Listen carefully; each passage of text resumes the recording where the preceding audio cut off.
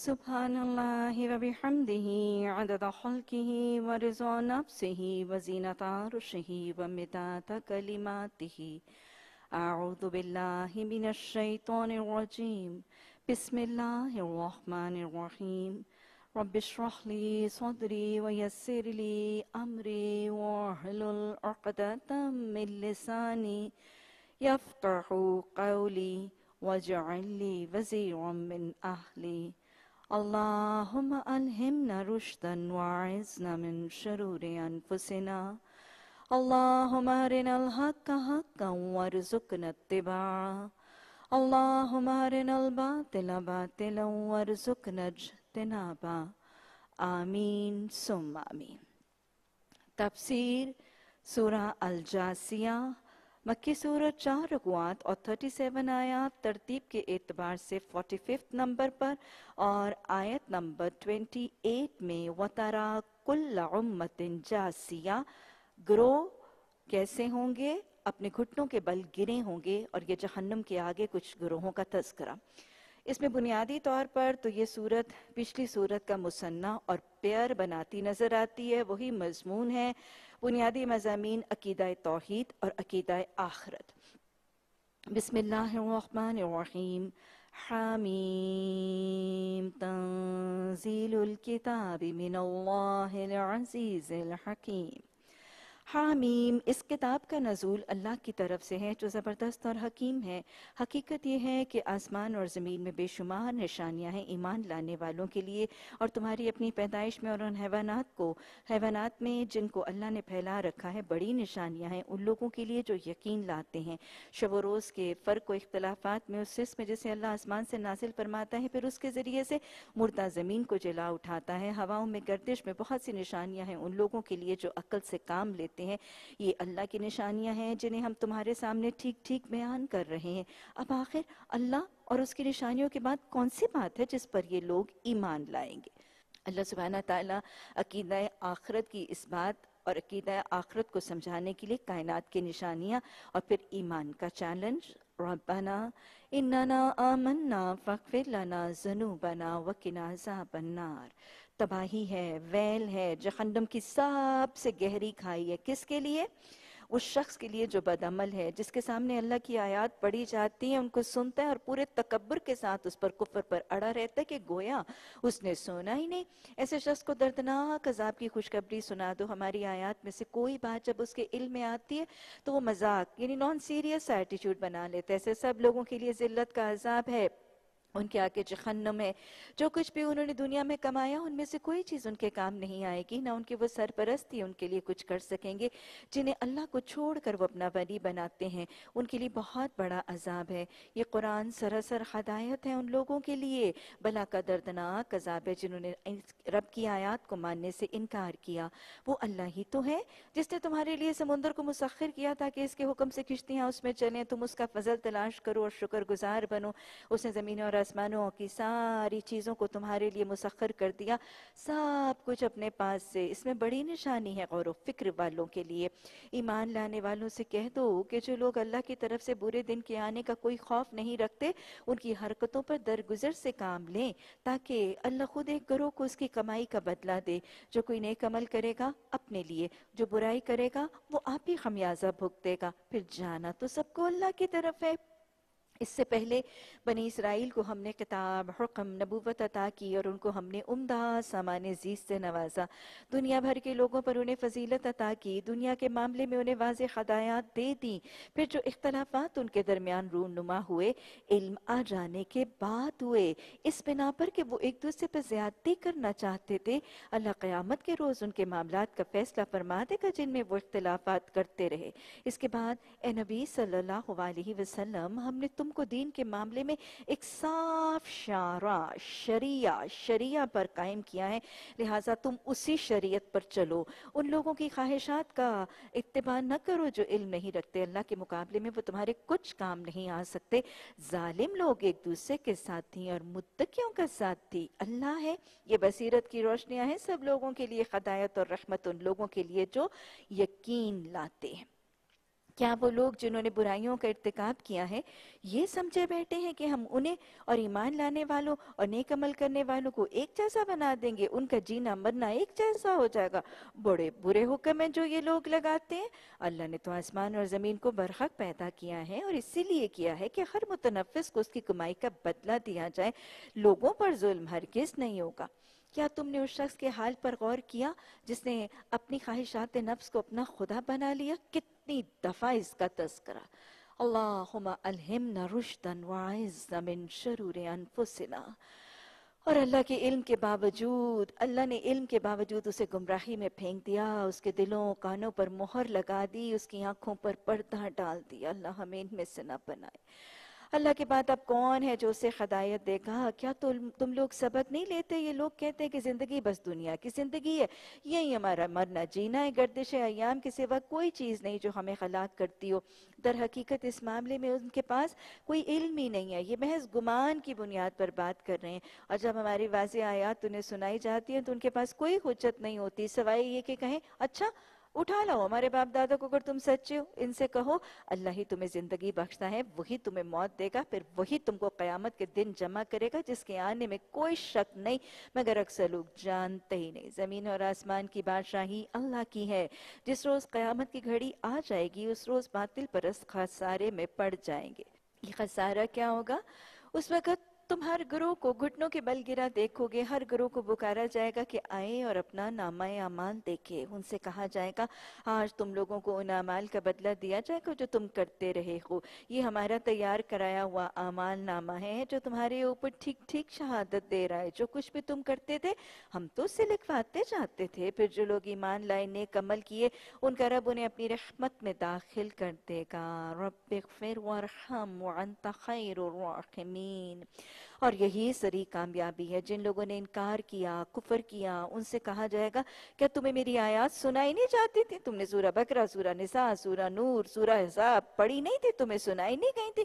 مگر تم نے تکبر کیا، انکار کیا، اپنے طریقے کو بہتر سمجھا، تم اللہ کے مجرم بن کے رہے۔ اور جب تم سے کہا جاتا تھا کہ اللہ کا وعدہ سچا ہے، قیامت کے آنے میں کوئی شک نہیں، تو تم کہتے تھے، ہم نہیں جانتے قیامت کیا ہوتی ہے۔ ہم تو بس ایک گمان سا رکھتے ہیں، یقین ہمیں نہیں ہے۔ اس وقت ان پر ان کے اعمال کی برائیاں کھل جائیں گی اور وہ اسی چیز کے پھیر میں آ جائیں گے جس کا مذاق اڑاتے تھے۔ ان سے کہہ دیا جائے گا، آج ہم بھی اسی طرح تمہیں بھلائی دیتے ہیں جس طرح تم اس دن کی ملاقات کو بھول گئے تھے۔ تمہارا ٹھکانہ اب تو زخ ہے۔ اللہم اجرنا من النار۔ کوئی تمہاری مدد کرنے والا نہیں۔ یہ تمہارا انجام اس لیے ہوا کہ تم نے اللہ کی آیات کا مذاق ہی بنا لیا تھا۔ اور تمہیں دنیا کی زندگی نے دھوکے میں ڈال دیا تھا، لہٰذا آج نہ یہ لوگ دوزخ سے نکالے جائیں گے اور نہ ہی ان سے کہا جائے گا کہ معافی مانگ کے اپنے رب کو راضی کر لو۔ بس تعریف اللہ کے لیے ہے جو زمین و آسمان کا مالک اور سارے جہان والوں کا پروردگار ہے۔ زمین اور آسمانوں میں بڑائی اسی کے لیے اور وہی زبردست اور تانا ہے۔ اللہ سبحانہ تعالیٰ تو زبردست بھی ہے، حکیم بھی ہے۔ اللہ ہمیں اس قرآن الحکیم سے حکمتیں سیکھ کر حکمت سے زندگی گزارنے اور حکمت سے دعوت دینے کا طریقہ سکھا۔ اللہم انفعنی بما علمتنی وعلمنی ما ينفعنی وزدنی علما۔ سورہ احقاف، مکی سورت، چار رکوات اور پینتیس آیات، ترتیب کے اعتبار سے فورٹی سکس اور نزولی اعتبار سے سکسٹی سکس نمبر پر آنے والی سورت۔ اس کا نام اس حوالے سے کہ اس کے آیت نمبر اکیس میں احقاف کے علاقے کا تذکرہ، تو اس حوالے سے اس کا نام۔ اس کے پیچھے جو واقعہ، اس کے شان نزول کی بنیاد بنا، وہ نبی صلی اللہ علیہ وسلم کی حیات طیبہ میں دس سن نبوت کے بعد رونما ہونے والا واقعہ۔ آپ کو معلوم ہے کہ رسول اللہ صلی اللہ علیہ وسلم کی نبوت کے بعد پہلے خاموش دعوت، پھر اعلانیہ دعوت، پہلے تو صرف انکار، پھر اس کے بعد مذاق، پھر اس کے بعد مار پیٹ اور سختی اور زد و کوب اور پھر اس کے بعد مشکین مکہ نے رسول اللہ صلی اللہ علیہ وسلم اور ساتھیوں کو مکہ کی بستی سے نکال کر خروج شیب ابی طالب میں محصور کیا گیا۔ اور وہاں پر نبی صلی اللہ علیہ وسلم کے ساتھ ان کے چچا ابو طالب اور آپ کی بہت ہی شفیق، آپ کی بڑی فرما بردار محبوب زوجہ محترمہ حضرت خدیجت القبرہ بھی آپ کے ساتھ، اس شیب ابی طالب کی ساری سختیاں برداشت کرنے میں آپ کے ساتھ ساتھ شانہ بشانہ۔ شیب اب طالب کی ان ساری دشواریوں میں شاید ان تکلیفوں کو تاب نہ لاتے ہوئے دونوں بہت شدید بیمار اور اس کے بعد دس سنے نبوت جب شیب ابی طالب کے بعد واپس مکہ میں داخل ہونے کی اجازت تو دے دی گئی، لیکن آپ اپنی ان دونوں شفیق ہستیوں سے محروم ہوئے دس سنے نبوت، عام الخزن year آف گریف جب یہ دونوں آپ کے بڑے زبردست سہارے، مالی، معاشی سوشل سائیکلوجیکل ہر قسم کے سہارے، دونوں آپ ان اتنے بڑے سپوت اور اتنے بڑے سہاروں سے محروم، غم کا گویا ایک پہاڑ ٹوٹ پڑتا ہے، لیکن اس پہاڑ میں بھی ادھر مشکلات ہیں، ادھر رکاوٹیں ہیں، ادھر مار پیٹ ہے، ادھر استحضاء ہے، ادھر انکار ہے، ادھر مخالفت ہے اور اس قدر شدید دشمنی اور عداوت ہے اور ادھر اتنا بڑا غم کا پہاڑ ہے، محبتوں سے مالی تنگیوں کا شکار ہے اور محبتوں سے محرومی ہے۔ لیکن میرے نبی صلی اللہ علیہ وسلم کی سنت کام کام، بس کام۔ بلغ ما انزل الیک من ربک۔ زندگی سراب پا تبلیغ ہے۔ کسی وقت، کسی مرلے کسی حالت، کسی سچویشن کسی کرائسس میں تبلیغ کا عمل رکتا نہیں نظر آتا۔ متحرک زندگی ہے، عمل والی زندگی ہے۔ جامع تبلیغ کا رنگ نظر آتا ہے۔ اللہ سبحانہ تعالی ہمارے حالات کو ہم پر غالب نہ کرنا، ہمیں اپنے حالات پر غالب رکھنا۔ اللہ سبحانہ تعالی ہمیں زندگی کے ہر مرحلے میں غیر اہم سے اہم کی طرف مائل کرتے نا حالات غالب نہیں آ رہے۔ آپ صلی اللہ علیہ وسلم بنو ثقیف کی دعوت کے لیے۔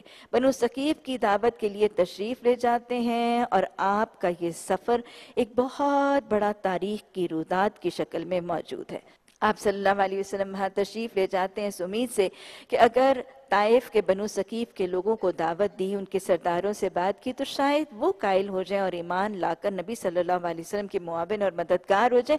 کیونکہ اب مکہ والوں کے رویے تو کھل کے سامنے آ چکے تھے عیاں ہو چکے تھے۔ امید، ہر وقت ساری زندگی نا امید نا امیدی اور مایوسی کفر ہے۔ آپ کی زندگی میں کہیں نظر ہی نہیں آتی۔ پتہ تھا کہ یہ کلام رنگ لائے گا۔ اس کلام کو لے کر طائف کی طرف سفر کرتے ہیں۔ کچھ روایات میں آتا ہے کہ اکیلے ہیں اور کچھ میں آتا ہے کہ آپ کے بیٹے منہ بولے، بیٹے حضرت زید بھی آپ صلی اللہ علیہ وسلم کے ساتھ ہیں، بہر کیف کے سفر پھر بنو سکیف والوں کے سرداروں کے پاس جا کے دین کا پیش کیا جانا، ان کا انکار ہی نہیں، بستی سے نعوذ باللہ دھتکار کر نکالا جانا۔ اور پھر جس رستے پہ آپ واپس نکل رہے ہیں، اس پر وہ اوباش لونڈے، وہ اوباش لونڈے مسلط کر دیے جاتے ہیں۔ نبی صلی اللہ علیہ وسلم کے خلاف نعوذ باللہ، ثم نعوذ باللہ، بڑے ہی بڑے ہی ناشائستہ الفاظ، بڑے ہی گستاخی والے جملے اور پھر ساتھ پتھر برسائے جاتے یہ ہے وہ میرے نبی صلی اللہ علیہ وسلم کا دین جو آپ کو اتنا محبوب تھا، اتنا محبوب تھا کہ اس کے لیے تو آپ نے کانٹے بھی برداشت کیے، آپ نے پتھر بھی سہے۔ کیا ہمیں اس دین سے اتنی محبت ہے؟ اور کیا وہ دین جس کی خاطر آپ نے اتنی قربانیاں دی تھی آج اس کا گلستان ہماری آنکھوں کے سامنے جب اجاڑا جاتا ہے، تو کیا میری آپ کی راتوں کی نیند حرام ہوتی ہے؟ کیا ہماری آنکھوں سے آنسو جاری ہوتے ہیں؟ کیا ہمارے دل میں غم آتا ہے؟ پھر یہ کیسی محبت اور عقیدت کے دعوے کہ جو میرے رسول صلی اللہ علیہ وسلم کی اتنی محبوب چیز تھی، اس چیز کا حال جب کیا جا رہا ہے، اس پر مجھے دکھ نہ آئی یہ میرے ایمان کا تقاضا ہے، یہ میرے ایمان کا تقاضا ہے۔ رسول اللہ صلی اللہ علیہ وسلم پر پتھر برسائے جاتے ہیں اور یہاں تک برسائے جاتے ہیں کہ آپ کے جوتے، آپ کے نالین مبارک خون سے بھر جاتے ہیں۔ تھک کے ایک دیوار کے ساتھ، باغ کی دیوار کے ساتھ ٹیک لگاتے ہیں۔ اور پھر آپ کی آپ کی یہ دعا بہت ہی پیاری ہے۔ طائب سے واپسی کی دعا خداون میں تیرے ہی حضور۔ اور یہ یاد رکھیے گا، یہ رجوع کرنے کا خوبصورت طریقہ ہے۔ غم میں، دکھ میں، پریشانی میں، آزمائش میں کس کی طرف پلٹ رہے ہیں؟ خداوند میں تیرے حضور اپنی بے بسی اور بے چارگی اور لوگوں کی نگاہوں میں اپنی بے قدری کا شکوہ کرتا ہوں۔ اے ارحم الراحمین، تو ہی سارے کمزوروں کا رب ہے۔ میرا رب بھی تو ہے۔ مجھے کس کے حوالے کر رہا ہے؟ کتنا پیارا سا جملے مجھے کس کے حوالے کر رہے کیا کسی بے گانے کے حوالے جو میرے ساتھ سختی کے ساتھ پیش آئے؟ یا کسی دشمن کے حوالے جو مجھ پر قابو پالے پھر یہ یہ تذکرہ اپنے غموں کا کرنے کے بعد ساتھ ہی کہتے ہیں، اللہ، اگر تو مجھ سے ناراض نہیں، تو مجھے کسی مصیبت کی پرواہ نہیں۔ یہ ہے محبت کا پیمانہ۔ والذین آمنوا اشد حب اللہ مگر اگر تیری طرف سے عافیت بھی مجھے نصیب ہو جائے، تو اس میں میرے لیے زیادہ کشادگی ہے۔ میں پناہ مانگتا ہوں تیری ذات کے اس نور کے اندھیرے، جو اندھیرے میں اجالا اور دنیا اور آخرت کے معاملات کو درست کرتا ہے۔ مجھے اس سے بچا لے کہ تیرا غضب مجھ پر نازل ہو۔ یہاں میں تیرے عطاب کا مستحق ہو جاؤں۔ تیری مرضی پہ راضی ہوں۔ یہاں تک کہ تو مجھ سے راضی ہو جائے۔ کوئی زور اور طاقت تیرے بغیر نہیں۔ بڑا ہی خوبصورت ہے یہ رجوع کرنے کا طریقہ۔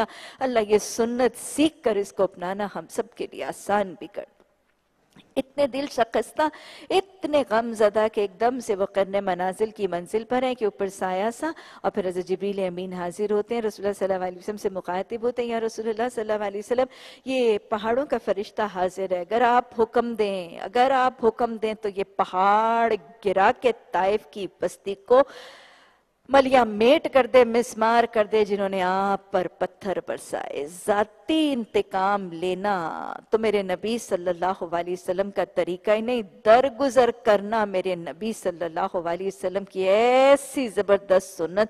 آپ نے کہا، نہیں، ان کو چھوڑ دو، مجھے امید ہے کہ ان میں سے کچھ لوگ ایمان لائے خطاکار سے درگزر کرنے والا بدندیش کے دل میں گھر کرنے والا، مجھے امید ہے کہ ان میں سے کچھ لوگ ایمان لائیں گے۔ یہ ہے وہ جو پچھلی صورت میں ہم نے پڑھا کہ برائیوں کو بھلائیوں سے دور کرو، درگزر کر دو، معاف کر دو اوور لک کر دو اگنور کر دو، ان کے معاملے کو اللہ کے حوالے کر دو۔ مشکل بڑا ہے۔ قرآن نے پچھلی آیت صورت میں بتایا تھا، یہ کام نصیب نہیں ہوتا، یہ توفیق ملتی نہیں ہے، مگر ان لوگوں کو جو بڑے نصیبے والے ہیں بڑے نصیبے والے ہیں میرے رسول صلی اللہ علیہ وسلم، اتنی برائی کو بھلائی سے دور کر رہے ہیں، معاف کر رہے ہیں، پہاڑوں کے فرشتے کو لوٹنے کا حکم دے رہے ہیں۔ اور یاد رکھیے گا، برائیاں برائیاں بھلائیوں سے دور ہوتی ہیں، درگزر کرنے سے سمرات فائدے مرتب ہوتے ہیں۔ ہم نہیں کرتے کیونکہ ہمیں لگتا ہے کہ کچھ فائدہ نہیں ہوگا۔ ہوا، کتنا بڑا فائدہ ہوا۔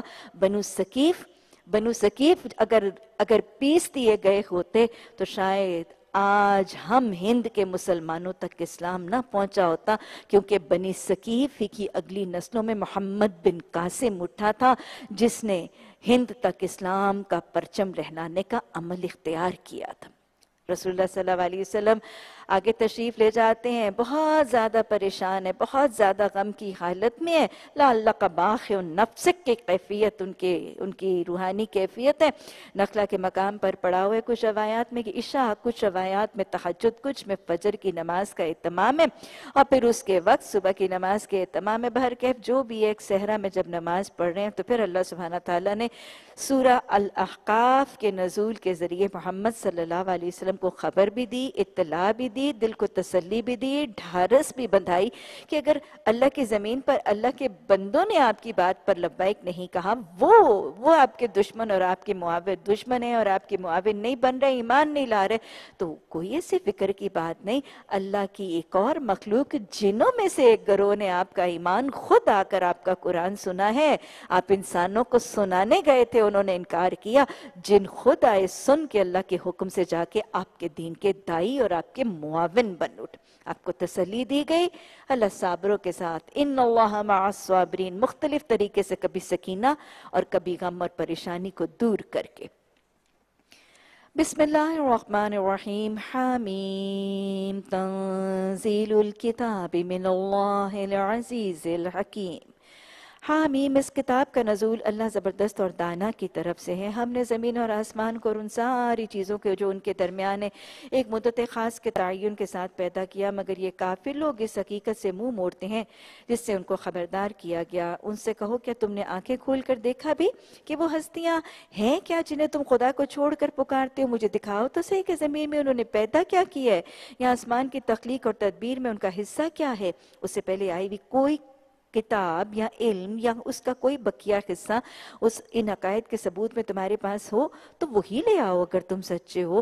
آخر اس شخص سے زیادہ بہکا ہوا انسان کون ہوگا جو اللہ کو چھوڑ کر ان کو پکارے جو قیامت تک انہیں جواب بھی نہیں دے سکتے، بلکہ اس سے بھی بے خبر ہیں کہ پکارنے والا ان کو پکار بھی رہا ہے۔ اور جب تمام انسان جمع کیا جائیں گے، اس وقت وہ اپنے پکارنے والوں کے دشمن، ان کی عبادت کے منکر ہو جائیں گے۔ ان لوگوں کو جب ہماری صاف صاف آیات سنائی جاتی ہیں اور حق ان کے سامنے آ جاتا ہے، تو یہ کہا پہ لوگ اس کے بارے میں کہتے ہیں، تو کھلا جادو ہے۔ کیا ان کا کہنا یہ ہے کہ رسول اللہ صلی اللہ علیہ وسلم نے اسے خود گھڑ لیا ہے؟ ان سے کہو، اگر میں نے خود گھڑ لیا تو تم مجھے خدا کی پکڑ سے کچھ بھی نہ بچا سکو گے۔ جو باتیں تم بناتے ہو، اللہ سے خوب جانتا ہے۔ اور میرے اور تمہارے درمیان وہی گواہی دینے کے لیے کافی ہے۔ ہے، وہ غفور الرحیم ہے۔ ان سے کہو، میں کوئی نرالا رسول تو نہیں۔ میں نہیں جانتا کہ کل تمہارے ساتھ کیا ہونے اور میرے ساتھ کیا۔ میں تو صرف اس وحی کی پیروی کرتا ہوں جو میرے پاس بھیجی جاتی ہے اور میں ایک صاف صاف خبردار کر دینے والے کے سوا کچھ نہیں۔ عقائد مشرقین مکہ کے مکی صورتوں میں ہمیشہ عقائد ہی پر بحث اور مباحثہ جاری۔ ان سے کہو، کبھی تم نے سوچا کہ اگر یہ کلام اللہ ہی کی طرف سے ہوا اور تم نے انکار کر دیا، تو پھر تمہارا کیا انجام ہوگا؟ اور ان جیسا ایک کلام تو بنی اسرائیل کا ایک گروہ شہادت بھی دے چکا ہے۔ وہ ایمان لائے اور تم نے گھمنڈ کر لیا۔ ایسے ظالموں کو تو اللہ ہدایت نہیں دیتا۔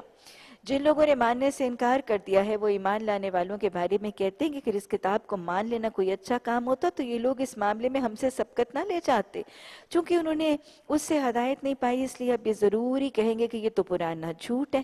حالانکہ اس سے پہلے موسیٰ علیہ السلام کی کتاب کتاب رہنما اور رحمت بن کے آ چکی ہے اور یہ کتاب اس کی تصدیق کرنے والی یعنی کہ قرآن پچھلی آسمانی کتابوں کی تصدیق کرنے والی عربی زبان میں آئی ہے تاکہ ظالموں کو متنبع کر دیں اور نیک روش اختیار کرنے والوں کو خوشخبری دے دیں یقیناً جن لوگوں نے کہہ دیا، ہمارا رب اللہ ہے۔ قالو ربنا اللہ، ثم اس پر جم گئے۔ ان کے لیے کیا ہے؟ فلا خوف علیہم ولا هم یحزنون۔ ان کے لیے کوئی خوف نہیں ہے، کوئی غم نہیں ہے۔ کہاں؟ دنیا میں یا آخرت میں؟ دونوں جگہوں میں کہا جا رہا ہے۔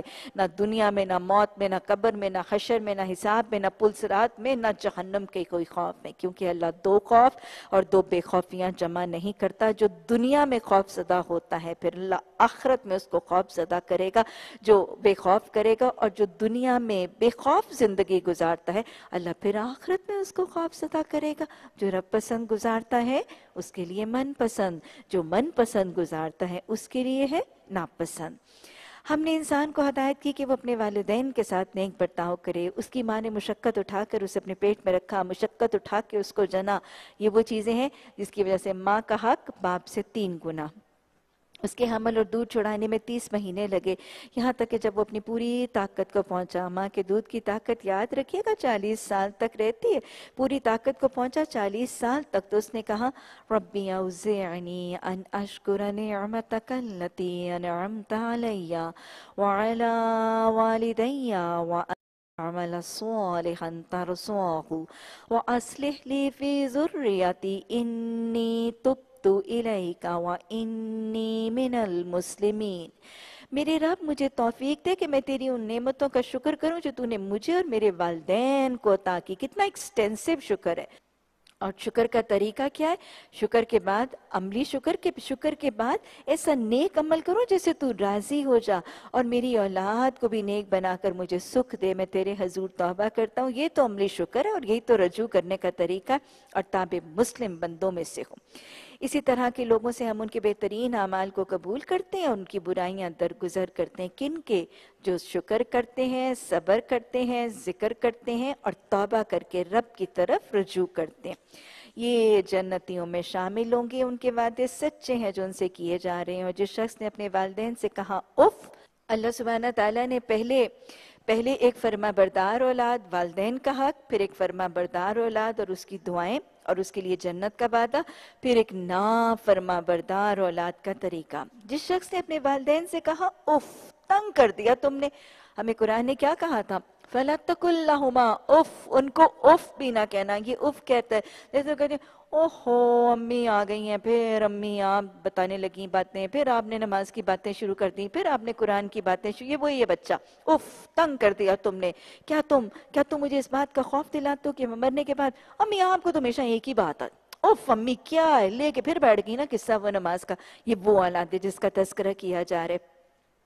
کہ تم مجھے اس بات کا خوف دلاتے ہو کہ مرنے کے بعد میں پھر قبر سے نکالا جاؤں گا۔ حالانکہ مجھ سے پہلے بہت سی نسلیں تو گزر چکی ہیں، ان میں سے تو کوئی اٹھ کے آیا نہیں۔ ماں اور باپ، اللہ کی دہائی دیتے رہے رے بد نصیب مان جا، اللہ کا وعدہ سچا ہے۔ مگر وہ کہتا ہے، یہ سب اگلے وقتوں کی فرسودہ کہانیاں، امی پتہ نہیں کہاں، انیس سو ڈیڑھ کے قصے اور وہاں کی آپ کی ذہنیت پھنسی ہوئی ہے۔ یہی بچے کہتے ہیں۔ یہ وہ لوگ ہیں جن پر عذاب کا فیصلہ چسپاں ہو گیا۔ ان سے پہلے جنوں اور انسانوں کے جو ٹولے اسی کماش کے یعنی ایسے ہی رویے جو کرتے تھے، یہ بھی انہی میں شامل ہو جائیں گے۔ بے شک یہ گھاٹے میں رہنے والے لوگ ہیں۔ دونوں گروہوں میں سے ہر ایک کے درجے ان کے اعمال کے لحاظ ہے تاکہ اللہ ان کے پورا پورا بدل ان کو دے دے۔ ان پر ظلم ہرگز نہیں ہوگا۔ پھر جب یہ کافر آگ کے سامنے لائے جائیں گے، تو ان سے کہا جائے گا، تم اپنے حصے کی نعمتیں اپنی دنیا کی زندگی میں ختم کر چکے، ان کا تم نے لطف اٹھا لیا۔ اب جو تکبر تم زمین میں بغیر بغیر کسی حق کے کرتے تھے اور جو نافرمانیاں تم نے کی، ان کی پاداش میں آج تمہیں ذلت کا عذاب دیا جائے گا۔ زراعت کے بھائی، حود علیہ السلام کا قصہ تو سناؤ۔ جب اس نے احقاف میں اپنی قوم کو کہا تھا، ایسے خبردار کرنے والے ان سے پہلے بھی گزر چکے تھے اور اس کے بعد بھی۔ اور اس کے بعد بھی آتے رہے کہ اللہ کے سوا کسی کی بندگی نہ کرو، مجھے تمہارے حق میں ایک بڑے خولناک دن کے عذاب کا ڈر ہے۔ انہوں نے کہا، کیا تو اس لیے آیا کہ ہمیں بہکا دے، ہمارے معبودوں سے برگشتہ کر دے؟ اچھا تو لے آپ نہ وہ عذاب جسے تو ہمیں ڈراتا ہے۔ اگر واقعی تو سچا ہے۔ اس نے کہا، اس کا علم تو اللہ کو ہے، میں تو تمہیں صرف وہ پیغام پہنچا رہا ہوں جسے دیکھ کر مجھے بھیجا گیا ہے۔ مگر میں دیکھ رہا ہوں کہ تم لوگ جہالت برت رہے ہو۔ پھر جب انہوں نے اس عذاب کو اپنی وادیوں کی طرف آتے ہوئے دیکھا تو کہنے لگے، یہ تو باطل ہے جو ہمیں سیراب کرے گا۔ نہیں نہیں نہیں، بلکہ یہ وہی چیز ہے جس کی تم جلدی مچا رہے تھے۔ یہ ہوا کا طوفان ہے جس میں دردناک عذاب چلا آ رہا ہے۔ اپنے رب کے حکم سے ہر چیز کو تباہ کر ڈالے گا۔ آخرکار ان کا حال یہ ہوا کہ ان کے رہنے کی جگہوں کے سوا وہاں کچھ نظر نہیں آتا تھا۔ ہم اسی طرح مجرموں کو بدلہ دیتے ہیں۔ ان کو ان کو ہم نے وہ کچھ دیا تھا جو تمہیں نہیں دیا، انہیں ہم نے کان آنکھیں دل سب دیے تھے، مگر نہ وہ ان کے کسی کام آئے، نہ آنکھیں کسی کام آئیں، کیونکہ وہ اللہ کی آیات کا انکار کرتے تھے اور اسی چیز کے پھیر میں آگے جس کا وہ مذاق اڑاتے تھے۔ تمہارے گرد و پیش کے علاقوں میں بہت سی بستیوں کو ہم ہلاک کر چکے ہیں، ہم نے اپنی آیات بار بار بھیج کر طرح طرح سے ان کو سمجھایا شاید ہے کہ وہ پاس آ جائیں۔ پھر کیوں نہ، پھر کیوں نہ ان ہستیوں نے ان کی مدد کو کیوں نہ ان ہستیوں نے ان کی مدد کی۔ جب اللہ کو چھوڑ کر انہوں نے اللہ کے تقرب کا ذریعہ سمجھتے ہوئے معبود بنایا تھا، بلکہ وہ وہ تو الٹے کھو بھی گئے۔ اور یہ تھا ان کا جھوٹ اور بناوٹی عقیدوں کا انجام جو انہوں نے گھر رکھے تھے۔ اور وہ واقعہ بھی قابل ذکر ہے جب ہم نے جنوں کے گروہ کو تمہاری طرف بھیجا تاکہ وہ قرآن سنیں۔ اب یہاں پہ چھوٹا سا رویہ ضروری دیکھ لیجیے گا کہ یہ یہ وہ جنوں کا گروہ ہے جو اللہ کو بہت پسند آیا کیونکہ اللہ نے ان کا ذکر خیر اپنے قرآن میں محفوظ رکھ دیا۔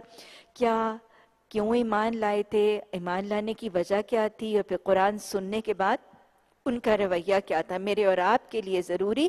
قرآن کے ایمان کی وجہ کیا بنی؟ اور پھر قرآن سننے کے بعد ان کا رویہ کیا تھا؟ جب اس جگہ پہنچے جہاں تم قرآن پڑھ رہے تھے، تو انہوں نے کیا کہا؟ سے تو خاموشی سے قرآن سننا قرآن کے آداب بھی کا ذریعہ نہیں ہے صرف، بلکہ اس کے ایمان کا وسیلہ اور ذریعہ بھی بنتا ہے۔ ان کو ایمان کیوں ملا تھا؟ کیونکہ انہوں نے ادب سے، خاموشی سے قرآن سنا تھا۔ قرآن کے تلاوت کے آداب میں سے ایک لازم ادب ہے کہ جب قرآن کی تلاوت کی جا رہی ہو یا قرآن کا محفل کا معاملہ ہو تو خاموشی اختیار کی جائے اتنی خاموشی پسند ہے کہ قرآن کی تعلیم یا تلاوت کی محفل میں باہر سے آنے والے کو سلام کرنے کا بھی ہے کہ وہ سلام نہ کرے کیونکہ یہ محفل کے اندر ڈسٹرپٹ کرنے کا ذریعہ بنتا ہے۔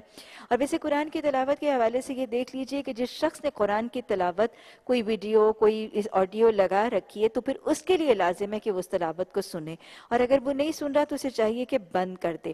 ہاں جب قرآن کی تلاوت سن لگی ہے تو اس میں یہ لازم نہیں کہ سبھی لوگ سنیں، کیونکہ دیکھیں ہمارا دین بہت ہی پریکٹیکلز ہے۔ کوئی کمپیوٹر پہ بیٹھا ہے، کوئی اپنی پڑھائی کر رہا ہے، کوئی اپنے کام کاج کر رہا ہے، اور سارے لازماً اس وقت نہیں بھی انٹینٹیو ہو سکتے۔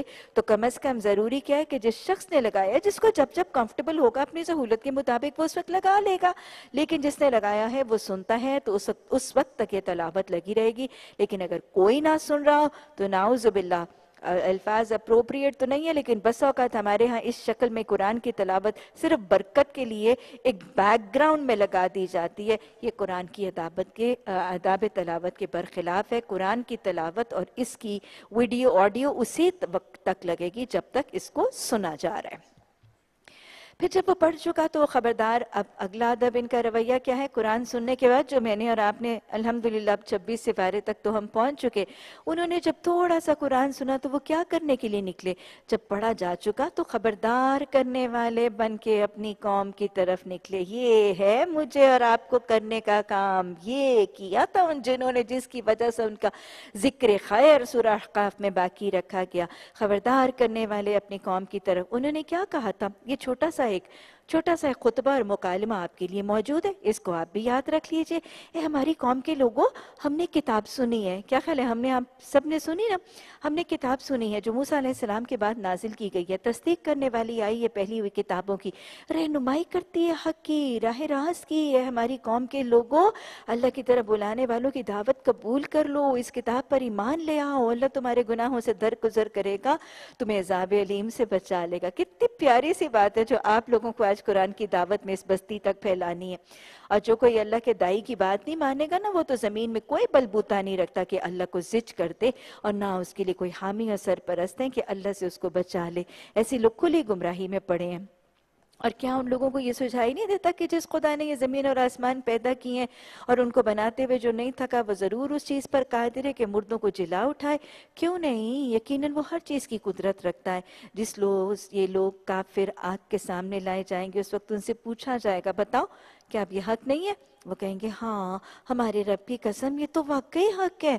اللہ فرمائے گا اچھا تو اب عذاب کا مزہ چکھو اپنے اس انکار کی وجہ سے جو تم دنیا کی زندگی میں کرتے تھے۔ بس اے نبی صلی اللہ علیہ وسلم، اب آپ کو ساری تسلی دینے کے بعد آگے کا لائے عمل، صبر کرو۔ کس طرح؟ جیسے اول العظم رسولوں نے کیا۔ کون سے ہیں؟ حضرت نو حضرت ابراہیم، حضرت موسیٰ، حضرت عیسیٰ اور خاتم النبیین محمد صلی اللہ علیہ وسلم۔ اور ان کے معاملے میں جلدی نہ کرو، جس روز یہ لوگ اس چیز کو دیکھ لیں گے جنہیں ان کا خوف جنہیں، جس کا انہیں خوف دلایا جا رہا ہے، تو انہیں معلوم ہوگا کہ جس دنیا میں جس دنیا میں دن کی ایک گھڑی بھر سے زیادہ نہیں رہے، بس بات پہنچا دی گئی۔ اب کیا نافرمان لوگوں کے سوا کوئی اور کھولا ہلاک ہوگا؟ اللہ ہمیں نافرمانی، سرکشی، اسیان اور نسیان سے بچنے کی توفیق عطا فرما۔ اللہ فرما برداری کے احکامات اور فرما برداری کے طریقہ اتور سلیقہ سکھا کر اپنی بندگی کا طریقہ سکھا دے۔ اللہ بندہ بننے کی توفیق عطا فرما دے۔ اللہ ہمیں ان صفات سے متصف فرما دے جو عباد الرحمن کی صفات ہیں۔ اللہ ہمیں اس دنیا میں عباد الرحمن کی صفوں میں شامل فرما دے۔ سورہ محمد۔ سورہ محمد مدنی سورت چار رکوات اور تھرٹی ایٹ آیات ترتیب کے اعتبار سے فورٹی سیونتھ نمبر پر آنے والی سورت۔ اس کا نام اس حوالے سے کہ نمبر، آیت نمبر دو میں ہی محمد صلی اللہ علیہ وسلم کا نام اور قرآن کو ان کی طرف نازل کیے جانے کا تذکرہ اور ویسے اس سورت کا نام سورہ کتال بھی ہے۔ وَذُكِّرْ فِيهَا الْكِتَالُ ان کے درمیان کتال کا یعنی جنگ کا حکم۔ دو میں نے آپ کو بتایا تھا، سورہ محمد یہ وہ صورت ہے جس میں مسلمانوں کو مکہ کی بستی میں، مکہ کی بستی کے بعد ہجرت کر کے مدینہ آنے کے بعد پہلی ہجری ہی میں جنگ کی اجازت دیتی گئی تھی۔ اس کے بعد سورہ بکرہ میں جنگ کا کتال اور جہاد کا حکم دیا گیا تھا۔ اگر ہم اس کو دیکھیں تو اس میں نبی صلی اللہ علیہ وسلم کہ جو بالکل ابتدائی مدنی دور کے احکامات ہیں انیشلی وہ جہاد کا کچھ حکم اور پھر اس کے بعد قیدیوں سے نپٹنے کے طریقے اور بنیادی احکامات۔ بسم اللہ الرحمن الرحیم۔ الذین قفروا وصدوا عن سبیل اللہ اضل اعمالهم۔ جن لوگوں نے کفر کیا اور اللہ کے راستے سے روکا، اللہ نے ان کے اعمال کو ضائع کر دیا۔ اللہ کے احکامات اور راستے سے روکنے کے مختلف طریقے ایک تو حکم دے دیا جاتا ہے۔ جیسے کئی دفعہ شوہر کہہ دیتے ہیں، بس، میں نے تمہیں کہہ دیا، اب تم نے پردہ نہیں کرنا۔ پھر بس اوقات پردے کے خلاف احکامات جاری کر دیے جاتے ہیں۔ بس اوقات جبر، ظلم، زیادتی، مار، پیٹ، جیسے مشرقین مکہ کا طریقہ تھا۔ اور تیسرا طریقہ، جیسے نظر بن حارث کا طریقہ تھا۔ دین کی طرف چلنے والے اور اطاعت کی طرف چلنے والوں کو بس کچھ ایسی سرگرمیوں کی طرف لگا دیا جاتا ہے کہ انڈائریکٹلی پیسو طریقے سے دین کی طرف آنے سے روک دیا جاتا ہے۔ تو اللہ فرمانے ہے، جس بھی طریقے سے روکا گیا، قولی طور پر حکم دے کر جبر کے ساتھ، مذاق اور استحضاء کے ساتھ، اور یہاں الٹرنیٹیو ایکٹیویٹیز میں ملوث کر کے وہ سارے لوگوں کے باقی عمل ضائع کر دے گا۔ اور جو لوگ ایمان لائے اور جنہوں نے نیک عمل کیے، اور اس چیز کو مان لیا جو محمد صلی اللہ علیہ وسلم پر نازل ہوئی، اور وہ سراسر حق بھی ہے ان کے رب کی طرف سے، تو اللہ ان کی برائیاں دور کر دے گا اور ان کا حال درست کر دیں گے، جو نہ خود مانیں گے، نہ دوسروں کو مانے دیں گے، ان کی ساری نیکیاں ضائع ہو جائیں گی، اور جو خود مانیں گے، دوسروں کو بھی اس کی طرف لائیں گے، ان کی اللہ ساری برائیاں ختم کر دے گا۔ یہ رویے ہیں جو اللہ کے رویے بدلنے کا ذریعہ بنتے ہیں۔ یہ اس لیے کہ کفر کرنے والوں نے باطل کی پیروی کی اور ایمان لانے والوں نے اس حق کی پیروی کی جو ان کے رب کی طرف سے آیا ہے۔ اس طرح اللہ لوگوں کو ان کی ٹھیک ٹھیک حیثیت بتائے دیتا ہے۔ بس جب ان کافروں سے تمہاری مڈ بھیڑ ہو تو پہلا کام تو کیا کرو؟ گردنے مارو۔ یعنی میدان جنگ میں پہلا کام تو تمہارا یہ ہوگا کہ ان کی گردنیں کاٹو۔ گے یہاں تک کہ جب تم ان کو اچھی طرح کچل دو تب قیدیوں کو مضبوط باندھو اور یعنی قیدیوں کو پھر اس کے بعد کیا کرو؟ اس کے بعد تمہیں اختیار ہے کہ احسان کرو یا فدیے کا معاملہ کرو۔ تاک کے لڑائی اپنے ہتھیار ڈال دے۔ ہم نے سورہ انفال میں سورہ انفال میں غزوہ بدر کے حوالے سے دیکھا تھا کہ جب ستر قیدی آئے تھے تو رسول اللہ صلی اللہ علیہ وسلم نے سورہ محمد کی اس ہی آیت کا حوالہ، اس کا جواز کہ قیدیوں کو فدیہ لے کر رہا کیا جا سکتا ہے، مشاورت کی تھی اسی آیت کی روح سے حضرت ابو بکر اور حضرت عمر سے۔ اور مشاورت کس حتمی فیصلے پر پہنچی تھی کہ قیدیوں کو متفرق شکل کے فدیے دے کر نجات اور رہائی دے دی جائے؟ تو جواز ان کا اسی حوالے سے موجود تھا لیکن وہاں اللہ نے اس رویے کو پسند نہیں کیا تھا اور حضرت عمر کی رائے اللہ سبحانہ تعالیٰ کو زیادہ پسندیدہ ہوئی۔ اسلام کے اندر قیدیوں کے ساتھ کیا معاملہ کیا جاتا ہے؟ اسلام نرمی کا، سہولت کا، آسانیوں کا دین ہے۔ لا اکراہ فی الدین، دین میں تو قیدیوں کے ساتھ بھی جبر اور سختی نہیں۔ اگر آپ دیکھیں کہ جو قیدی مسلمانوں کے ہاتھ آئے یا جب قیدی مسلمانوں کے ہاتھ آتے تو کیا کیا جاتا تھا؟ بہت تھوڑوں کو قتل کیا جاتا تھا۔ اگر آپ تاریخ میں دیکھیں تو غزوہ بدر کے ستر قیدیوں میں سے صرف دو، اقبہ بن نبی معید جس کا تذکرہ کل آیا تھا، تقتلون رجل یقول ربنا اللہ۔ نبی صلی اللہ علیہ وسلم کے قتل قتل کی کوشش جس نے کی تھی اور بہت بدترین گستاخیاں کرتا تھا اور نظر بن حارث جس نے لحو الحدیث کا اہتمام کیا تھا۔ یہ دو جو ہیں، یہ غزوہ بدر میں، ایک کو کو غزوہ احد میں، ایک کو غزوہ خیبر میں۔ اور فتح مکہ کے موقع پر بھی بہت تھوڑے، حالانکہ اتنی زبردست فتح تھی، لیکن بہت تھوڑے لوگوں کو قتل کیا گیا تھا۔ قیدیوں کو عموماً قتل نہیں کیا جاتا تھا۔ قیدیوں کو۔ سب سے پہلے ان کے اوپر اسلام کی دعوت پیش کی جاتی تھی، قرآن سنایا جاتا تھا۔ اگر وہ اسلام قبول کرنے تو وہ اسلامی بھائی سمجھے جاتے تھے اور ان کو رخا کر دیا جاتا تھا۔ اس کے بعد جتنی دیر ان کو، کیونکہ آپ کو پتہ ہے کہ اس زمانے میں کوئی پریزنز یا کوئی قید خانے کوئی جیل خانے وغیرہ تو تھے نہیں۔ جتنی دیر ان قیدیوں کو ابھی ان کا اگلا معاملہ کرنے سے پہلے لوگوں کے گھروں وغیرہ میں رکھا جاتا تھا تو ان کے ساتھ بہت زیادہ حسن سلوک کیا جاتا تھا اور ان کے ساتھ بڑی نرمی اور ان کے ساتھ شفقت کا طریقہ اختیار کیا کیا جاتا تھا، قیدیوں کو مارنا، پیٹنا، ٹارچر یا عذیت دینا۔ آج آج وہ لوگ جو ہمارے دین کا اعتراض اور ہمارے دین کے احکامات کی تعلیمات کا مذاق اڑاتے نظر آتے ہیں، آج وہ اپنا گونتنامہ جو ہے وہ جیل دیکھیں اور دیکھیں وہاں پہ کیا عذیتیں اور کیسے وہ تو پکڑ پکڑ کے وہاں پہ جو ٹارچر سیلز آج ہماری یہاں بہت جتنے ٹارچر سیلز ہیں۔ نبی صلی اللہ علیہ وسلم کی حیات طیبہ میں جو قیدی آ جاتے تھے، ان کے اوپر ظلم، زیادتی عذیت ٹارچر کا کوئی تصور موجود نہیں تھا۔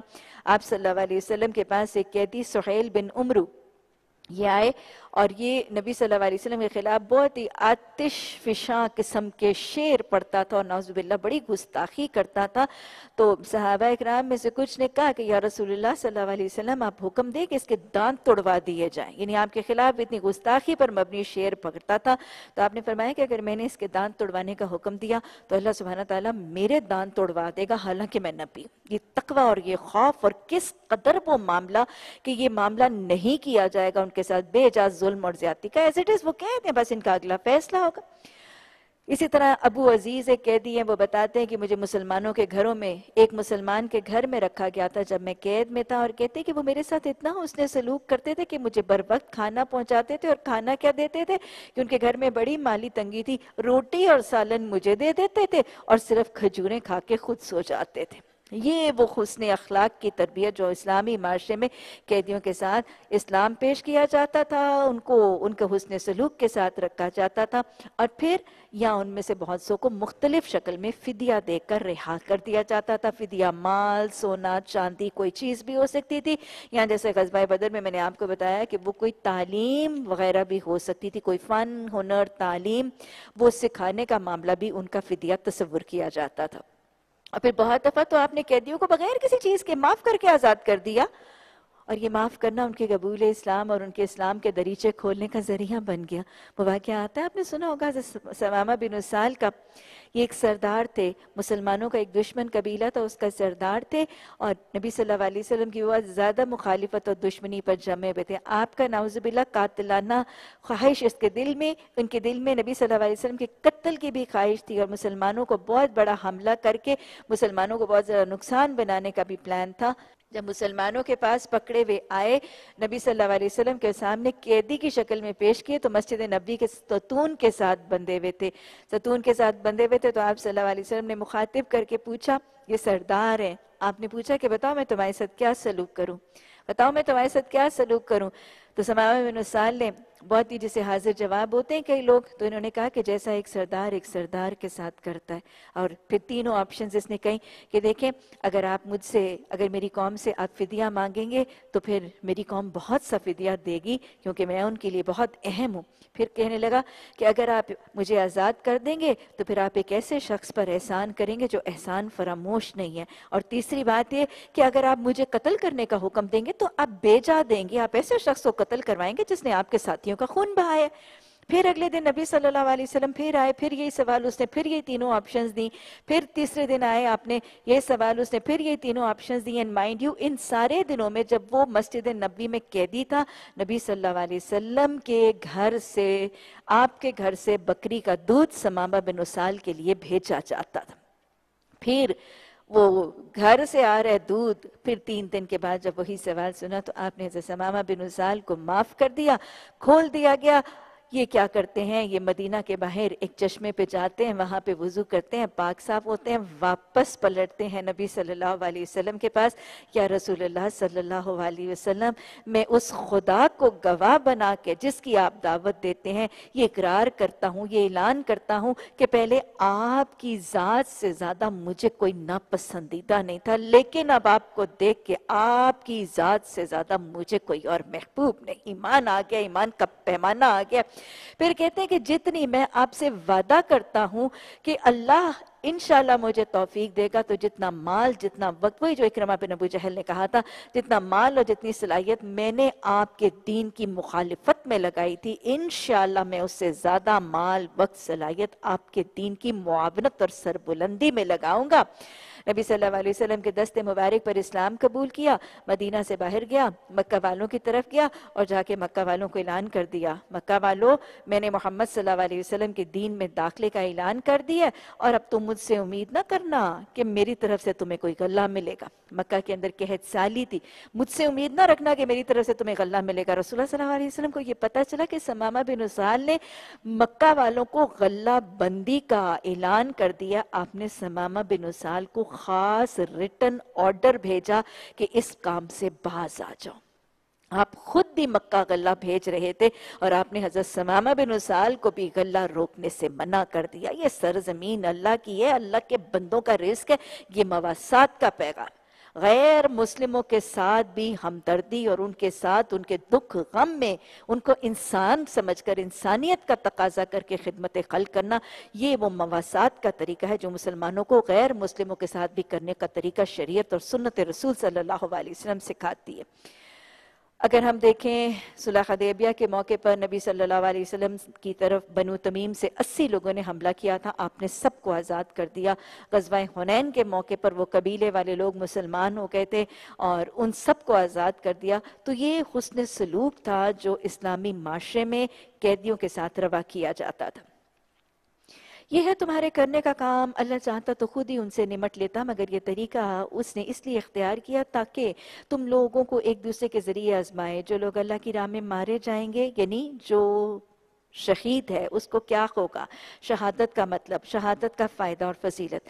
اللہ اس کے عمل کو ضائع نہیں کرے گا یعنی بہترین اجر دے گا، اس کی رہنمائی فرمائے گا یعنی ہدایت دے گا، ان کا حال درست کر دے گا اور ان کو اس جنت میں داخل کرے گا جن سے وہ ان کو واقف کرا چکا ہے۔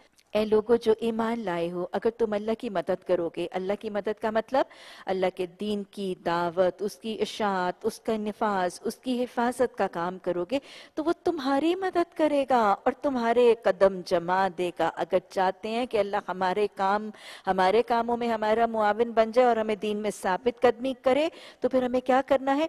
دین کی اشاعت، تبلیغ اور دعوت میں اپنا کردار ادا کرنا ہے۔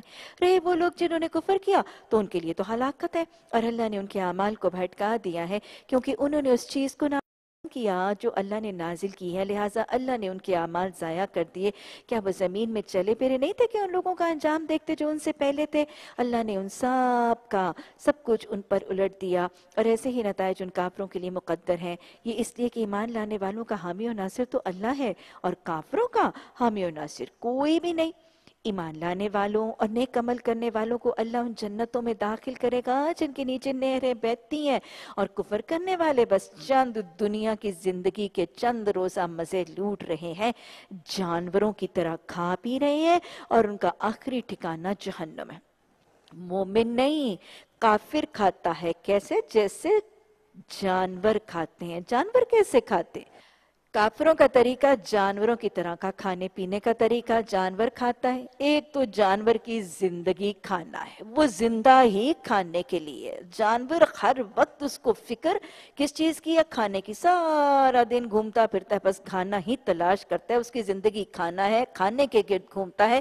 سارا دن کھانا ہی تلاش کرتا ہے، سارا وقت کھا سکتا ہے۔ ہر وقت کھا سکتا ہے، جس وقت ملے کھا سکتا ہے، جتنا ملے کھا سکتا ہے، جتنا اس کے آگے رکھ دیں، سب کھا جاتا ہے۔ اور کھاتے وقت اس کو صرف اپنے کھانے کی فکر ہوتی ہے، اس کو ارد گرد کسی کے کھانے کی کوئی فکر نہیں۔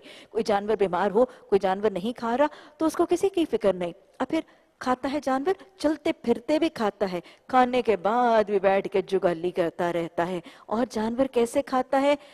جانور یہ کھاتا ہے کہ کھاتے وقت اس کو گندے صاف حلال، حرام کی کوئی پرواہ نہیں۔ اور یہ تو جانور ہے۔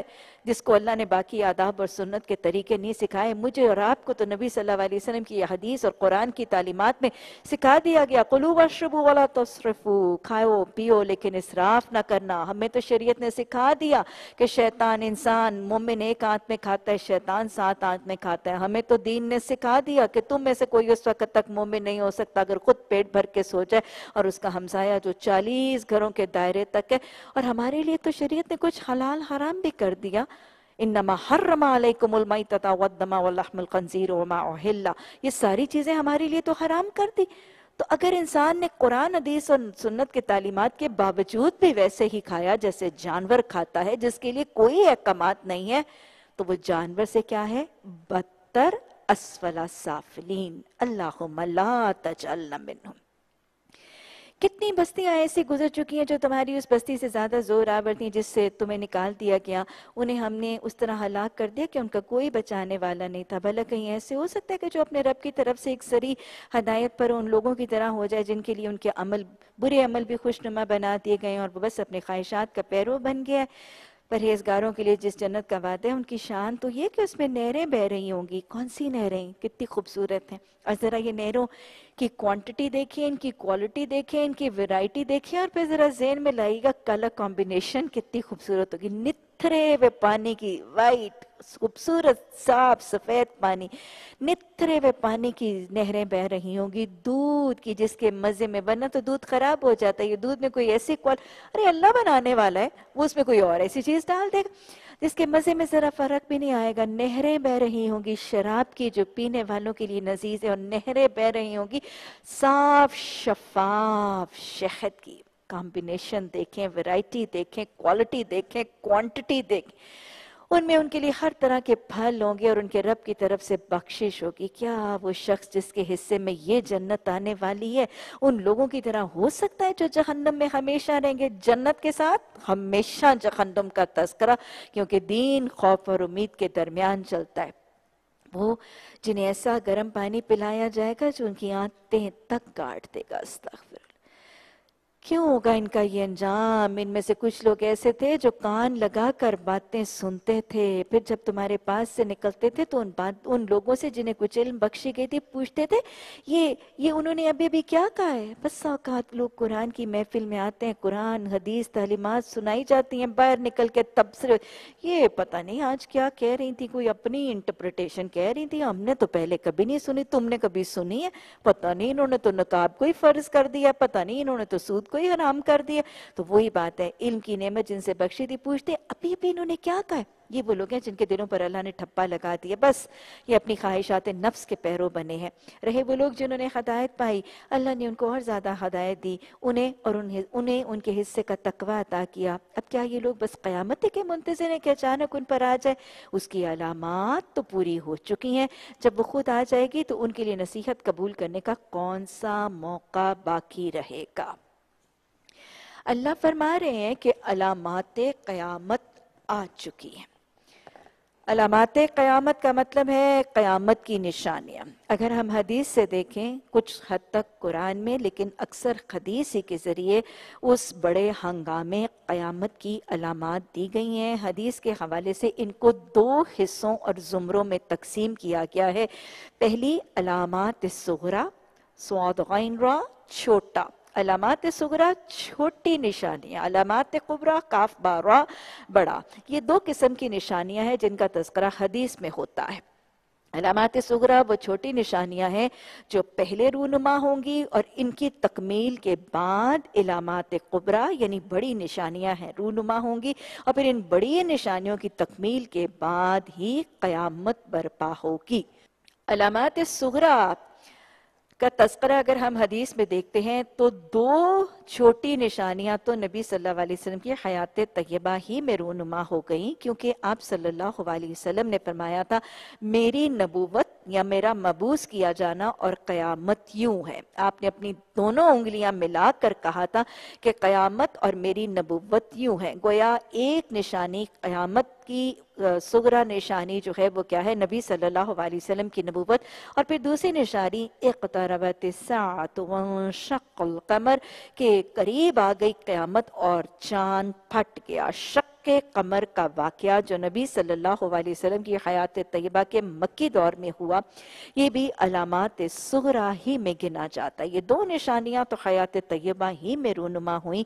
اس کے بعد آپ صلی اللہ علیہ وسلم نے حدیث میں فرما دیا کہ میں فتنوں کو تمہارے گھروں میں ایسے اترتا دیکھتا ہوں جیسے بارش کے قطرے کسی کے سکن میں برستے ہیں۔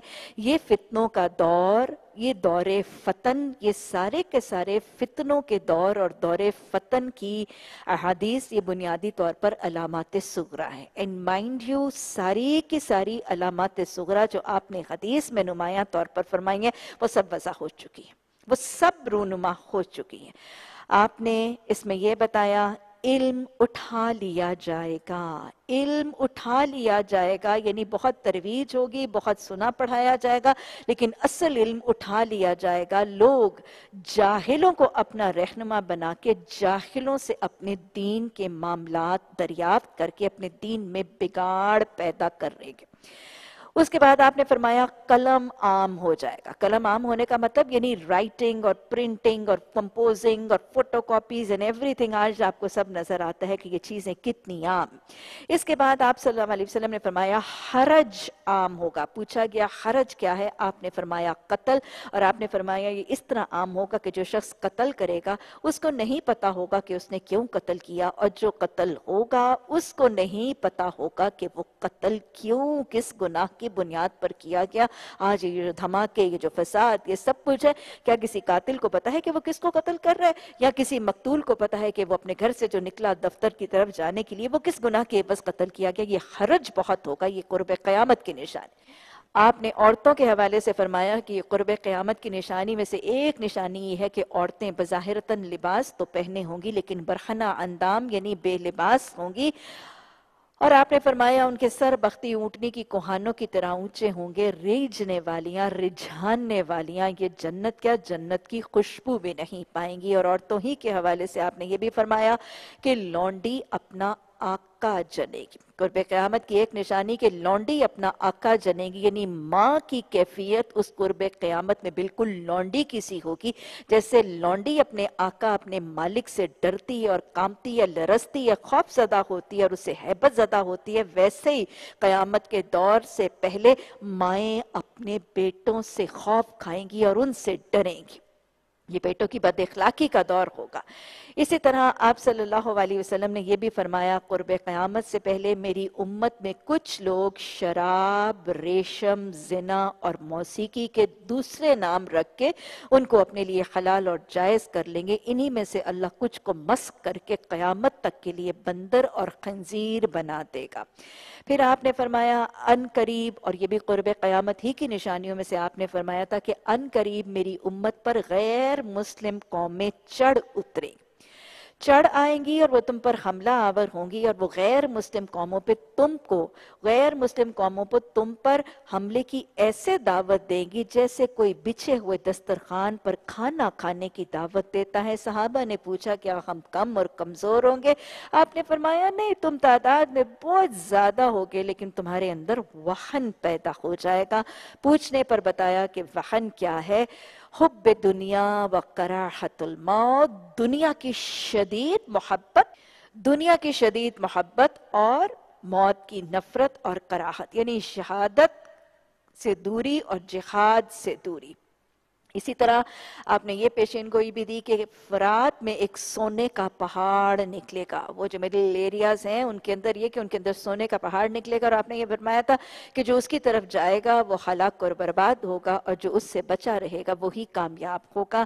اور پھر وہ بھی ایک نشانی کہ آپ نے فرمایا کہ قیامت سے پہلے لوگ صرف جان پہچان والوں کو ہی سلام کریں گے۔ اس کے علاوہ بھی دور فتن کی مختلف احادیث موجود ہے لیکن علماء کرام کی واضح رائے ہے کہ یہ ساری کی ساری احادیث جو دور فتن کے حوالے سے موجود ہیں، وہ سب کی سب علامات سغرا رونما ہو چکی ہیں۔ اب انتظار کس بات کا ہے کہ علامات سغرا کے بعد علامات قبرہ میں سے پہلی نشانی رونما ہو جائے۔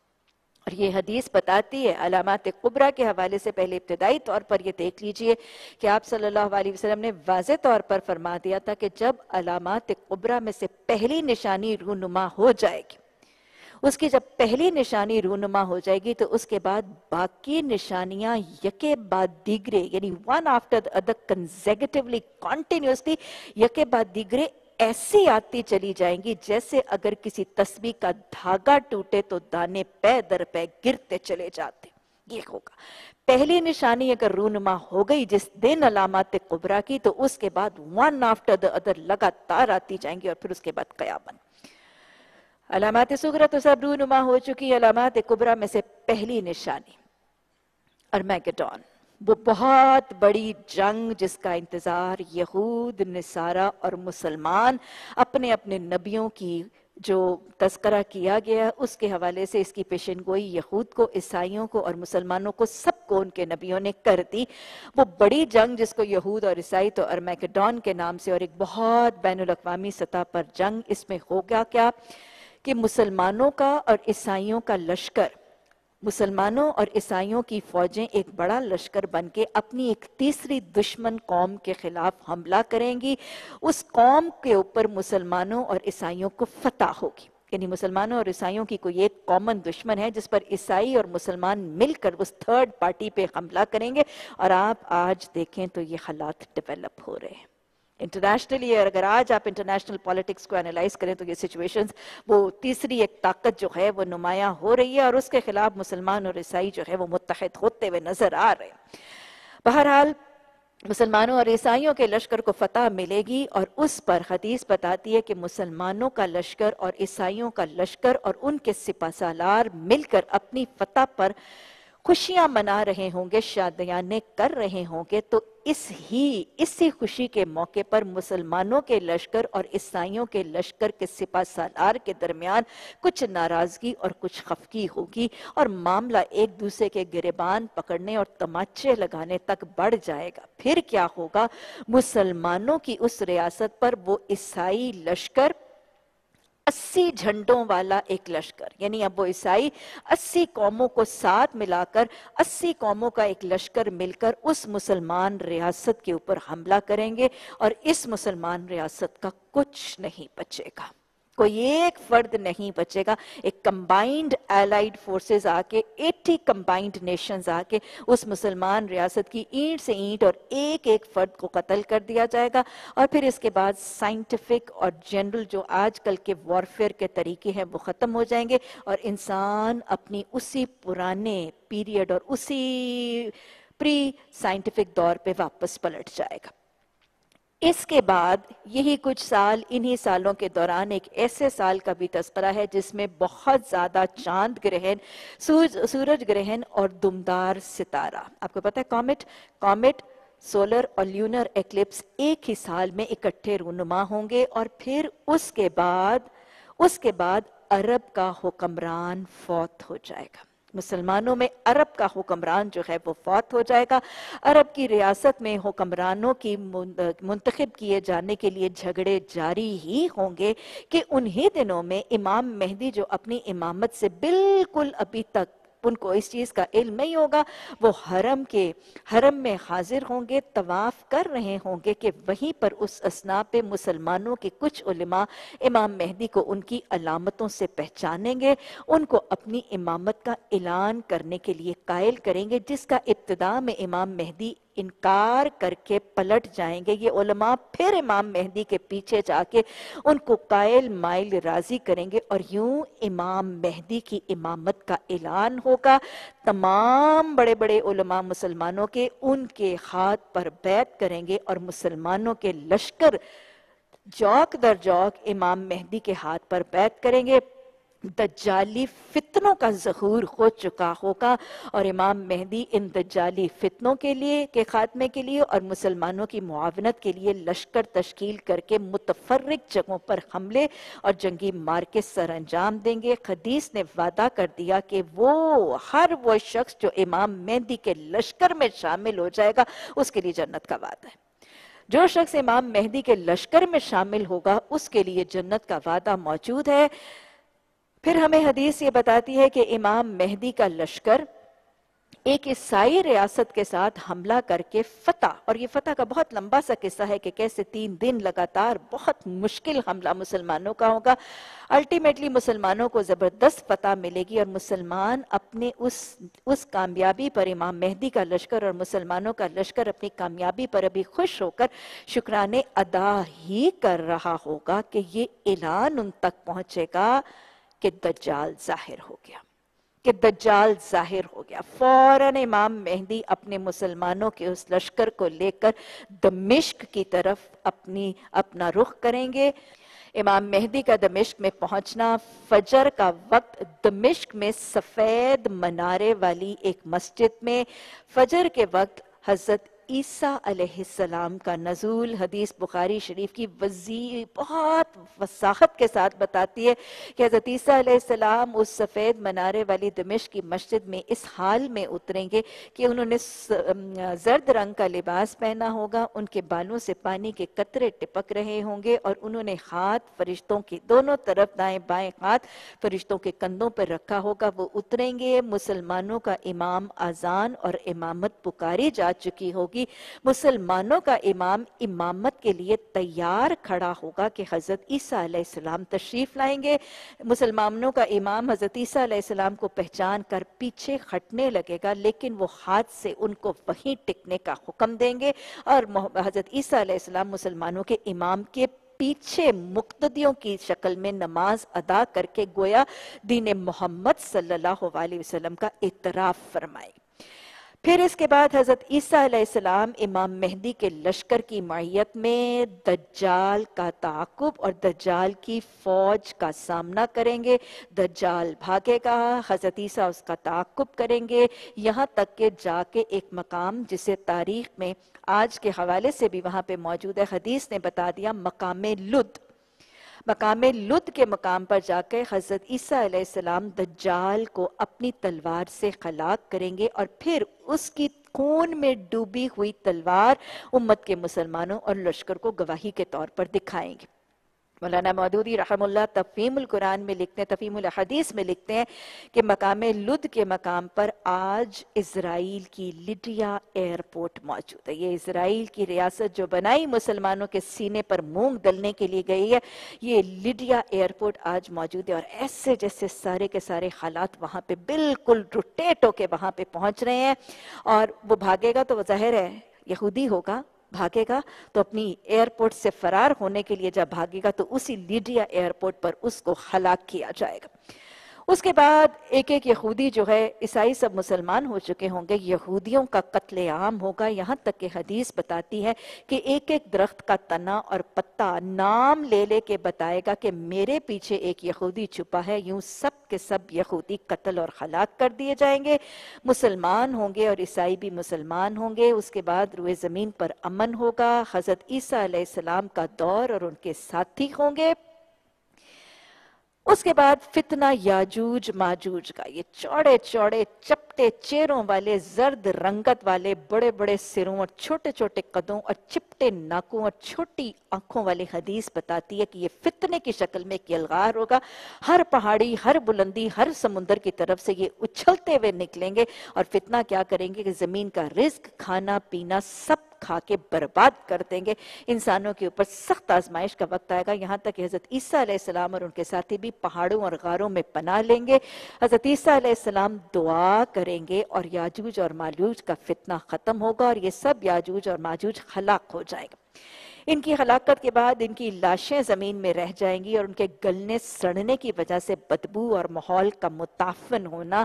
پھر حضرت عیسیٰ علیہ السلام کی دعا حضرت عیسیٰ علیہ السلام کی دعا کا کیا جانا اور اس دعا کی وجہ سے باران رحمت بہت زیادہ بارش کا برسنا کہ ان کی ان کی لاشیں جو ہیں وہ بہا کے نہریں اور پانی بہا کے سمندر میں لے جائے گا اور ماحول صاف ہوگا۔ اسی سارے دورانیہ میں حضرت عیسیٰ علیہ السلام کی نکاح، ان کی اولاد اور پھر حضرت عیسیٰ علیہ السلام کا فوت ہو جانا، محمد صلی اللہ علیہ وسلم کے پہلو میں دفن کیا جانا، اس کے بعد سارے کے سارے مسلمان جو روئے زمین پر ہیں، ہمیں حدیث بتاتی کہ ان کے گلے میں کوئی ہلکی سی بیماری اور ہلکی سی تکلیف اور ہلکا سا بخار آئے گا، جس کی وجہ سے روئے زمین پر اس وقت جتنے مسلمان ہوں گے، اس وبائی مرض کی بنیاد پر ہلکی سی بیمار کی، بخار کی تکلیف اور گلے کی تکلیف کی طرح سب کے سب مسلمان ہلاک ہو جائیں گے، کیونکہ کافر بدترین لوگوں پر قیامت نے برپا ہونا ہے۔ مسلمانوں کو قیامت سے پہلے موت کا معاملہ ہو جائے گا۔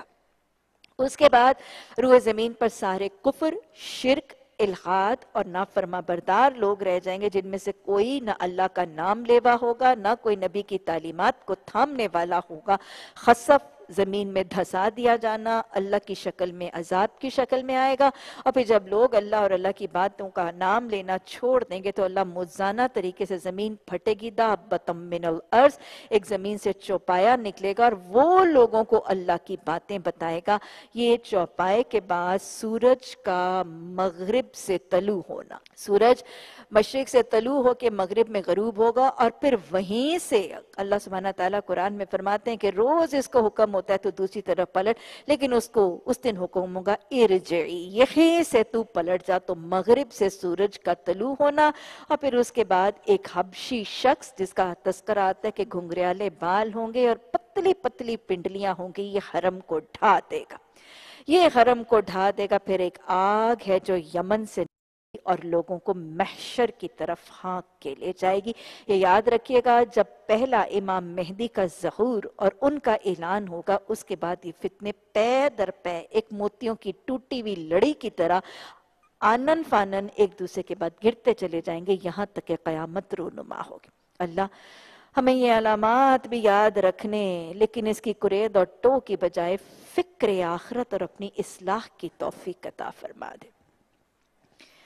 خوب جان لو کہ اللہ کے سوا کوئی عبادت کا مستحق نہیں اور معافی مانگ لو اپنے قصور کی بھی اور مومن مردوں اور عورتوں کے قصور کے لیے بھی۔ اللہم اغفر لنا وللمؤمنین والمؤمنات والمسلمین والمسلمات۔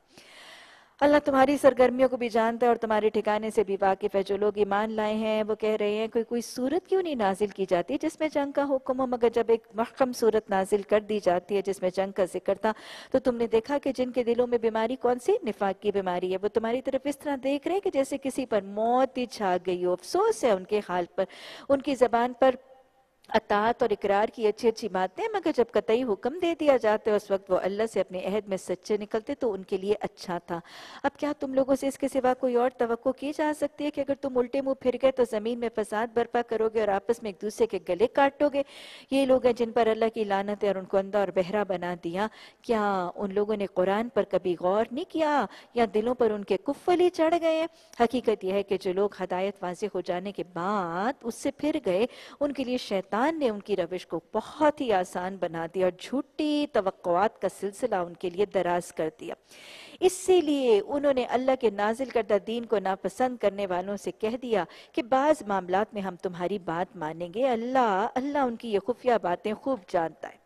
پھر اس وقت کیا حال ہوگا جب فرشتے ان کی روحیں قبض کریں گے، ان کی منہ، ان کی پیٹھوں پر مارتے ہوئے انہیں لے جائیں گے؟ اسی لیے تو ہوا کہ انہوں نے اس طریقے کی پیروی نہ، پیروی کی جو اللہ کو ناراض کرنے والا تھا، اور اس کی رضا کا طریقہ اختیار کرنا پسند نہیں کیا۔ اسی بنا پر اس نے ان کے اعمال ضائع کر دیے۔ کیا وہ لوگ جن کے دلوں میں یہ بیماری ہے، یہ سمجھے بیٹھے ہیں کہ اللہ ان کے دلوں کے کھوٹ ظاہر نہیں کرے گا؟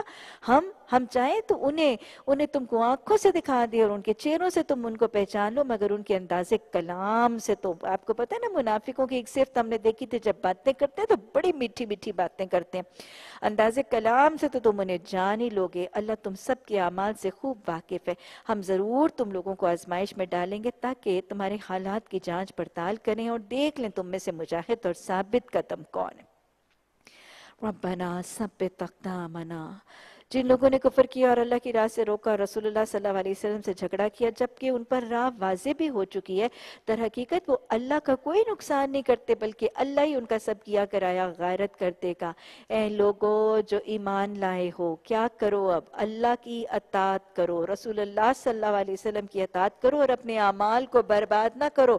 گویا اگر زندگی میں اتی اللہ کے ساتھ اتی الرسول اللہ ہوا صلی اللہ علیہ وسلم، تو عمل برباد ہو جائیں۔ کفر کرنے والوں اور راہ سے روکنے، راہ خدا سے روکنے والوں اور مرتے دم تک کفر پر جمے رہنے والوں کو تو اللہ ہرگز معاف نہیں کرے گا۔ تو پھر تم کیا کرو؟ آج مجھے آپ کو طریقہ بتایا جا رہا ہے۔ تم بودے نہ بنو، ہلکے نہ ہو جاؤ، بودے نہ بن جاؤ، جھک نہ جاؤ، دشمن کے آگے کمپرومائز نہ کر لو، مصالحتیں نہ کر لو، کوئی ریکنسلیشنز اور پیچ اپس نہ کر لو۔ صلح کی درخواست نہ کرو۔ تم ہی غالب رہنے والے ہو۔ آج ہندوستان کے ساتھ، آج امریکہ کے ساتھ ہم یہی تو کر رہے ہیں جو ہمیں قرآن کہہ رہے ہلکے نہ پڑ جاؤ، بودے نہ بن جاؤ، صلح کی درخواست نہ کرو، تم غالب ہونے والے ہو۔ اللہ تمہارے ساتھ ہے، وہ تمہارے عمل کو ضائع نہیں کرے گا۔ کیوں کرتے ہو؟ یہ دنیا کے لیے کرتے ہو۔ یہ دنیا کی زندگی تو کھیل اور تماشا ہے۔ اگر تم ایمان رکھو گے، تقوی کی روش پر چلو گے، تو اللہ تمہارے اجر تمہیں دے گا اور تمہارا مال تم سے نہیں مانگے گا۔ اگر کئی وہ تم سے مال مانگ لے اور سب کے سب تم سے طلب کر لے تو تم تو بخل کرنے لگو گے اور تمہارا کھوٹ ابھر جائے گا۔ دیکھو، تم لوگوں کو دعوت دی جا رہی ہے کہ اللہ کی راہ میں مال خرچ کرو۔ اس پر تم میں سے کچھ لوگ ہیں جو بخل کر رہے ہیں۔ حالانکہ جو بخل کرتے ہیں، وہ در حقیقت اپنے آپ سے تو بخل کرتا ہے اللہ غنی ہے، تم ہی محتاج ہو۔ اگر تم منہ موڑو گے تو اللہ تمہاری جگہ کسی ایسی قوم کو لے آئے گا اور وہ تم جیسے نہیں۔ نہیں ہوں گے۔ اللہ اللہ سبحانہ تعالیٰ اس بدلے جانے پلٹائے جانے سے پہلے بحثیت قوم جس مقصد کے لیے بنائے گئے اس مقصد کی طرف پلٹنے کی توفیق عطا فرما دے صدق اللہ العظیم۔ سورہ الفتح۔ مدی سورت چار رکوات 29 آیات ترتیب کے اعتبار سے 48 نمبر پر آنے والی سورت پہلی ہی آیت میں انَّا فَتَحْنَا لَكَ فَتْحًا مُبِينًا اللہ سبحانہ تعالیٰ نے سورہ حدیبیہ کو فتح مبینہ کہہ کر پکارا۔ اس کے پس منظر میں اگر ہم دیکھیں تو صلح حدیبیہ کا واقعہ اور اس کی مختصر تاریخ، اگر ہم وہ تاریخ سنیں گے تو انشاءاللہ آیات کو پڑھنا آپ صلی اللہ علیہ وسلم کے حوالے سے ہمیں مشکل نہیں نظر آئے گا۔ آپ دیکھیں کہ آپ کو معلوم ہے کہ ہجرت کے بعد دو ہجری میں بدر، تین ہجری میں احد پانچ ہجری میں خندق۔ مشکین مکہ اور یہود کے لشکروں کا واپس اپنا غیظ و غضب لے کر پلٹ جانا اور آپ کی پیشن گوئی کہ اب وہ تم پر حملہ نہیں کریں گے اور آپ صادق واقعی حملہ تو نہیں ہوا، لیکن اس کے بعد رسول اللہ صلی اللہ علیہ وسلم کو خواب میں ایک پھر اس کے بعد اگلے دوسرے دن یہ دکھایا گیا کہ آپ احرام باندھ کر اپنے ساتھیوں کے ساتھ عمرہ کر رہے آپ اس بات کو جانتے ہیں کہ نبی کا خواب وہی کی حیثیت رکھتا ہے۔ گویا یہ اللہ کی طرف سے عمرے کا حکم تھا۔ آپ نے عمرے کے سفر کا اعلان فرمایا اور آپ نے اجازت دی۔ آپ نے حکم دیا کہ تم میں سے دو جو میرے ساتھ اس سفر میں شامل ہونا چاہتا ہے، وہ میرے ساتھ اس سفر میں، عمرے کے سفر میں میرے ساتھ شامل ہوئے۔ سفر کا آغاز پہلی زیقد چھ ہجری۔ پہلی زی کا چھ ہجری میں سفر کا آغاز نبی صلی اللہ علیہ وسلم کے ساتھ چودہ سو ساتھی ایک سو ستر اونٹ۔ اکثر یہ لوگ جو صرف ذوالحلیفہ کے مقام پر رسول اللہ صلی اللہ علیہ وسلم نے احرام باندھا، یہ لوگ ننگے بدنوں احرام کی حالت میں لبائک پکارتے ہوئے بہت سے تھوڑے لوگ ایسے تھے جن کے پاس ان میں سے کسی کے پاس سبل تو ہتھیار نہیں تھے۔ بہت تھوڑے سے لوگ تھے جن کے پاس صرف ایک ایک تلوار جو ہے وہ ساتھ ان کی میت میں موجود تھی۔ حدی کے جانور بھی اکثر کے ساتھ ساتھ موجود۔ یہ لشکر، یہ چھوٹا سا گروہ، لشکر تو یہ تھا نہیں جنگ کے لیے تو جا نہیں رہتے یہ ایک گروہ جو ہے، یہ جب مکہ پہنچتا ہے تو مشکین مکہ اب تسبسب کا شکار ہے اب ان کو سمجھ نہیں آ رہی کہ اس معاملے کو کیسے نپٹایا جائے۔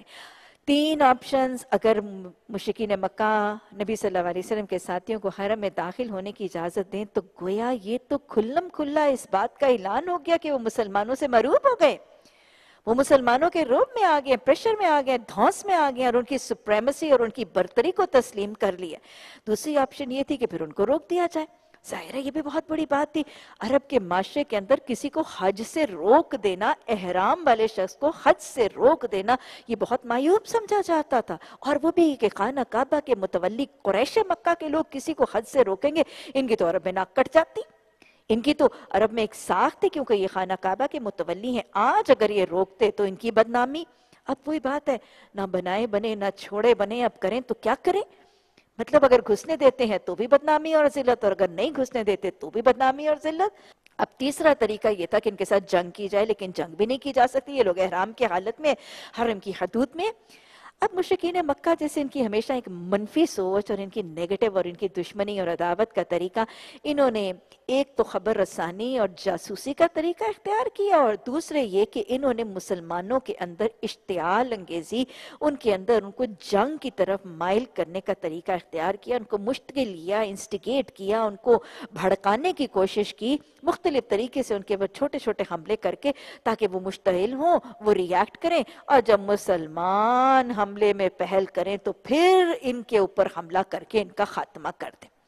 مختلف طریقے جو ہیں وہ رائج کیے گئے۔ مشرقین مکہ نے حضرت خالد بن ولید کو دو سو گھڑ سواروں کے ساتھ قرآ الغمیم قرآ الغمیم کے مقام پر بھیجا اور چھوٹے چھوٹے حملے، چھوٹے چھوٹی پتھر پھینکے، چھوٹے چھوٹے حملے کیے تاکہ کہیں مسلمان جو ہیں وہ مشتعل ہو کے جوابی حملہ کریں اور مشکین مکہ کو بڑے حملے کا موقع مل جائے۔ لیکن آپ نے اور ساتھیوں نے ٹوٹل صبر، تحمل، حلم، بردباری، معاملہ فہمی اور احرام کی حدود کا احترام اور پاس رکھا اور مارے جانے والے پتھروں اور تکلیفوں پر کوئی جواب دہی کا طریقہ اختیار نہیں کیا۔ اللہ کی اطاعت بہرحال فائدہ ہی دیتی ہے، فیض ہی پہنچاتی پھر خبر گیری کے لیے اور خبر رسانی کے لیے عروہ بن ثقیف کو مشکین مکہ نے عروہ بن ثقیف کو بھیجا کہ جا کے ذرا بنو ثقیف کے قبیلے کا وہ شخص کہ جا کے دیکھو تو صحیح کہ محمد صلی اللہ علیہ وسلم کا وہ جو گروہ ہے، ان کی کیفیت کیا ہے اور ان کی نیت اور ان کے ارادے کیا ہیں تاکہ ہم بھامپ کے اس کے حساب سے معاملہ کریں۔ عروہ بن ثقیف نے جب آ کے رسول اللہ صلی اللہ علیہ وسلم کے خیموں اور کیفیت دیکھی تو اس نے جا کے رپورٹ کیا دی تھی مشکین مکہ کو۔ عربہ بن مسعود سقفی نے عربہ بن مسعود سقفی نے جا کے کیا کہا کہ دیکھیں، میں نے تو بڑے بڑے شہان عرب اور عجم دیکھے ہیں۔ میں نے قیسر و قسرا کے، حبشہ کے دبرار اس کے نچاشی کا میں نے دربار دیکھا ہے۔ میں نے بڑے بڑے حکمران اور بڑے بڑے بادشاہ دیکھے ہیں، لیکن میں نے جو شان رسول اللہ صلی اللہ علیہ وسلم کے خان دیکھی ہے، وہ میں نے کہیں نہیں دیکھی۔ وہ میں نے کہیں نہیں دیکھی۔ ان کے تو سرفروشوں کا حال یہ کہ وہ اپنی زبان سے ایک ایک حکم کا لفظ بھی نکالتے ہیں تو وہ لبیک یا رسول اللہ صلی اللہ علیہ وسلم کہہ کے دوڑتے چلے آتے یعنی ایک آنکھ کا اشارہ ہوتا ہے، ایک زبان کا لفظ ہوتا ہے تو وہ لبیک کہہ کے دوڑتے نظر آتے ہیں۔ اور پھر اس نے عربہ بن مسعود ثقفی نے یہ بھی کہا کہ ان شدائیوں کا تو حال یہ ان سرفروشوں کا تو حال یہ کہ محمد صلی اللہ علیہ وسلم جب وضو کرتے ہیں نا، تو وہ ایک دوسرے سے جھپٹتے ہوئے وضو کے پانی کے قطرے بھی سمیٹنے اور لینے کے لیے، جمع کرنے کے لیے پھر آگے بڑھتے ہیں اور وہ سارا وضو کا پانی اپنے جسموں پر مل لیتے ہیں۔ میں پھر دورا رہی ہوں، تبرک کے لیے نہیں، یہ محبت اور عقیدت ہے۔ یہ محبت اور قرب کی خواہش میں کیا کرتے تھے صحابہ اکرام؟ تو یہ رپورٹ جب پہنچی اپنے ساتھ اس نے کہہ دیا کہ دیکھ لو مشکین تمہارا مقابلہ کس کے ساتھ ہے؟ اس نے بھی نہ مشکین مکہ کے دل کے اندر ایک خوف ڈالا، پھر مشکین مکہ نے اسی لوگوں کا ایک دستہ جو ہے وہ تنیم کی پہاڑیوں کی طرف سے محمد صلی اللہ علیہ وسلم پر شبخون مارنے کی نیت سے جو ہے وہ بھیجا گیا۔ یہ اسی کے اسی شبخون مارنے والے جو لوگ تھے وہ پکڑے گئے، گھڑ سوار تھے، اسی تھے۔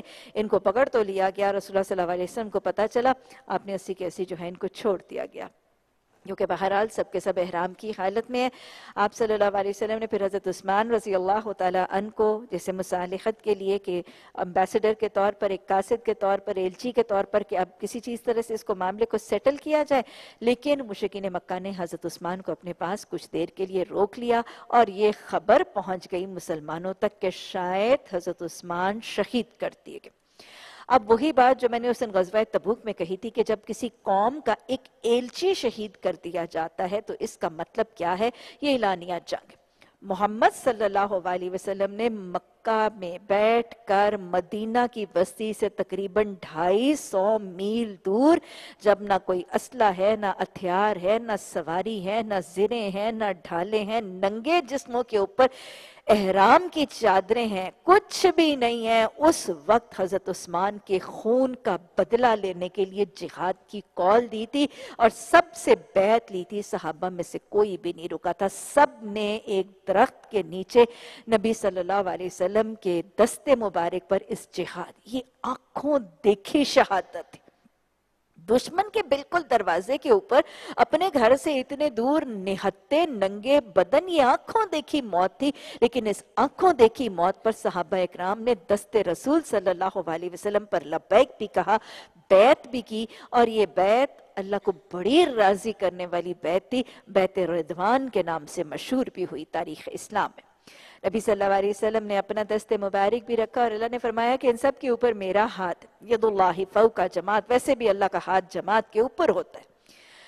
اور پھر نبی صلی اللہ علیہ وسلم نے یہاں یہ بھی فرمایا تھا کہ حضرت عثمان کی جگہ میں نے اپنا ہاتھ رکھا تھا۔ یہ حضرت عثمان کی فضیلت کہ عثمان رضی اللہ تعالیٰ عنہ کی جگہ میں نے اپنا ہاتھ رکھا تھا کہ اگر آج یہاں عثمان ہوتا تو وہ بھی میرے میرے ہاتھ پر اپنا ہاتھ رکھ کے اس جہاد کی بیعت ضرور کرتا۔ بہرحال تھوڑی ہی دیر کے بعد حضرت عثمان کے حوالے سے خبر ملی اور پھر وہ خود بنفس نفیس واپس بھی آئے اور پھر سحیل بن عمرو، ان کے حوالے سے یہ کہ مسلمانوں نے معاہدے کا معاملہ مشرقین مکہ کے ساتھ سحیل کی طرف سے وہ کفار مکہ کی طرف سے وہ سحیل اور نبی صلی اللہ علیہ وسلم کا لکھنے والے حضرت علی اور پھر وہاں پہ وہ معاہدہ جسے ہم صلح خدیبیہ کے نام سے جانتے ہیں، وہ صلح خدیبیہ کا معاہدہ ہوا۔ جب حضرت علی لکھنے لگے تو انہوں نے محمد رسول اللہ لکھا، انہوں نے کہا کہا کہ صرف آپ صلی اللہ علیہ وسلم کا نام لکھو کیونکہ ہم ان کے اللہ کے رسول ہونے کو نہیں مانتے، لہٰذا ہم معاہدہ نہیں کریں۔ حضرت علی نے اس کو مٹانے سے انکار کر دیا۔ آپ صلی اللہ علیہ وسلم نے پوچھا، کیونکہ آپ امید ہے، آپ پڑھنا نہیں جانتے تھے۔ آپ نے پوچھا کہ علی، رسول اللہ کہاں لکھا ہے؟ آپ صلی اللہ علیہ وسلم کو جب انگلی سے بتایا گیا تو آپ نے اپنے ہاتھ سے اس کو مٹا دیا۔ سکتی ہے۔ کمپرومائز امن، کسی طریقے سے امن کو قائم کرنے کے لیے انا کا معاملہ میں رہوں گا تو اللہ کا رسول ہی۔ لیکن اگر اس کسی معاملے کے ساتھ، معاہدے کے ساتھ مسلمانوں کے معاملے امن کے کریٹ ہو سکے، تو یہ معاہدہ کر لیا گیا مشرقین مکہ کے ساتھ۔ بہرحال یہ معاہدہ ہوا اور اس کی کچھ شکیں کچھ ایسی تھیں۔ کہہ دیا گیا تھا کہ مسلمان اس سال حج نہیں کریں گے، وہ واپس پلٹ جائیں گے۔ پھر اگلے سال وہ امن کی حالت میں، حالانکہ ابھی بھی امن کی حالت میں آئے تھے، اگلے سال وہ امن کی حالت میں آئیں گے۔ دس دن وہ مکہ قیام کریں گے اور پھر وہ حج کر کے، عمرہ کر کے واپس پلٹ جائیں گے۔ اگلے سال آپ نے عمرۃ القضاء ادا کیا۔ اور پھر یہ بھی اس میں شک لکھ دی گئی تھی کہ اگر مشکین مکہ کی طرف سے کوئی مسلمان یا کوئی شخص بھاگ کے مسلمانوں کے پاس گیا تو مسلمان اس بات کا عہد کرتے ہیں کہ وہ واپس مشکین مکہ کو وہ شخص پلٹا دیں گے۔ لیکن اگر مدینہ سے کوئی شخص بھاگ کے، مسلمانوں سے کوئی شخص بھاگ کے مشکوں کے پاس آیا تو وہ اس کو واپس کرنے پر پابند نہیں ویسے بھی جو مسلمانوں سے بھاگ کے مشکوں کے پاس جاتے وہ کہتے ہیں نا خس کم جہاں پاک اس کو اپنے پاس ہم نے رکھ کے کرنا کیا ہے؟ جو بھاگ بھاگ کے اپنی اپنی زنجیریں چھڑا کے وہاں جا رہا ہے، وہ کل کا جاتا آ جائے۔ بہرحال یہ معاہدہ لکھ لیا گیا، اس پر دستخط کر دیے گئے۔ رسول اللہ صلی اللہ علیہ وسلم یہ معاہدہ ان شکوں والا آ کے جب مسلمانوں کو سنایا گیا تو مسلمان شدید غم کا شکار۔ کہ ہم احرام ہم احرام کی حالت میں آ کر روک دیے جائیں، یہ تو پریسیڈنس ہی نہیں تھی نا کہیں عرب کے اندر اس دور سے پہلے۔ اور پھر رسول رحمت صلی اللہ علیہ وسلم کی معیت میں آئے آپ احرام کی حالت میں اور آپ کو روک دیا جائے۔ ان کو جیسے مسلمانوں کو نا یہ ایک ذلت لگ رہی تھی اور بہت زیادہ شدید نبی صلی اللہ علیہ وسلم کی شان میں گستاخی کا بھی غم تھا۔ اور بس ان کو نا حضم نہیں ہو رہا تھا۔ یہاں تک کہ حضرت عمر کا قول آتا ہے، حضرت عمر کہتے ہیں کہ میں اتنا غم زدہ اور اتنا دکھی اور پریشان ہوا صلح خدیبیہ کی شکیں دیکھ کر کہ میں حضرت ابو بکر صدیق رضی اللہ تعالیٰ عنہ کے پاس کیا اور میں نے کہا کہ ابو بکر، کیا کیا محمد صلی اللہ علیہ وسلم اللہ کے سچے رسول نہیں ہیں؟ کیا ہم سچے مسلمان نہیں ہیں؟ تو پھر ہم اتنی ذلت اور اتنی رسوائی جو ہے ہم کیوں برداشت کریں؟ یعنی ان لوگوں کے بھی دل غم سے بھر آئے تھے اور اس پر پھر حضرت ابو بکر بہت ہی حلیم طبیعت ہیں اور ہر معاملے میں راضی برضا رہنے والے اور پتہ ہے کہ اللہ کے حکم میں کوئی نہ کوئی حکمت ضرور ہے۔ انہوں نے صبر کی، تاکید کی تھی اور انہوں نے کہا تھا کہ اس معاملے میں کوئی نہ کوئی حکمت ہوگی، لیکن حضرت عمر کہتے ہیں کہ میں قائل نہیں ہوا تھا، یہاں تک کہ سورہ الفتح کی آیت نائز نہیں ہوئی۔ آپ صلی اللہ علیہ وسلم نے سورہ معدہ میں کہہ دیا گیا تھا کہ اگر تم روک دیے جاؤ تو تم کیا کرو گے؟ احرام سے نکلنے کی پابندی کے نکلنے کا طریقہ یہ تھا کہ قربانی کی جائے گی۔ آپ نے خطاب فرمایا صحابہ اکرام کو کہ اب ہم روک دیے گئے ہیں عمرے سے، تو لہٰذا اب طریقہ احرام کی پابندیوں سے نکلنے کا یہ کہ جانور ذبح کیے جائیں گے اور پھر احرام کھولے جائیں گے۔ آپ نے جب یہ اعلان کیا راویان بتاتے ہیں کہ صحابہ اکرام میں سے کوئی ایک شخص قربانی کرنے کے لیے نہیں اٹھا تھا، کیونکہ کیونکہ ان کے دلوں میں غم بہت شدید تھا۔ بہت شدید غم اور بہت شدید دکھ کی حالت میں تھے اور وہ نہیں اٹھے۔ آپ صلی اللہ علیہ وسلم بہت پریشان ہوئے۔ آپ کا تو وہ لشکر جو لبائی کیا رسول اللہ صلی اللہ علیہ وسلم۔ ارے یہ ابھی بہتر رضوان کر کے آئے ہیں۔ چودہ سو ساتھی وہاں سے سر پہ کفن باندھ کے احرام پہن کے آئے تھے۔ کتنی اطاعت۔ لیکن اطاعت کے پیمانے بدلتے، بڑھتے، گھٹتے رہتے۔ ہیں ایمان اس وقت نہیں تھا۔ غم اصل میں ایمان کو زنگ لگا دیا کرتا ہے۔ غم کو بھی اپنے اوپر تاری نہ کیا کرے۔ بہرحال رسول اللہ صلی اللہ علیہ وسلم اپنے خیمے میں ذرا پریشان ہو کے آئے۔ بیوی جو ساتھ موجود ہے، حضرت ام سلمہ۔ آپ نے حضرت ام سلمہ کو حقیقت حال بتائی اور مشورہ پوچھا۔ اچھی بیوی، اپنے شوہروں کو پھر مشورے بھی اچھے دیتی ہیں۔ حضرت ام سلمہ نے رسول اللہ صلی اللہ علیہ وسلم کو کیا تجویز دی؟ رسول اللہ صلی اللہ علیہ وسلم، آپ دل تنگ نہ کریں، آپ کریں جو آپ نے حکم دیا ہے۔ یعنی آپ نے پہلے حدیث کی ہے، اب آپ سنت کر دیجیے۔ آپ کریں جو آپ نے حکم دیا۔ آپ صلی اللہ علیہ وسلم نے اپنی زوجہ محترمہ کے یہ مشورہ مانا۔ آپ اٹھے، آپ نے اپنا جانور قربان کیا، آپ نے اپنا سر مڈوایا اور آپ نے غسل کر کے احترام، اپنا احرام اتارا۔ آپ یہ عمل کرتے جا رہے تھے۔ صحابہ اکرام بھی ایک ایک اٹھ کے خود ہی عمل اپناتے جا رہے تھے، لیکن غم کی حالت میں تھے۔ پھر آپ صلی اللہ علیہ وسلم ابھی واپس قرآ الغمیم کے مقام پر واپس پہنچتے ہیں۔ پھر آپ پر وہی کی کیفیت اور سورہ الفتح نازل کر کے یہ واضح کر دیا گیا کہ یہ صلح خدیبیہ مسلمانوں کی کوئی ذلت، کوئی ناکامی نہیں، ان کے لیے فتح ہے، الٹی نصرت ہے، کامیابی ان کی خیر و برکت کا ذریعہ کیسے؟ اگر آپ دو تین چیزیں دیکھیں تو صلح خدیبیہ کے ذریعے جو مسلمانوں کو سب سے پہلی خیر ملی تھی کہ یہ کہ وہ مشرقین بکہ جو اب تک مسلمانوں کا تشخص تسلیم نہیں کرتے تھے۔ وہ کیا کہتے تھے؟ حبشہ میں گئے، کہاں گئے؟ کیا کہتے تھے؟ یہ کچھ ہماری بستی کے بھاگے ہوئے لونڈے ہیں اور کہتے تھے یہ ہمارے کچھ باغی سرکش ہیں، یہ ہمارے دین سے کوئی بکھرے ہوئے مرتد ہیں۔ یہی کہتے تھے نا کہ یہ تو ہمارے سرکش ہیں، ہمارے باغی ہیں، ہمارے لونڈے ہیں جو یہاں سے بھاگ گئے ہیں۔ باقاعدہ مکہ کے لوگ مدینہ کی ریاست مسلمانوں کے دین، ان کے تشخص، ان کے اینٹی کو ابھی تک تسلیم نہیں کرتے۔ اب جب آپ ایک قوم کے ساتھ معاہدہ کر لیتے ہیں تو انڈائریکٹلی کیا شو ہو رہا ہوتا ہے کہ ہم اس کی اینٹی کو تسلیم کر رہے ہیں، ہم اس کی آرگنائزیشن اور اس کی انڈیویجوالٹی کو تسلیم کر رہے ہیں۔ گویا پورے عرب کے اندر اب مسلمان باقاعدہ ایک تشخص، ایک اینٹی ایک قوم، ایک نظریہ اور ایک دین کی شکل میں ابھرے اور نمودار ہوئے جو اب سے پہلے نہیں ہوا۔ مسلمانوں کی اور اسلام کی اور مدینہ کی اسلامی ریاست کا اب ایک تشخص، اس کی اینٹی کا اعلان اور اعتراف ہو گیا اور یہ بہت بڑی فتح تھی۔ یہ بہت بڑی فتح تھی اور یہ فتح مکہ کا پیش خیمہ بھی تھی۔ دوسری بات یہ کہ ابھی تک تو مسلمانوں کو ہر دوسرے سال، ہر مہینے کفار مکہ کی طرف سے حملے کا خوف اور دھڑکا لگا رہتا تھا اور ان کا سارا مال تو اسی چیز پر لگا رہتا، ان کی توجہ، ان کی صلاحیت، ان کے ان کے سارے معاملات۔ لیکن اب جب دس سال کا، کیونکہ صلح حدیبیہ کی ایک شک یہ بھی تھی کہ اگلے دس سال مسلمانوں اور مشکین کے درمیان کوئی جنگ نہیں ہوگی نو وار پیکٹ نو وار ٹریٹی بھی تھی۔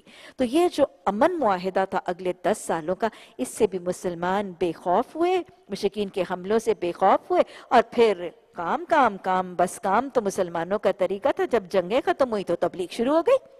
خوب خوب تبلیغ، خوب خوب دعوت اور اسلام بہت زیادہ پھیلا ان سالوں میں صلح حدیبیہ کے بعد۔ اور پھر غزوہ خیبر بھی انہی سالوں میں رونما ہوئی، مسلمانوں کو بہت کامیابی بھی ملی اور ڈھیر سارا مال غنیمت بھی ملا۔ اور پھر ہوا کیا؟ اس سال عمرہ نے کیا اگلے سال کر لیا۔ عمرہ بھی ہو گیا عمرت القضا بھی عطا ہو گیا، تشخص بھی تسلیم ہو گیا، امن بھی ملا، اسلام کو ترقی بھی ملی۔ تو لہٰذا اس پس منظر سے اس کو پڑھیں، انشاءاللہ آپ کو سمجھ آتی جائے گی۔ بسم الله الرحمن الرحيم. إنا فتحنا لك فتحا مبينا. اے نبی صلی اللہ علیہ وسلم، ہم نے تو تمہیں کھلی کھلی فتح عطا کر دی تاکہ اللہ تمہاری اگلی پچھلی ہر کوتاہی سے درگزر فرما دے اور تم پر اپنی نعمت تکمیل کر دے اور تمہیں سیدھا راستہ دکھا دے اور تم کو زبردست فتح عطا کر دے۔ وہی ہے جس نے مومنوں کے دلوں میں سکینہ نازل فرمایا تاکہ اپنے ایمان کے ساتھ وہ اور ایمان بڑھا لیں۔ زمین و آسمانوں کے سب لشکر اللہ کے قبضہ قدرت میں، وہ علیم و حکیم ہے تاکہ مومن مردوں اور عورتوں کو ہمیشہ رہنے کی ایسی جنتوں میں داخل فرمائے۔ اللہ بتا رہے کہ میں نے یہ معاملہ کیوں کیا؟ تاکہ یہ سارے لوگ نبی صلی اللہ علیہ وسلم کی اطاعت کریں، فرما برداری کریں، پہلے عمرے کے لیے اطاعت کریں، پھر بیت رضوان کی اطاعت کریں، پھر اس کے بعد احرام کھولنے کی اطاعت کریں۔ تو اتنی اطاعت کریں تو ان کے درجے بڑھیں اور یہ جنت میں داخل ہو جائیں۔ ایسی جنتوں میں داخل فرمائے جن کے نیچے نہریں بہ رہی ہیں اور ان کی برائیاں ان سے دور کرے۔ اللہ کے نزدیک یہ بہت بڑی کامیابی ہے۔ اور منافق مردوں اور عورتوں اور مشرق مردوں اور عورتوں کو سزا دے جو اللہ کے بارے میں برے برے گمان رکھتے ہیں۔ برائی کے پیر میں تو وہ خود ہی آ اللہ کا غضب ان پر ہوا اور اس نے ان پر لانت کی اور ان کے لیے جہنم مہیا کر دی جو بہت برا ٹھکانہ ہے۔ زمینوں اور آسمانوں کے لشکر اللہ کے قبضہ قدرت میں وہ زبردست اور حکیم ہے ہم نے تمہیں گواہی دینے والا، خوشخبری دینے والا، خبردار کرنے والا بنا کر بھیجا ہے تاکہ اے لوگو، تم اللہ اور اللہ کے رسول پر ایمان لاؤ۔ گویا مسلمانوں کا طریقہ کیا ہونا ہے ایمان کس پر ہوگا؟ اللہ پر بھی اور اللہ کے رسول صلی اللہ علیہ وسلم پر بھی۔ اور دونوں پر ایمان کے بعد اب آگے دونوں کے ساتھ طریقہ کیا ہے؟ ایمان تو اللہ اور اللہ کے رسول پر، لیکن رسول صلی اللہ علیہ وسلم کے ساتھ کیا؟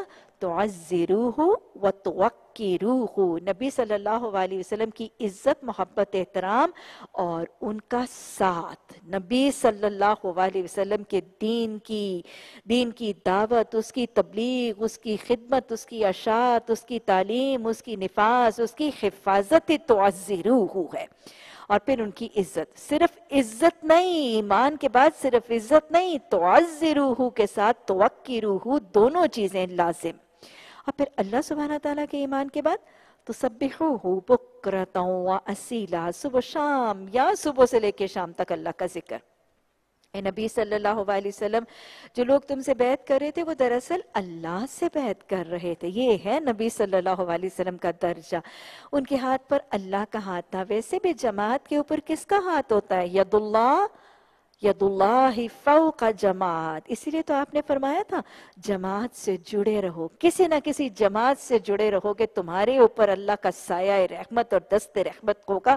ایمان اسلام اور دین کی حفاظت کے لیے کسی اجتماعیت کے ساتھ جڑنا لازم ہے۔ حدیث ذہن نشین کر لیجیے۔ آپ نے فرمایا، جماعت کے ساتھ جڑے رہو۔ کیوں؟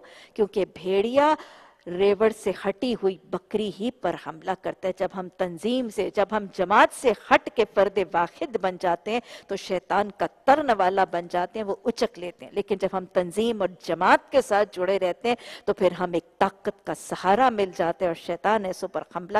اور یہ یہ جماعت کیا ہوتی ہے؟ حزب اللہ، اولائکہ ہم الغالبون۔ اللہ ہمیں ایسی جماعتوں کے ساتھ جڑنے کی توفیق عطا فرما۔ اب جو اس عہد کو توڑے گا، اس کی عہد شگنی کا وبال اس کی اپنی ہی ذات پر ہوگا جو اس عہد کو وفا کرے گا تو اس نے اللہ کے ساتھ کیا۔ اللہ ان قریب اس کو بہت بڑا اجرتا فرمائے گا۔ اے نبی، بدوی اور وہ میں سے جو لوگ پیچھے چھوڑے گئے تھے، یہ وہ لوگ تھے جو عمرے پر نہیں ساتھ گئے تھے ان پر تبصرہ۔ وہ آ کر ضرور تم سے کہیں گے کہ ہمیں اپنے مالوں اور بچوں کی فکر میں مشغول رکھا تھا۔ آپ ہمارے لیے مغفرت کی دعا کریں۔ یہ لوگ اپنی زبانوں سے وہ باتیں کہتے ہیں جو ان کی دنیا، ان کے دلوں میں نہیں ہے ان سے کہنا اچھا یہی بات ہے، تو کون تمہارے معاملے میں اللہ کے فیصلے کو روک دینے کا کچھ بھی اختیار رکھتا ہے؟ اگر وہ تمہیں کوئی نقصان پہنچانا چاہیے یا نفع، تمہارے اعمال سے تو اللہ بے خبر، باخبر ہے۔ بلکہ تم تو یوں سم، بلکہ تم نے یوں سمجھا تھا کہ رسول صلی اللہ علیہ وسلم اور مومنین اپنے گھروں میں ہرگز پلٹ کے نہیں آ سکیں گے لوگوں کا خیال تھا نا کہ یہ بے وقوف ہو گئے احرام پہن کے دشمنوں کے بھیڑوں کے چھتے میں جا رہے ہیں۔ تو بہت سے لوگ تو عمرے پر جانے میں بھی تیار نہیں ہوئے تھے نا، تو ان پر تبصرہ کیا جا رہا ہے۔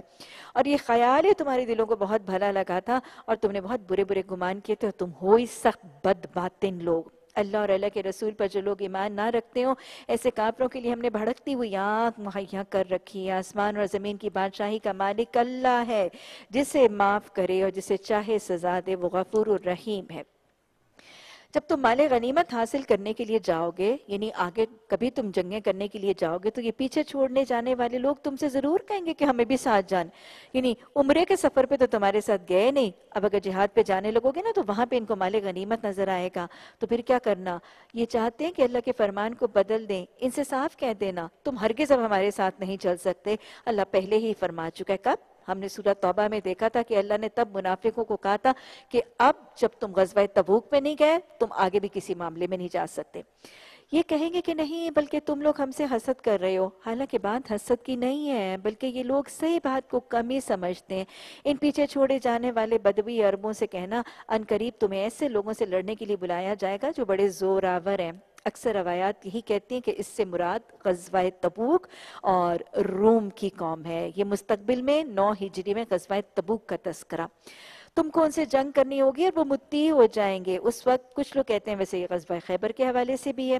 اس وقت اگر تم نے حکم جہاد کی، اطاعت کی، تو اللہ تمہیں اچھا اجر دے گا۔ اور اگر پھر تم نے اسی طرح منہ موڑا، جیسے تم پہلے موڑ چکے ہو، تو اللہ تمہیں دردناک سزا دے گا۔ اگر اندھا، لنگڑا، مریض جہاد کے لیے نہ آئے، تو کوئی حرج نہیں۔ جو کوئی اللہ اور اللہ کے رسول کی اطاعت کرے گا، اللہ اسے جنتوں میں دیکھ لیجیے۔ اب سنتوں کی اطاعت کا فائدہ، اللہ اسے جنتوں میں داخل کرے گا، جس کے نیچے نہر نہریں بہ رہی ہوں گی اور جو منہ پھیرے گا کس سے؟ سنت اور حدیث کی تعلیمات سے۔ اس کے لیے دردناک عذاب ہے۔ اللہ مومنوں سے خوش ہو گیا۔ اللہ ہم سے بھی خوش ہو جا۔ اللہ خوش کرنے کے طریقے سکھا دے۔ اور اللہ اپنی زندگی میں خوش کرنے کے وطیرے اپنانے کے بھی توفیق عطا فرما دے۔ اللہ مومنوں سے خوش ہو گیا۔ جب وہ درخت کے نیچے تم سے بیعت کر رہے تھے، یہ کون سی بیعت ہے؟ بیعت رضوان۔ ان کے دلوں کا حال اس کو معلوم تھا، اس لیے انہیں اس لیے اس نے ان پر سکینہ نازل فرمایا اور ان کو انعام میں قریبی فتح کون سی؟ دے حدیبیہ اور بہت سا مال غنیمت عطا کیا، جسے وہ ان قریب حاصل کریں گے۔ کون سا مال غنیمت جو غزبہ خیبر سات ہجری میں ملا؟ اللہ زبردست حکیم ہے۔ اللہ تم سے بکثرت امبال غنیمت کا وعدہ کرتا ہے جنہیں تم حاصل کرو گے۔ فوری طور پر تو یہ فتح اس نے تمہیں دی اور لوگوں کے ہاتھ تمہارے خلاف اٹھنے سے روک دیے تاکہ مومنوں کے لیے ایک نشانی بن جائے اور اللہ سیدھے راستے کی طرف تمہیں ہدایت بخشے۔ اس کے علاوہ دوسری اور غنیمتوں کا بھی تم سے وعدہ کرتا ہے جس پر تم ابھی تک قادر نہیں ہوئے اور اللہ نے ان کو گھیر رکھا ہے۔ غزوہ تبوک میں، غزوہ خیبر میں، اسی کے بعد مسلمانوں کے لیے بہت سی فتوحات کے دروازے اور بہت سے مال غنیمت کے دروازے کھلے تھے۔ یہ کافی لوگ اگر تو اس وقت تم سے لڑ گئے ہوتے تو یقیناً اس وقت بھی پیٹ پھیر جاتے اور کوئی حامی و مددگار نہ پاتے۔ یہ اللہ کی سنت ہے جو پہلے سے چلی آ رہی ہے اور تم اللہ کی سنت میں کوئی تبدیلی نہیں پاؤ گے۔ وہی تو ہے جس نے مکہ کی وادی میں ان کے ہاتھ تم سے اور تمہارے ہاتھ ان سے روک دیے تھے، حالانکہ وہ ان پر تمہیں غلبہ عطا کر چکا تھا اور جو کچھ تم کر رہے تھے اللہ اسے دیکھ رہا تھا یعنی وہ تمہیں تمہیں مشتعل کرنے، اشتعال، انگیزی کی کوششیں کر رہے تھے اور تم صبر سے، تحمل سے حدود، جو احرام کی حدود ہے ان کا پاس کر رہے تھے۔ اور اللہ کہہ رہے کہ یہ اللہ نہیں روکا، وہ تو وہ تو جنگ کی آگ جلا رہے اور شولے بھڑکا رہے تھے۔ اگر کوئی چھوٹا سا مسئلہ، چنگاری بڑھ جاتی اور دونوں فریق لڑ جاتے تو اللہ سبحانہ تعالیٰ کہہ رہے ہیں کہ میں نے روکا تھا اور میں نے جنگ نہیں کی تھی۔ وہی تو لوگ ہیں جنہوں نے کفر کیا، تو میں مسجد حرام سے روکا اور حدی کے اونٹوں کو ان کو قربانی کی جگہ سے نہیں پہنچنے دیا اگر مکہ میں۔ اب اللہ سبحانہ تعالیٰ بتا رہے ہیں کہ اصل بات تو یہ کہ اگر میں نے جان کے اس وقت جنگ نہیں کروائی اور ویسے اگر جنگ کرواتا تو میں تمہاری فتح اور نصرت کا معاملہ تمہیں اس وقت بھی دیتا، ان کو اس وقت بھی پھیر دیتا، میں تمہارے ساتھ ہوتا۔ لیکن اللہ سبحانہ تعالیٰ فرمانے کہ میں نے خاص طور پہ اس وقت یہ شعلے جنگ کے بھڑکنے سے، اٹھنے سے روکے، کیوں؟ بجا اگر مکہ میں ایسے مومن مرد اور عورت موجود نہ ہوتے جنہیں تم نہیں جانتے تھے اور یہ خطرہ نہ ہوتا کہ نہ دانستگی میں تم انہیں پامال کر دو گے اور اس پر تم پر حرف نہیں آئے گا، تو جنگ نہ روکی جاتی۔ روکی تو وہ اسی لیے گئی تھی تاکہ اللہ اپنی رحمت میں جس کو چاہے داخل کرے۔ یعنی اللہ سبحانہ تعالیٰ نے بتا دیا کہ صلح خدیبیہ کے موقع پر مسلمانوں اور کافروں کے درمیان اللہ نے اپنی حکمت سے جنگ کیوں روکی؟ اللہ فرما رہے میں نے صرف اس لیے روکی تھی کہ اگر مسلمان اس معاملے، اس مرحلے میں کافروں کے ساتھ مڈ بھیڑ کرتے تو فتح تو ان کو یہاں پہ بھی ہو جاتی۔ لیکن اگر فاتح بن کے یہ مکہ کے اندر داخل ہوتے تو کوئی ایسا نہ ہوتا کہ بہت سے وہ، بہت سے وہ مکہ کے لوگ، عورتیں، بچے، بوڑھے جو مسلمان ہو کے دائرہ اسلام میں داخل ہو چکے ہیں اور جو مسلمانوں کے لشکر کو جن کا جن کا پتہ نہیں تھا، ایسا نہ ہوتا کہ مسلمانوں کی تلواروں سے ان ان مسلمانوں کی گردنیں کٹ جاتی۔ وہ مومن الگ ہوتے تو اہل مکہ میں سے جو کافر تھے، ان کو تو ہم ضرور ہی سزا دیتے۔ یہی وجہ ہے کہ جب ان کافروں نے اپنے دلوں میں جاہلیہ جہلانہ حمیت بٹھا لی، تو اللہ نے اپنے رسول اور مومنوں پر سکینہ نازل فرمایا اور مومنوں کو تقوی کی بات کا پابند رکھا۔ وہی وہی اس کے زیادہ حق ہے کہ، اور زیادہ اہل ہے۔ اللہ ہر چیز کا علم رکھتا ہے۔ فی الباقی اللہ نے اپنے رسول صلی اللہ علیہ وسلم کے کہ کچھ سچا خواب دکھایا تھا، جو ٹھیک ٹھیک حق کے مطابق تھا۔ انشاءاللہ تم ضرور مسجد حرام میں پورے امن کے ساتھ داخل ہوگے، اپنے سر منڈوا گے بال تراشو گے اور تمہیں کوئی خوف بھی نہیں ہوگا۔ وہ اس بات کو جانتا تھا جیسے نہ تم جانتے تھے، اسی لیے اس نے وہ خواب پورا ہونے سے پہلے یہ قریبی فتح، دیکھا کیسے؟ صحابہ اکرام کا آپ نے دیکھا اللہ کے ساتھ کیا محبت کا طریقہ ہے؟ ان کے دلوں کو غم آیا تو اللہ نے ان کو سکینہ دینے کے لیے اور بات سمجھانے کے لیے پوری صورت کے چاروں، کیوں غم کر رہے ہو؟ یہ بھی ہم نے تمہیں کیا ہے، وہ بھی ہم نے تمہیں دیا ہے، مستقبل بھی میں ہم یہ دیں گے، یہ بھی ہم مطلب ایسے جیسے اللہ سبحانہ تعالیٰ کا ان کے ساتھ ایک میوچل سا تعلق ہے، ان کو غم آتا تھا، یہ اللہ کی طرف پلٹتے تھے، اللہ پھر ان کی طرف آتا تھا۔ ایسے ہی ہوتا ہے، اللہ رجوع کرنے والوں کے ساتھ ایسے ہی معاملہ کرتا ہے وہ اللہ ہی ہے، جس نے اپنے رسول کو خطایت اور دین حق کے ساتھ بھیجا تھا تاکہ اس کو پوری جن سے دین پر غالب کر دے اور اس حقیقت پر اللہ کی گواہی کافی ہے۔ محمد صلی اللہ علیہ وسلم اللہ کے رسول ہے اور جو لوگ ان کے ساتھ ہیں وہ کافروں پر سخت ہیں اور آپس میں رحیم ہیں۔ مومنوں کی صفات بتائی جا رہی ہے رسول اللہ صلی اللہ علیہ وسلم کے ساتھیوں کی صفات میں سے ایک ساتھی وَالَّذِينَ مَعَهُ أَشِدَّاءُ عَلَى الْكُفَّارِ رحماء بینہم ہاں مومنوں کی صفت نہیں علامہ اقبال بھی تو یہی لکھتے ہیں نا حلقہ یارہ میں تو بریشم کی طرح نرم، جو رزم حق و باطل ہو تو فولاد ہے مومن۔ آج تو خیر معاملہ الٹا ہو گیا، ہم رزم و حق و باطل میں تو ہم کیا ہوتے ہیں؟ ہم نرم ہو جاتے ہیں امریکنوں کے خلاف اور جیوز کے خلاف اور ان کے خلاف، اور آپس میں ایک دوسرے کی آہنی فولادیں اور ایک دوسرے کے گلے کاٹ رہے ہیں، ساری طاقتوں کو ایک دوسرے کے خلاف، وہاں پہ نرمیاں جہاں پہ سختیوں کی ضرورت ہے۔ مومنوں کی تصف وہی ہے نا کہ اقبال نے کہا، جس کے، جس سے جگر لالا میں ٹھنڈک ہو، وہ شبنم دریاؤں کے دل جس سے دہل جائیں وہ طوفان۔ یہ ہے مومن، اپنے حلقے میں نرم ہے، باہر کے حلقے میں بہت سخت اور آہنی دیوار۔ اللہ کے ایمان کا پیمانہ عطا فرما۔ اور پھر ان کے، جب تم دیکھو تو انہیں رکوع اور سجود، ان کے چہروں پر ان کے رکعان، تراہم رکعان سجدن یہ ان کے رکوع اور سجود کی کیفیت ان کے چہروں پہ نظر آتی ہے۔ ایک تو یہ آپ دیکھیں اس حوالے سے ہے کہ بسوں کا جو نمازی ہیں، ان کے چہرے کے اوپر، ان کے ماتھے کے اوپر وہ ایک نشان بھی ہوتا ہے جسے ہم محراب سی کہتے ہیں۔ اور پھر اس سے مراد بنیادی طور پر وہ نہیں ہے جو نمازی ہوتے ہیں، جو رقو سجود اور نماز قائم کرتے ہیں۔ ان کے چہروں پر وہ ایک ٹھہراؤ، ایک سنجیدگی، ایک وقار، ایک اطمینان کی جو کیفیت ہے، یہ اس اس ایکسپریشن کی بات کی جا رہی ہے۔ اور یہاں جیسے رسول اللہ صلی اللہ علیہ وسلم نے فرمایا تھا نا کہ قیامت کے دن میں اپنی امت کو کس سے؟ ان کے سجدے کے اعضاء اور ان کے وضو کے اعضاء کے چمکنے کی بنیاد پر پہچان پہچانوں گا تو یہ وہ ہے۔ اللہ کے فضل اور اس کی خوشنودی کے طلب میں مشغول پاؤ گے۔ سجود کے اثرات ان کے چہروں پر موجود ہیں جن سے وہ الگ پہچانے جاتے ہیں۔ یہ ان کی صفت ہے تورات اور انجیل میں۔ اور ان کی مثال یوں دی گئی ہے کہ گویا ایک کھیتی ہے۔ جس نے پہلے کومپل نکالی، پھر اس کو تقویت دی، پھر وہ گدرائی، پھر اپنے تنے پر کھڑی ہوئی۔ کاشت کرنے والے کو وہ خوش کرتی ہے تاکہ کفار ان کے پھلنے پھولنے پر جلے۔ اس گروہ کے جو لوگ ایمان لائے ہیں اور جنہوں نے نیک عمل کیے ہیں، اللہ نے ان سے مغفرت اور بہت بڑے اجر کا وعدہ فرمایا۔ یہ کس حوالے سے کہا گیا؟ کون سی کھیتی اور کون سا کاشت کرنے والا نبی صلی اللہ علیہ وسلم، آپ صلی اللہ علیہ وسلم یہاں پہ کاشت کر رہے ہیں صحابہ کرام کی عمال سوالیہ کی کھیتی۔ آپ صلی اللہ علیہ وسلم نے بڑی محنت اور مشقت سے ایمان کا بیج، ان موتی، مونگے چھوٹی سی پونجی جو آپ صلی اللہ علیہ وسلم نے اپنی ساتھیوں کی جمع کی تھی، آپ نے بڑی محنت سے ان کے دلوں میں ایمان کا بیج ڈالا تھا۔ پھر قرآن اور حدیث کی تعلیمات سے یعلمہم الکتاب والحکمہ ویزکیہم، ان کے ساتھ ان کی تربیت کی تھی، نشو نما کی تھی۔ پھر ان کے اندر صحابہ اکرام کے اندر وہ چھوٹے چھوٹے اخلاق کی کومپلیں نکلی تھی اور پھر یہ صحابہ اکرام کی جماعت نبی صلی اللہ علیہ وسلم کے بیت ردوان کرنے والے بیت اقبا، اول بیت اقبا ثانیہ مواخات خندقیں کھودنے والے، یہ وہی بہت خوبصورت کھیتی اور یہ سب کے سب شجرت طیبت نبی صلی اللہ علیہ وسلم کو خوش کرنے والے بن گئے تھے۔ تو بنیادی طور پر یہی کہا جا رہا ہے کہ آپ کی یہ کھیتی آپ کی آنکھوں کو تو ٹھنڈا کرتی ہے اور کفار کے دل کو غزبناک کرتی ہے۔ آج بھی ایسا ہی ہے۔ اللہ ہمیں ایسی کھیتیاں لگانے، ایسی کھیتیوں کی نشو و نما اور پرورش کرنے اور اللہ ہمیں ایسی کھیتیوں کا حصہ بننے کی توفیق عطا فرما دے۔ ربنا تقبل منا انك انت السميع العليم وتب علينا انك انت التواب الرحيم سورہ الحجرات۔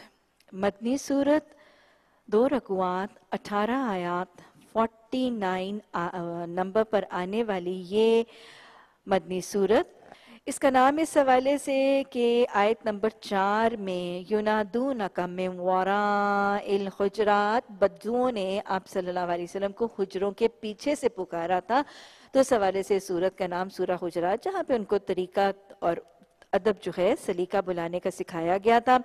اگر ہم دیکھیں تو یہ صورت بالکل پچھلی صورت کا، جسے آپ کہیں نا کہ مسنہ اور ایک پیر بناتی ہوئی نظر آتی۔ ہے آپ دیکھیں کہ پچھلی صورت کے اینڈ میں اللہ سبحانہ تعالیٰ نے محمد صلی اللہ علیہ وسلم کے ساتھیوں کی مثال دی ہے کہ کیسے وہ کھیتی آپ کو خوش کرتی تھی اور مسلمانوں کی، نبی صلی اللہ علیہ وسلم کے ساتھیوں کی صفت بتائی گئی ہے کہ وہ کیا ہے روحما بینہم اشداء الکفار و روحما بینہم کافروں پر سخت ہے اور آپس میں وہ نرم ہے تو اب ان کو رحمہ ابینہم کی کیفیت ڈیولپ کرنے کے مسلمان آپس میں ایک دوسرے پر رحم اور آپس میں حسن سلوک سے کیسے ڈیل کریں گے؟ سورہ حجرات میں ان کو اس صفت سے متصف کرنے کے لیے، یہ صفت ان کو سکھانے کے لیے کہ وہ آپس میں رحمہ کی کیفیت اڈاپٹ کر لیں۔ ان کو حسن اخلاق کا درس دیا جائے گا سورہ الحجرات میں۔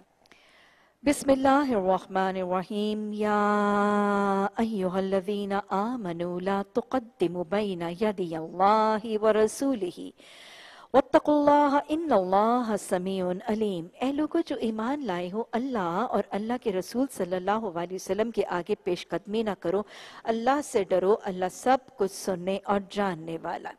سمیع اور علیم رب نے آج ایک خاص حکم دیا کہ اللہ اور اللہ کے رسول صلی اللہ علیہ وسلم سے پیش قدمی نہ کرو۔ حکم اگر مکہ کے دور یا اس دور کے تناظر میں لیا جائے تو اس دور کے تو صحابہ اکرام کو ایک بیسک ایتھکس محفل کا، مجلس کا، نبی صلی اللہ علیہ وسلم کی میت اور کمپنی میں چلنے کا ایک ادب اور سلیقہ سکھایا جا رہا ہے کہ دیکھو جیسے پیچھے بتایا گیا تھا نا کہ نبی صلی اللہ علیہ وسلم کے پکارنے کو ایک عام انسان آپس میں ایک دوسرے کو پکارنے کا سا معاملہ نہ سمجھا کرو۔ وہی بات سمجھائی جا رہی ہے کہ کسی محفل میں، کسی مجلس میں، کسی نشست میں، کہیں آنے جانے میں، سفر میں اگر تم نبی صلی اللہ علیہ وسلم کے ساتھ چل رہے ہو تو ان سے آگے بڑھ کر نہ چلا کرو۔ یہ ایک فزیکل سینس میں حکم ہے اس دور کے لیے۔ اور صرف آپ ہی کے حوالے سے نہیں، اس توسط سے ایک ادب اور عزت کا طریقہ کہ جو تمہارے علمی، تمہارے دینی کوئی بھی کسی حوالے سے تمہارے دنیاوی علم کے حوالے سے یا تمہارے دینی علم کے حوالے سے تمہارے رہبر، تمہارے رہنما، تمہارے گائیڈ، تمہارے اساتذہ ہیں، ان سے بھی پیش قدمی۔ ایک تو ان کے آگے نہ چلا کرو یا بڑھ بڑھ کے لکمے دے کے ان کو باتیں نہ کیا کرو۔ تو یہ ایک ادب اور سلیقہ۔ ویسے بھی جیسے حضرت ابو حریرہ نے ایک بیٹے کو کیا کہا تھا یہ تیرا باپ ہے، باپ اور بیٹا جا رہے تھے، تو حضرت ابو حریرہ نے کہا تھا، سن، میں تجھے تین باتیں بتاتا ہوں۔ ایک اس کو نام لے کر نہ پکارنا، محفل میں اس کے آگے نہ چلنا۔ اور محفل میں کیا؟ اس سے پہلے بیٹھ نہ جانا۔ تو ایک تو یہ بنیادی ایتھکس ادب اور احترام اور عزت کے حوالے سے یہ سلیقہ سکھایا گیا۔ اس کے علاوہ یہ آپ واضح طور پر جانتے کہ جب بھی ایک حکم آتا ہے تو وہ صرف اس دور کے لوگوں کے لیے تو نہیں ہوتا، اگلے ادوار کے لوگوں کے لیے بھی اس میں حکم ہے نا۔ تو اس میں ہمارے دور کے لوگوں کے لیے حکم کیا ہے؟ بڑا کلیئر سا حکم ہے، سمجھنا بھی بہت ضروری ہے۔ کیونکہ آپ صلی اللہ علیہ وسلم اور اللہ کے حوالے سے میں یہ بتایا جا رہا ہے کہ اللہ اور اللہ کے رسول صلی اللہ علیہ وسلم سے پیش قدمی یعنی ان سے بڑھ کے کام نہ کیا۔ خُذُوا مَا آتَاكُمُ الرَّسُولُهُ جو محمد صلی اللہ علیہ وسلم تمہیں دیتے ہیں، اس کو تھام لو اور جس سے وہ رکتے ہیں، اس سے رک جاؤ۔ یہ ہے مطلب بنیادی طور پر اس آیت جو محمد صلی اللہ علیہ وسلم نے قرآن، حدیث اور سنت کے ذریعے تمہیں سکھا دیا ہے، جتنا جو بتا دیا ہے، اس کو پکڑ لو اور اس سے ایکسیڈ کرنے کی کوشش نہ کرو۔ جو اسلام، قرآن، حدیث اور سنت نے تمہیں سکھایا ہے، اس کو تھامو۔ وَاتَّسَمُوا بِحَبْلِ اللَّهِ جَمِيعًا وَلَا تَفَرَّقُوا، اس کو تھامو۔ اور کیا کرو؟ ادخلوا فی السلم کافہ پورے کے پورے اس میں داخل ہو جاؤ۔ لیکن اس میں نئی نئی چیزیں خود سے خود اختراع کر کے خود سے خود ان احکامات سے آگے بڑھ بڑھ کے نئی چیزیں اختراع کے ذریعے کریٹ نہ کرو۔ بنیادی طور پر منع کیا کیا جا رہا ہے اور سمجھایا کیا جا رہا ہے کہ جن باتوں کو اللہ اور اللہ کے رسول صلی اللہ علیہ وسلم نے نیکی کہا ہے، ان نیکی کی باتوں کو پورے کا پورا تھام لو اور خود سے خود نیکیاں تجویز کر کے خود سے خود نیکیاں اختراع بازی سے کریٹ نہ کرو۔ جن چیزوں کو قرآن، حدیث، سنت نے گناہ کہا ہے، ان گناہوں سے پوری کی پوری طرح بچ جاؤ اور خود سے خود من گھڑت گناہ کریٹ نہ کرنے لگو۔ جن کو قرآن، حدیث، سنت گناہ نہیں کہتا ان کو گناہ کہہ کے ان سے بچنے کی بغیر بچا کے حرام کو، حلال اور حلال کو حرام کرنے کا طریقہ اختیار نہ کرو۔ بنیادی طور پر روکا جا رہا ہے بدتوں سے۔ بنیادی طور پر روکا جا رہا ہے بدعات سے۔ کیونکہ حدیث نے واضح طور پر فرما دیا کل بدت زلالہ ساری کی ساری بدتیں زلالت ہیں، گمراہی ہیں۔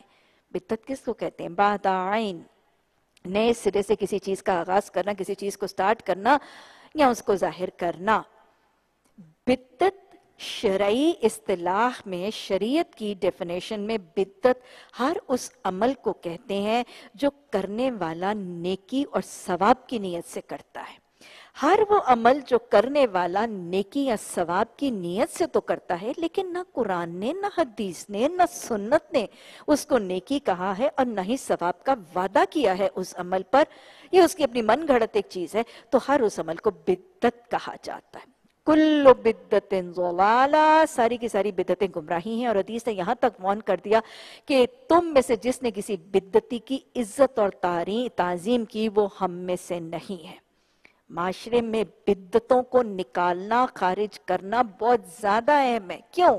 نمبر ون ایک تو آپ یہ بات یاد رکھیے کہ وہ چیز جو شریعت اور دین کا حصہ نہیں تھی، رنگ نہیں تھی، مزاج نہیں تھی۔ اس کے رنگ، اس کے مزاج، اس کے احکامات کے خلاف اگر انسانی تخلیق کی کوئی چیز دین میں شامل کی گئی، تو آہستہ آہستہ شریعت کا رنگ بدلے گا۔ اس کا مزاج بدلے گا، اس کا ماحول بدلے گا۔ اور آہستہ آہستہ دین کی شکل نعوذ باللہ مسخ ہو کے بگڑ جائے گی جو یہود اور عیسائیوں کے دین کی ہوئی۔ تو لہٰذا انسانی تخلیق کردہ نیکی اور گناہ کے تصور کو رائج کرنا، اس ہی لیے اتنا بڑا گناہ اور قرآن کا لا بنا دیا گیا تاکہ اصل دین جو ہے وہ محفوظ اور قائم رہے، وہی باقی رہے اور وہی ہدایت کا ذریعہ رہے۔ انسانی ذہنوں اور دینوں اور خواہشات پر اختراع کی ہوئی چیزیں کہیں قرآن و حدیث کی تعلیمات کو ریپلیس نہ کریں، کیونکہ یہ بھی یاد رکھیے گا کہ جب ایک بدت آتی ہے تو ایک سنت نکلتی ہے، کیونکہ وقت وہی ہے، ٹائم وہی ہے، صلاحیتیں وہ ہیں۔ ایک سنت نکالنی پڑتی ہیں ایک بدت کو رائج کرنے کے لیے۔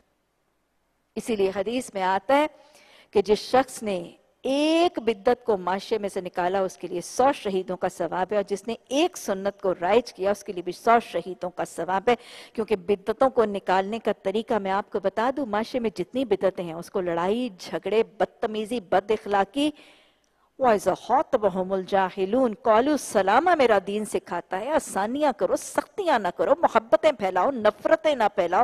بدتوں کو نکالنا کبھی تنقید، تزہیق یا تشدد کے ساتھ مت کیجیے گا بدتوں کو نکالنا ہے تو سنتوں کو رائج کیجیے گا۔ میرے محبوب صلی اللہ علیہ وسلم کی سنتیں اتنی پیاری، اتنی خوبصورت، اتنی محبوب، اتنی دل آویز، اتنی پرتاثیر ہے کہ ان کو لے کے ہم معاشرے میں جائیں گے تو لوگ اس کو ابزاب کریں گے۔ جب سنتیں رائج ہوں گی تو بدتیں نکل جائیں گی۔ سنتیں رائج کر لیجیے انشاءاللہ بدتیں خود ہی خارج ہو جائیں گی۔ اور صحیح دین واپس پلٹ آئے گا۔ مثلا میں آپ کو بتاؤں کہ مختلف شکل میں بدتیں جو آج ہمارے معاشرے میں رائج ہیں، نماز رات کی عبادت کے حوالے سے اگر آپ دیکھیں، قرآن اور حدیث اور سنت تو ہمیں کچھ راتوں کی عبادت کا حوالہ دے دیا۔ لیلت القدر۔ آج کی راتیں، آج کی آخری عشرے کی راتیں قرآن نے کہہ دیا، اِنَّا أَنزَلْنَاهُ فِي لَيْلَةِ الْقَدْرِ وَمَا أَدْرَاكَ مَا لَيْلَةُ الْقَدْرِ لَيْلَةُ الْقَدْرِ خَيْرٌ مِّنَ أَلْفِ الشَّهْرِ یہ قرآن کا حوالہ۔ آپ نے فرما دیا لیلت القدر کو رمضان کے آخری عشرے کی تاک راتوں میں تلاش کرو۔ سنت میں آپ خود بھی اٹھتے تھے، اہل خانہ کو تاکید بھی کرتے تھے۔ قرآن، سنت، حدیث لیلت القدر کی عبادت کی تصدیق کر کے۔ گویا یہ راتیں موجود ہیں، اجر موجود ہے ان راتوں پہ عبادت کی جائے گی۔ ہاتھ برخانکم ان کنتم سوادقین دلین تینوں میں موجود ہے اس کے بعد، اس کے بعد ذلحج کی راتیں۔ سورہ فجر میں اللہ نے قسم کھا دی، وَلَيَالٍ عَشْرٍ، وہ دس راتیں، وہ دس راتیں رمضان کی نہیں ہیں۔ رمضان کی آخری عشرے کی ساری دس نہیں ہیں، یہ آلٹرنیٹ ہیں گویا، یہ دس نہیں بنتی۔ حدیث نے بتا دیا، آپ نے فرمایا، کسی دن کی نیکی، کسی رات کی عبادت اللہ سبحانہ تعالیٰ کو رمضان ذلحج کے پہلے عشرے کی نیکی سے زیادہ پسند نہیں ہے۔ گویا حدیث نے سٹیمپ لگا دی، عمل نے بھی سنت سے ثابت کر دیا۔ یہ ہی صرف دو راتیں ہیں پورے سال میں، رمضان کے آخری عشرے کی تاک راتیں اور ذلحج کی دس راتیں، جس میں عبادت باقی راتوں سے زیادہ اجر اور ثواب دے گی۔ لیکن اس کے علاوہ اور کوئی قرآن، حدیث، سنت سے ثابت نہیں ہے۔ کسی اور رات پر اگر محض عبادت اس لیے کی گئی کہ آج ثواب زیادہ ہوگا تو یہ بدت ہوگی۔ یہ بدت ہوگی۔ نیکی کمانے کے چکر میں گناہ لازم، نیکی برباد، گناہ لازم، یہ ہے بدت کا طریقہ اور اصول۔ نیکی کی نیت میں کرتے ہیں اور اتنا بڑا گناہ بدت کا اپنے سر پہ تھوپ لیتے ہیں۔ لوگ کہتے ہیں جی کر تو عبادت رہے ہیں، کر عبادت نہیں رہے ہیں، وہ عبادت کر رہے ہیں جو بدت ہے، جس کو آپ صلی اللہ علیہ وسلم نے گمراہی کہہ دیا۔ یہ نیکی نیکی نہیں ہوگی، یہ گناہ کو لازم کرنے والا عمل ہوگا، اس لیے بدتوں سے باز آنا ہے۔ روزے، حدیث نے بتا دیا ہمیں۔ مستون روزے جس نے شوال کے رمضان کے مہینے کے بعد شوال کے چھ روزے رکھے، اس نے گویا سارے سال کے روزے رکھے۔ ایام بیس کے روزے، تیرہ، چودہ، پندرہ کے روزے، جو باقاعدگی سے یہ رکھتا ہے، گویا وہ سائم الدہر ہے، وہ سارے سال کے روزے رکھتا ہے، ساری زندگی کے روزے رکھتا ہے۔ پیر اور جمعرات کے روزے آپ نے رکھے کیونکہ حساب کتاب میرے پیش ہوتے ہیں اور میں پیر کے دن پیدا ہوا۔ اسی طرح آپ نے محرم کے نو اور دس کے روزے عشورہ کا اور نو کا روزہ، کیونکہ اکیلا عشورہ کا نہیں، یہود اور ان سے ممتاز کرنے کے لیے اور اسی طرح ذلحج کے دس روزے بھی حدیث سے ثابت ہیں۔ اس کے علاوہ اور کوئی روزہ سنت سے ثابت نہیں، حدیث میں ثابت نہیں، نہ ہی قرآن میں ثابت ہے۔ تو لہٰذا یہی روزے ہیں۔ شابان میں بھی نبی صلی اللہ علیہ وسلم نے روزے رکھے۔ اس کے علاوہ کسی اور دن پر، عید میلاد و نبی کے دن پر، شب معراج کے دن پر، شب برات کے دن پر، کسی دن پر اگر روزہ اس نیت اور انٹینشن سے رکھا گیا کہ آج کا روزہ زیادہ ثواب والا ہے، بنسبت کل یا اگر یہ بدت ہوگی۔ کیونکہ نہ میرے قرآن نے بتایا تھا، نہ حدیث نے بتایا تھا، وَلَا تُقَدِّمُ بَيْنَا يَدِي اللَّهِ وَرَسُولِهِ۔ یہ اصلاح کی خلاف ورزی ہوگی اور یہ ہے بدت کا گناہ۔ اسی طرح وفات کی رسومات، چاہے وہ کل ہے، چاہے وہ دسواں ہے چاہے جمعراتے ہیں، چاہے وہ برسی ہے چاہے کوئی چالیسواں ہے یہ سب حدیث قرآن، سنت سے ثابت نہیں، یہ بدعت کی شکل ہے۔ ہمیں معاشرے میں ان کو نکال کر خارج کرنا ہے۔ کیوں؟ کیونکہ ایک سنت کو رائج کرنے والا سو شہیدوں کا اور ایک بدت کو نکالنے والا سو شہیدوں کا اجر پاتا ہے۔ لیکن لوگوں کا وہی طریقہ، ہم تو وہی کریں گے جو ہمارے آبا و اجداد کرتے ہیں۔ آبا و اجداد کی اندھی تاکید کرنے والوں کا انجام ہم پیچھے پڑ چکے ہیں۔ اللہم لا تجلنا منہم، اللہ ہمیں دلیل قرآن، حدیث اور سنت سے پکڑ کے اپنے عمل کو لائے عمل بنانے کی توفیق کتاب فرمائے۔ اے لوگو، جو ایمان لائے ہو، اپنی آواز، نبی صلی اللہ علیہ وسلم کی آواز سے بلند نہ کرو اور نہ نبی صلی اللہ علیہ وسلم کے ساتھ اونچی آواز سے بات کیا کرو۔ جس طرح تم آپس میں ایک دوسرے سے کرتے ہو، کہیں ایسا نہ ہو کہ تمہارے سارے کیے کرایا ضائع ہو جائے اور تمہیں خبر بھی نہ ہو۔ ادب اور سلیقہ سکھایا گیا اور رسول اللہ صلی اللہ علیہ وسلم کے ایک صحابی کا واقعہ بھی آتا ہے کہ کیسے وہ آیت آتی تھی تو اپنا محاسبہ کرتے تھے اور تفکر اور تدبر کرتے تھے۔ حضرت کیس بن ثابت حضرت کیس بن ثابت نبی صلی اللہ علیہ وسلم کے صحابی ہی اپنا حصہ بتاتے ہیں، کہتے ہیں کہ کچھ ایسے ہوا کہ میری آواز جو ہے نا وہ فطری تو ہوتا ہے نا، کئیوں کا وائس کنٹرول ہی اوپر سیٹ ہوا ہوا ہوتا ہے۔ آواز ہی ذرا اونچی سی ہوتی۔ کہتے ہیں کہ میری آواز فطری طور پر ہی بہت اونچی تھی اور میں جب بھی بولتا تھا تو میں اونچی آواز سے بولتا تھا۔ کہتے ہیں یہ آئے تھا تو میں نے اپنا محاسبہ کیا؟ میں نے کہا، برباد ہو گیا ثابت۔ ثابت تو تو برباد ہو گیا تو تو نبی صلی اللہ علیہ وسلم کی محفل میں جب بھی بولتا رہا، تیری تو ساری زندگی کی پونجے ضائع ہو گئی۔ کہتے ہیں، غم سے چار پائی پہ لگ گیا۔ محفل رسول صلی اللہ علیہ وسلم کے جانے سے محروم ہو گیا۔ اتنا غم، اتنا اعمال کے برباد ہونے کی آج ہمیں پتہ ہی نہیں کہ کون سے برباد کرتے ہیں اور کیسے برباد ہوتے ہیں۔ یہ ایسے اور ایسے ایسا اپنا محاسبہ ہوتا تھا۔ کہتے ہیں، چارپائی پر لگ گیا، غم کے مارے نڈھال ہو گیا۔ دو تین دن جب حاضر نہیں ہوئے تو نبی صلی اللہ علیہ وسلم کا بھی حال دیکھے نا؟ کتنی خبر گیری ہے۔ صحابی کو بھیجا کہ پتہ تو کرو وہ ثابت بن کیس کیس بن ثابت جو ہے وہ بہت دنوں سے آئے نہیں۔ قیس کا پتہ چلا تو ان کی تو حالت یہ ہے۔ رسول اللہ صلی اللہ علیہ وسلم کو خبر دی گئی۔ تو آپ نے فرمایا کیس یہ تمہارے حق میں نہیں ہے۔ یہ ان لوگوں کے لیے کہا گیا جو دانستہ اپنی آواز رسول اللہ صلی اللہ علیہ وسلم کی محفل میں آپ کی آواز سے زیادہ بلند کرتے ہیں۔ تسلی ہوئی۔ نبی صلی اللہ علیہ وسلم نے حوصلہ دیا تو کوئی جان میں جان آئی۔ اللہ سبحانہ تعالیٰ ہمیں اپنا ایسا عملی محاسبہ کرنے اور ایسے تفکر اور تدبر سے قرآن پڑھنے کی توفیق عطا فرمائے۔ جو رسول خدا صلی اللہ علیہ وسلم کے حضور بات کرتے ہوئے اپنی آواز پست رکھتے ہیں، وہ در حقیقت وہی لوگ ہیں جن کے دلوں کو اللہ نے تقوی کے لیے جانچ لیا ان کے لیے مغفرت اور اجر عظیم ہے۔ اے نبی صلی اللہ علیہ وسلم، جو لوگ تمہیں حجروں کے پیچھے سے پکارتے ہیں، اصل میں ہوا کیا تھا؟ یہ کچھ گاؤں کے بدو بدو وہ ہوتے تھے جو اس زمانے کے نا ولیجرز اور دیہاتی لوگ تھے یہ ان پڑھ لوگ تھے گوار جاہل جڈ تو یہ نبی صلی اللہ علیہ وسلم کے پاس مدینہ دین سیکھنے کے لیے آئے تو یہ دور سے آئے نا تو باہر سے دور سے ہی محمد صلی اللہ علیہ وسلم دور سے پکارتے ہوئے چلے آئے۔ تو یہ ایک ناشائستہ سا طریقہ تھا۔ کسی کو بھی ایسے پکارنا درست نہیں ہے۔ رسول اللہ صلی اللہ علیہ وسلم کو تو بالکل ہی درست نہیں ہے۔ تو ان کو ادب اور سلیقہ سکھایا گیا۔ کہ ایک تو باہر سے ویسے پکارا نہ کرو، ان کو استیزان کے طریقے سکھائے گئے۔ اور ویسے ہی آپ کے ادب اور احترام کے حوالے سے بتایا گیا کہ اگر تم پکارتے اور دروازہ وغیرہ یہ اجازت نہ بھی لیتے، تم صرف دیوار کے ساتھ کچھ دیر ٹک کے بیٹھے رہتے اور انتظار کرتے نا کہ رسول اللہ صلی اللہ علیہ وسلم خود ہی نکل آئے تو وہ سب سے بہترین تھا۔ اگر وہ تمہارے برآمد ہونے تک صبر کرتے تو ان کے لیے بہتر تھا اللہ درگزر کرنے والا رحیم ہے۔ اے لوگوں جو ایمان لائے ہو، اگر کوئی فاسق تمہارے پاس کوئی خبر لے کر آئے تو تحقیق کر لیا کرو۔ کہیں ایسا نہ ہو تم کسی گروہ کو نہ دانستہ نقصان پہنچا بیٹھو اور پھر وہ اپنے کیے پر پشیمان ہو جائے۔ اصل میں یہ واقعہ کچھ ایسے ہوا کہ غزوہ بنی مستلق کے بعد نبی صلی اللہ علیہ وسلم کو جب کامیابی ہوئی، آپ کو فتح ہوئی، تو وہاں کے جو مالک سردار تھے، سردار حارث بن زرار حارث بن زرار کی بیٹی حضرت جویریہ بنت حارث بن زرار نبی صلی اللہ علیہ وسلم کے عقد نکاح میں آئیں تو حارث بن زرار بھی مسلمان ہو گیا۔ اور جب وہ مسلمان ہو گیا تو ظاہر زکوٰۃ کی ادائیگی کا معاملہ ہوا۔ نبی صلی اللہ علیہ وسلم نے غزوہ بنی مستلق کے بعد جب زکوٰۃ واجب الادا ہوئی تو اس وقت انہوں نے آپ صلی اللہ علیہ وسلم نے ولید بن عقبہ بن نبی معید کو حارث بن زرار سے زکوٰۃ لینے کے لیے، جیسے عاملین ہوتے تھے، زکوٰۃ کے زکوٰۃ کلیکٹرز ہوتے تھے، ان کو بھیجا تو حضرت ولید بن اقبا بن نبی معیت، ان کے دل میں نا کچھ خوف آ گیا کہ اتنا بڑا کافروں کا جو ہے وہ سردار تھا، پتہ نہیں اس نے دل سے اسلام قبول کیا بھی ہے کہ نہیں، میں زکوٰۃ مانگنے جاؤں گا تو پتہ نہیں میرے ساتھ کیا معاملہ کرے گا۔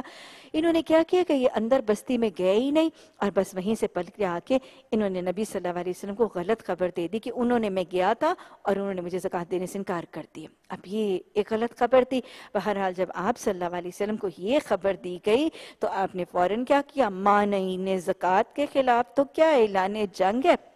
آپ صلی اللہ علیہ وسلم نے لشکر کی تیاری کا حکم دیا اور مانی نے زکوٰۃ کی سرکوبی اسلامی ریاست میں یہ معاملہ اختیار کرنے کی کوشش کی تو اتنی دیر میں حارث بن ززار جو پہلے منتظر تھا اپنی زکوٰۃ لے کر وہ اللہ کے حکم سے خود ہی زکوٰۃ لے کے آ گیا کہ یا رسول اللہ صلی اللہ علیہ وسلم، میں تو انظہار کر رہا تھا، آپ کا کوئی بندہ زکوٰۃ لینے نہیں آیا، تو یہ میں خود دینے آ گیا اس پر پھر یہ آیات نازل ہوئیں کہ کہیں جب تمہارے پاس خبر آئے نا، تو تحقیق کر لیا کرو۔ رسول کیا ہے؟ کہ کبھی بھی کسی کی سنی سنائی بات کو بغیر کسی چیز کے، ایک تو خود سے خود رائے قائم کرنا، بدگمانی کرنا جلد بازی کرنا، اور بغیر تحقیق یا بغیر تصدیق کے، بغیر علم کے کوئی فیصلہ کرنا اس کو اللہ سبحانہ تعالیٰ نے ناپسند فرمایا۔ کہیں ایسا نہ نہ ہو کہ تمہاری کسی گروہ کو نہ تم کسی گروہ کو نہ دانستہ نقصان پہنچا بیٹھو پھر اپنے کیے پر پشیمان ہو جاؤ۔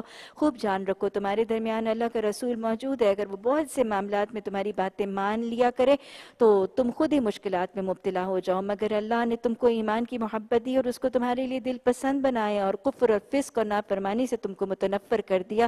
ایسے ہی لوگ اللہ کے فضل اور احسان سے راز رو ہیں اور وہ علیم اور حکیم ہے اور اگر اہل ایمان میں سے دو گروہ آپس میں لڑ جائیں، تو کیا کراؤ ہاں حدیث تو ہمیں رہنمائی کرے گی، قرآن بھی رہنمائی کرے گا۔ دو گروہ، دو مسلمان قومیں لڑ پڑیں، دو مسلمان قبیلے، دو مسلمان پروونسز یا صوبے، دو مسلمانوں کے فرقے یا گروہ لڑ پڑیں، دو ہمسائے لڑ پڑیں، دو بستیاں لڑ پڑیں، دو بہن بھائی لڑ پڑیں، کوئی بھی دو لڑ پڑیں، سڑک کے اوپر دو مائنرس ایکسیڈنٹ ہو، جھگڑنے، لڑیں، لڑ پڑیں، تو کیا کرو یا بس خاموش تماشائی بن کے جیسے آج ہمارے معاشرے میں گزر چل لڑیں لڑیں، جو مرضی کریں، ہمیں کیا فرق پڑتا ہے؟ ہاں؟ نہیں. دوسرا کیا کرنا ہے؟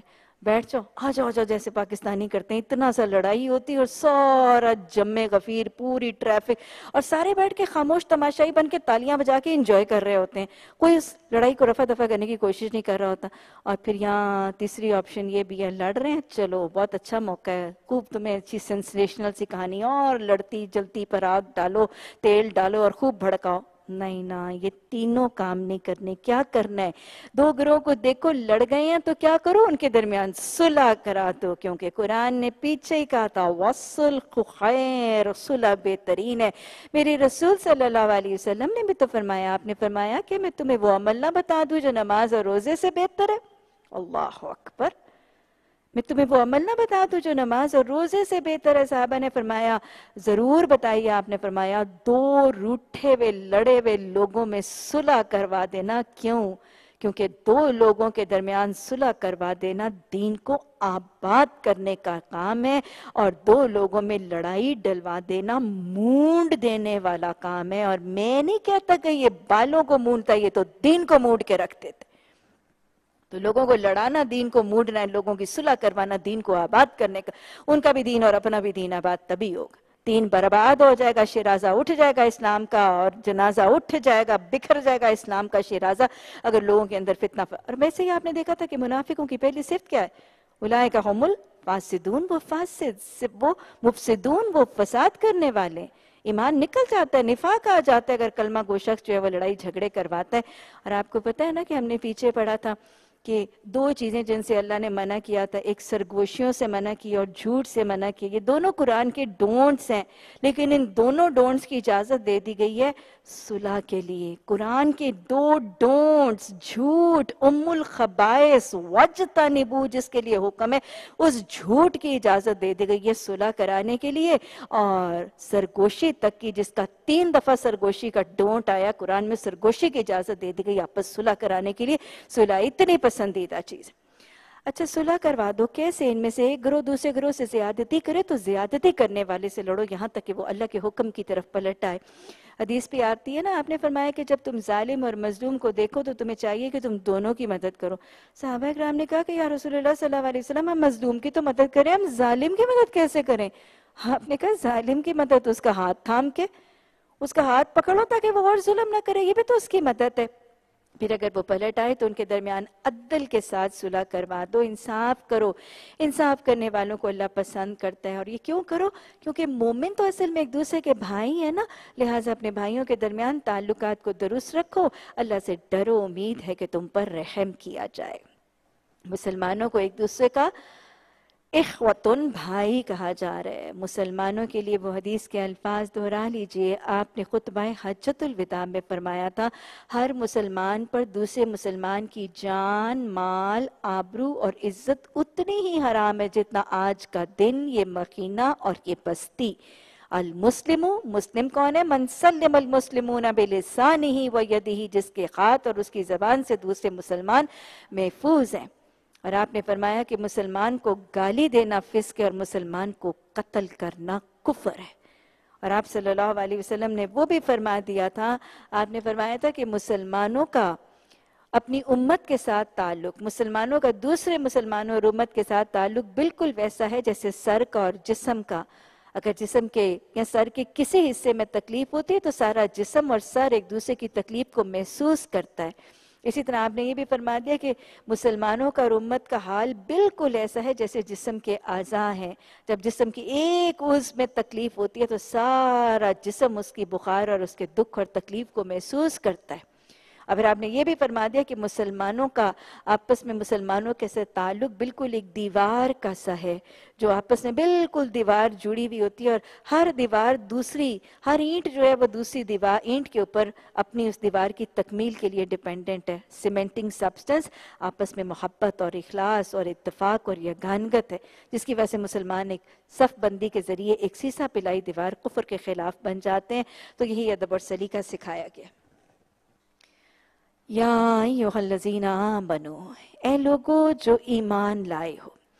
اللہ سبحانہ تعالیٰ اب مومنوں کو، مسلمانوں کو رحمہ آپس میں رحم کرنے والا اور آپس میں رحم دل بنانے کے لیے کچھ نسخے بتا رہے ہیں۔ ایمان لانے والوں کہہ کر، تم تو میری باتیں مانتے ہو نا؟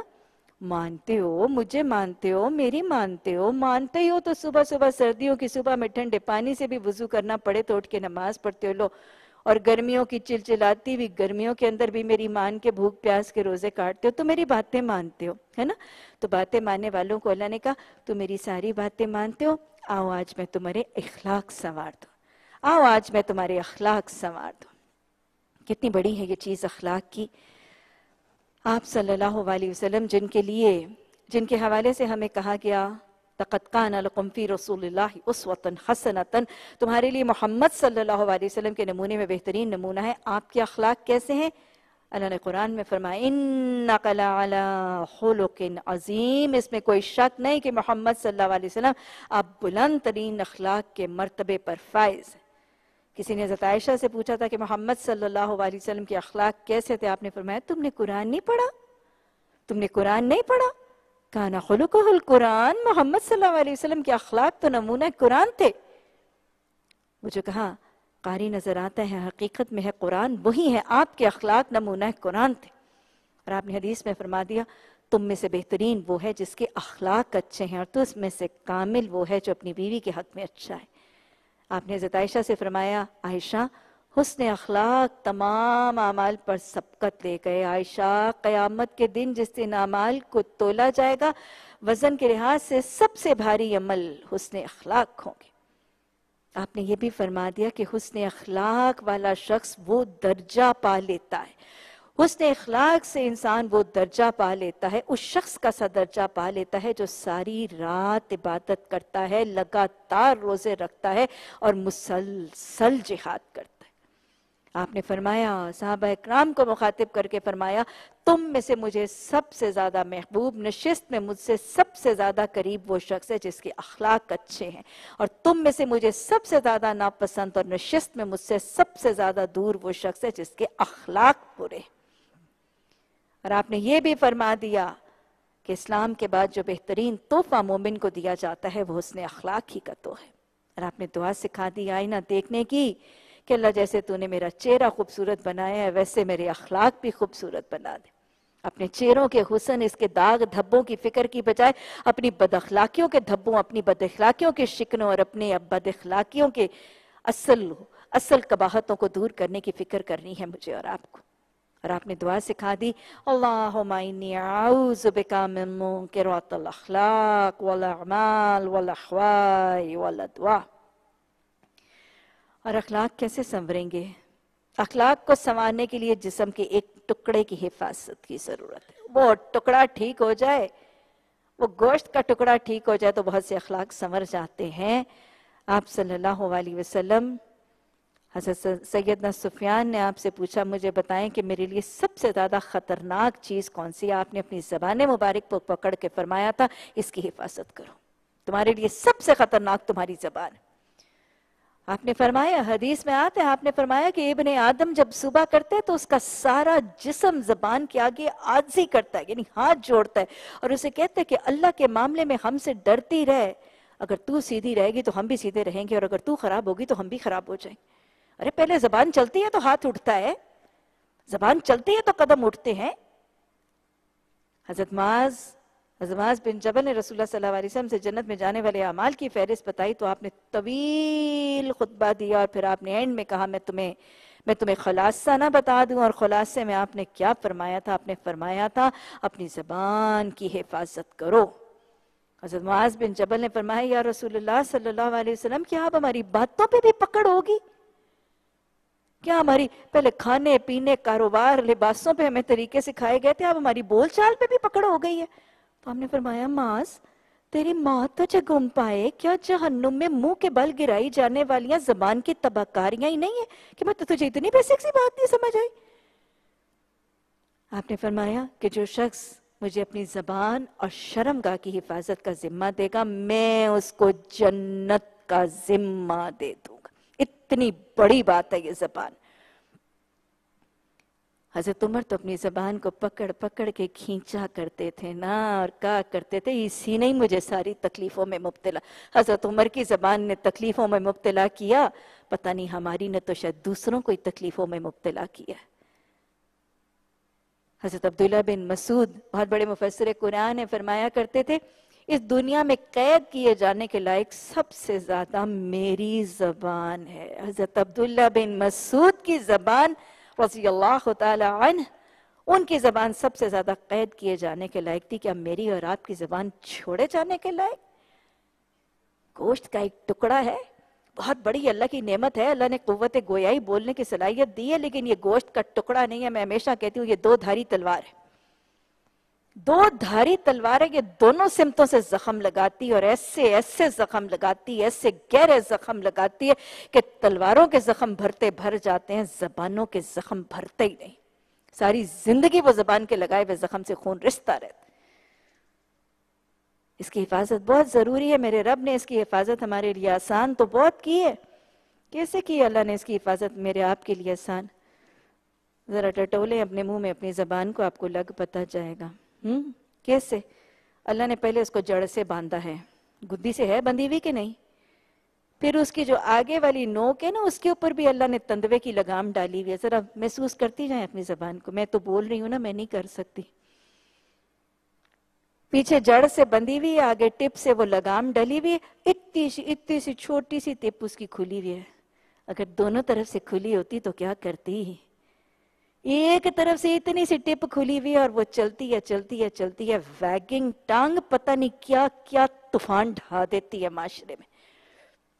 پھر اللہ نے نا اس کو دانتوں کے شکنجے میں جکڑا ہوا ہے۔ پھر اللہ نے اس کو ہونٹوں کی ڈبیوں سے بند کیا ہوا ہے۔ اللہ نے تو بڑا اہتمام کیا ہوا ہے۔ میں تو وہی کہوں گی۔ پہلے بھی میں یہی کہتی ہوں۔ تف ہے اتنا پانچ چھ فٹ کا قد آدم انسان ہے اور وہ پانچ چھ انچ کی زبان ہے کہ اس سے قابو نہیں ہوتی۔ تف ہے اس حضرت انسان پر پھر۔ اتنا سا گوشت کا وہ بالکل لوتھڑا ہے اور وہ اتنا بڑا سیانہ سمجھدار اشرف المخلوقات۔ احسن تقویم انسان ہے، مسجود ملائکہ انسان ہے، خیر امت ان کا انسان ہے امت وسطن کا فرد ہے اور اس سے وہ زبان بے لگام قابو نہیں ہوتی۔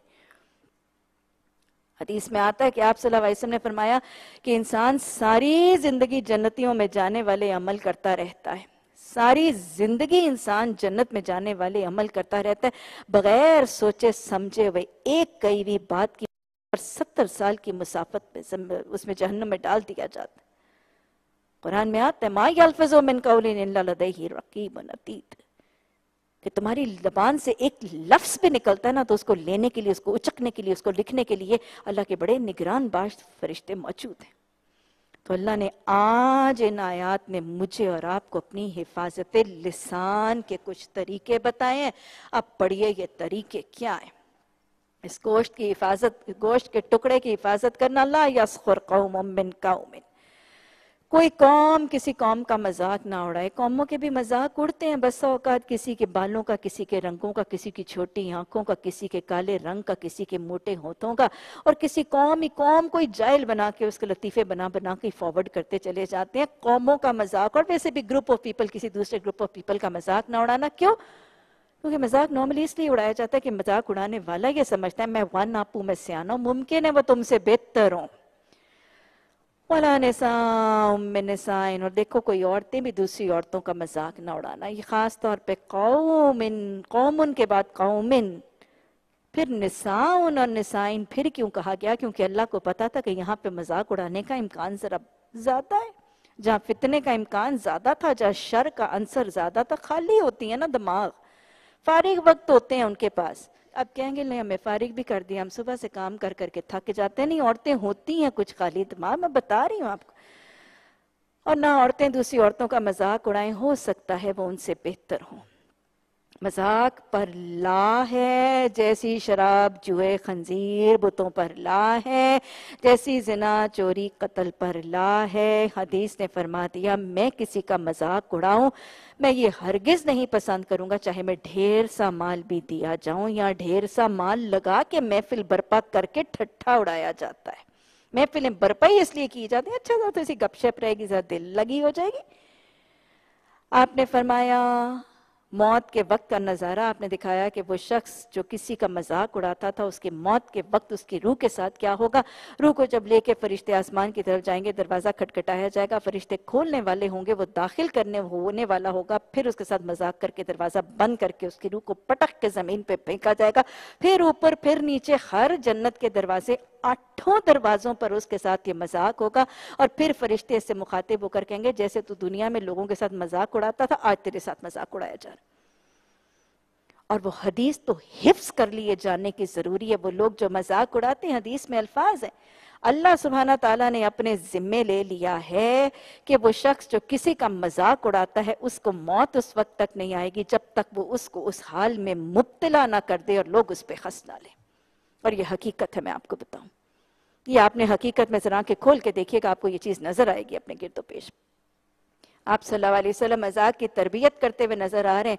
حضرت عائشہ نے فرمایا تھا، صفیہ کا قد پستہ ہے۔ تو آپ نے فرمایا تھا، عائشہ، تو نے اتنی تلخ بات کہی ہے کہ اس کو سمندر میں بھی گھول دیا جائے۔ تو اس کو تلخ کر دے گا۔ حضرت ابو ذر غفاری نے حضرت بلال کو کہا تھا، اے کالیمہ کے بیٹے، آپ نے کہا تھا، آپ نے فرمایا تھا، ابو ذر تیرے اندر ابھی جہلیت کے اثرات باقی ہیں۔ مذاق اڑانا، کسی کی چال پر، کسی کی ڈھال پر، کسی کے لباس پر، کسی کے تلفظ پر، کسی کے لب و لہجے پر، کسی کی انگریزی پر، کسی کی مہمان نوازی تک کا مذاق اڑا دیا جاتا ہے۔ اور بدترین مذاق یاد رکھیے گا، کسی کی ساخت، کسی کی جسمانی حالت اور اس کے چہرے کا مذاق اڑے۔ اور یہ بہت بدترین مذاق ہے۔ چہرے کا، کسی کے جسم کا مذاق یاد رکھیے گا، اس شخص کا نہیں۔ نعوذ باللہ، اس المصور کا مذاق ہے، جس نے کہا ہے کہ میں نے تمہارا چہرہ نوک پلک نک سکھ سے درست کیا، خود پڑھا ہے، آپ نے اس نے کہا لقد صورناکم۔ تو وہ جو چہروں کا مذاق اور جسم کا مذاق اڑایا جا رہا ہوتا ہے، وہ تو نعوذ باللہ اس بنانے والے کا مذاق ہوتا ہے۔ مذاق اڑاتے ہیں، چھوٹے دماغ کے لوگ، خالی دماغ کے لوگ۔ who don't have anything better to do اس سے بہتر کرنے کا کام کو ان لوگوں کو تختہ مشق بنا کے اپنے اپنے دل بہلا لیے، لوگوں کو ہنسا لیا، بڑے وٹی بن گئے، بڑے انٹرٹیننگ بن گئے، بڑے لائیولی جوویل بن گئے۔ یہ چھوٹے دماغ کے لوگ۔ اس سے بہتر کرنے کا کوئی کام ہی نہیں ہے ان کے پاس زندگی میں۔ ان کے پاس انٹرٹینمنٹ کا اس سے بہتر کوئی ذریعہ ہی نہیں ہے۔ لوگوں کا مذاق اڑانا، ٹھٹھا اڑانا ان کی انٹرٹینمنٹ کا ذریعہ ہے۔ اور یہاں مذاق اڑاتا ہے وہ شخص جو احساس کمتری کا شکار انفیریورٹی کمپلیکس ہے، وہ اوپر چڑھ نہیں سکتا، لوگوں کی ٹانگ کھینچ کے نیچے گرا کے ان سے اونچا ہوتا ہے۔ اور یہاں پھر کوئی سپیریورٹی کمپلیکس ہے احساس برتری کا شکار ہے، جو سمجھتا ہے یہ انسان تو، یہ تو کیڑے مکوڑے ہیں۔ میں مذاق اڑا کے ذرا اپنا دل تو بہلا لوں۔ بدترین چیز ہے لیکن آپ یہ مت سمجھے گا کہ ہمارا دین کوئی ایسا دین ہے کہ جو بہت ہی کوئی تلخ سا اور اتنا ہی کوئی سنجیدہ سا دین ہے کہ بس اب ہنسنے ہسانے سے ہی منع کیا جا رہا ہے، مذاق اڑانے اور ٹھٹھا اور تمسخر سے منع کیا جا رہا ہے۔ میرا دین ہنسنے ہسانے سے منع نہیں کرتا، شگفتگی میرے دین کا طریقہ ہے، شائستگی کے ساتھ ہنسنا ہسانا شریعت کو پسند ہے۔ اگر میں آپ کو موٹا سا اصول سمجھا دوں کہ وہ جو کہتے ہیں نا کہ دوسروں پر نہیں ہنسنا، دوسروں کے ساتھ مل کے ہنسنا ہے۔ لافنگ ود ادرز نہیں لافنگ لافنگ ایٹ ادرز نہیں لافنگ ود ادرز کا تصور صحیح طریقہ۔ اور آپ کی ذرافت اور آپ کے مزاق کے اگر دو نمونے میں آپ کو سنا رسول اللہ صلی اللہ علیہ وسلم، اسے میں نے آپ کو بتایا تھا سعدیہ حلیمہ آئی ہیں اور وہ کہتی ہیں رسول اللہ صلی اللہ علیہ وسلم، مجھے اونٹ دیجیے۔ آپ نے کہا، میں آپ کو اونٹ کا بچہ دوں گا۔ میں نے اونٹ کا بچہ کیا کرنا ہے مجھے اونٹ چاہیے مجھے اونٹ دیں آپ نے کہا میں آپ کو اونٹ کا بچہ دوں گا وہ دو تین دفعہ مانگنے کے بعد جب چلتی ہیں تو بڑی محبت سے ہاتھ پکڑ کے کہتے ہیں اماں جان کیا اونٹ اونٹ کا بچہ نہیں ہوتا تو ایک مذاق کا طریقہ ہے لیکن اس میں کوئی جھوٹ ویسے بھی یاد رکھیے گا کسی شخص کا ایمان اس وقت تک پورا نہیں ہوتا جب تک وہ جھوٹ کو مکمل طریقے سے نہ چھوڑ دے یہاں تک کہ مذاق میں بھی تو مذاق میں جھوٹ بھی نہیں ہوگا اور پھر حضرت علی اور رسول اللہ صلی اللہ علیہ وسلم کسی کے گھر تشریف لے گئے، انہوں نے کھجورے، مہمان نوازی میں دی آپ کو بہت پسند ہے، آپ بھی کھاتے جا رہے ہیں، حضرت علی بھی تنابل فرما رہے ہیں، دونوں کھا رہے ہیں، اور آپ اپنی کھجوروں کی گٹلی حضرت علی کے سامنے رکھتے جا رہے ہیں، ڈھیر لگتا جا رہا ہے، حضرت علی کے سامنے کھجوروں کی گٹلیوں کا اینڈ میں جب کھجوریں ختم ہو گئی تو آپ نے حضرت علی کو مخاطب ہو کر فرمایا، علی تم اتنی کھجوریں کھا گئے؟ خود ہی رکھے تھے اور مزاق کا طریقہ دیکھیں۔ علی، تم اتنی کھجوریں کھا گئے۔ علی بھی بڑے برجستہ ہے فوراً جواب دیتے ہیں۔ بہت حاضر جواب ہے۔ ویسے بھی علی علم کا دروازہ ہے، رضی اللہ تعالیٰ عنہ۔ فوراً حاضر جوابی سے جواب دیتے ہیں۔ یا رسول اللہ صلی اللہ علیہ وسلم، میں نے تو کھجوریں کھائی ہیں، آپ گٹلیاں بھی ساتھ ہی کھا گئے ہیں۔ تو لہٰذا یہ یہ مذاق کا طریقہ ہے کیا جا سکتا ہے۔ اس میں شائستگی ہونی چاہیے، لیکن کسی کو تنگ کرنا، دکھانا، ہرٹ کرنا اپسیٹ کرنا، ذلیل اور بے آبرو کرنا، یہ مذاق کا طریقہ نہیں۔ پھر اللہ نے فرمایا، وَلَا تَلْمِزُوا أَنفُسَكُمْ اس میں تین چیزیں آتی ہیں۔ ایک تو ایک دوسرے کے عیب نہ ڈھونڈو، دوسرے ایک دوسرے کو تانے تشنے نہ دو، اور تیسرا، ایک دوسرے کو شکوے شکایتیں نہ کرو۔ یہ تینوں پر لا ہے۔ عیب ڈھونڈنا، کسی کی کمیاں کتائیاں کمزوریاں، نقص عیب ڈھونڈنا، ایک تو اس میں تجسس بھی، اور ویسے بھی گندگی کے اوپر بیٹھتی ہے، وہ مکھی بیٹھتی ہے، گندگی کے کوڑے کے ڈھیر کے اوپر، یا کتا جا کے منہ ڈالتا ہے، گندگی کے ڈھیر کے اوپر، شریف و نفس مومن، کسی کے عیب نہیں کھنگالتا بھمبوڑتا پھرتا۔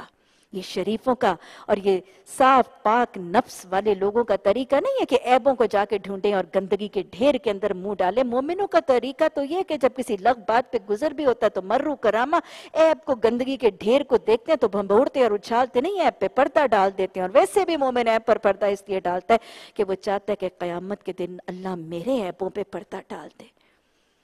اور حدیث میں آتا ہے نا کہ جب آپ صلی اللہ علیہ وسلم نے فرمایا کہ اللہ سبحانہ تعالیٰ فرماتے ہیں کہ جب کوئی شخص کسی دوسرے کے عیبوں کے درپے ہو جاتا ہے یعنی کسی کے عیبوں کے پیچھے پڑ جاتا ہے تو پھر اللہ اس کے عیبوں کے پیچھے پڑ جاتا ہے، یہاں تک کہ اس کو اپنے گھر میں بھی ذلیل اور رسوا کر دے۔ تو لوگوں کے عیب ڈھونڈنا اور ان کو بیان کرنا یا دیکھے ہوئے عیبوں پر پردہ نہ ڈالنا، یہ ولا تل مزو انفسکم اور لوگوں کے عیب تلاش کرنے کے بجائے اپنے عیبوں کو دیکھنا سے ضروری۔ جو کہا گیا نا ناتیحال کی جب ہم اپنے فکر رہ دیکھتے اوروں کے عیب و ہنر پڑی اپنے عیبوں پہ جب نظر، جہاں میں کوئی برا نہ رہا۔ اپنے عیبوں کو دیکھ کے اپنا محاسبہ کرے، لوگوں کے محاسبے اور لوگوں کے عیبوں کو نہ کھنگالتے پھر تلمزو دوسرا مطلب تانے تشنے نہ دیا کرو۔ آپ نے اسے حدیث سنی تھی نا کہ نبی صلی اللہ علیہ وسلم نے جہنم میں جو عورتوں کی کثرت دیکھی تھی، اس کی ایک وجہ کیا تھی؟ دو کام تھے، ایک نہ اور دوسرا تانے تشنے دینا۔ عورتوں کی ایک عادت، وہ چاہے ماں ہے، چاہے وہ ساس ہے، چاہے وہ مالکن ہے، اپنی ملازمہ کو تانے دیتی ہے۔ پتہ نہیں تیرے تو ہاتھ ٹوٹے میں پتہ نہیں تو تو بیری ہے۔ یا بہو کو، یا بیٹی کو تانے یہ تو ہے ہی پھوڑ یہ تو ہے ہی نکمی یہ تو ہے ہی کاہل، یہ تو ہے ہی سست۔ بیٹا نماز نہیں پڑھا، اس نے نہیں ٹھیک ہونا، اس نے ایسا ہی نکمہ رہنا ہے، اس نے ایسا ہی بے حد ایتا رہنا ہے۔ تو یہ کیا ہے؟ یہ نیگٹیوٹی کا طریقہ، یہ اسلام کا طریقہ نہیں ہے۔ اسلام تو پازیٹیوٹی کی طرف لاتا ہے پازیٹیو پوٹینسیشن کرتا ہے۔ یہ یہ نیگٹیوٹی کے ساتھ شوہروں کو بسا اوقات تانے تیشنے دیے جاتے ہیں۔ یہ نکمہ یہ بے فالتو، یہ ہر قسم کے شدید تلخ الفاظ، یہ تانے تشنے دینے پر اللہ نے لا کر دیا اور پھر دوسرا گلے شکوے کرنا، شکوے شکایتیں کرنا۔ یہ تو یاد رکھیے گلے شکوے، شکایتیں جو ہیں، یہ محبتوں کی کینچی ہیں۔ لوگ اوائڈ کرنے لگتے ہیں ان لوگوں کو جو گلے شکوے، شکایتیں کرتے ہیں۔ آج ہمارے یہاں کوئی ٹیلی فون نہ اٹھائے دو دفعہ کرنے کے بعد تو شکوے، کوئی ملنے نہ آئے تو شکوے۔ مطلب اتنے زیادہ آج ہماری زندگی میں شکوے ہیں اور اتنی زیادہ شکایتیں، کوئی ملنے نہ آئے اور ہم اٹھ کے ملنے چلے جائیں۔ احسان کر رہے ہیں، احسان کو احسان کی شکل میں رہنے دیں، جتا کر ضائع کیوں کر رہے ہیں؟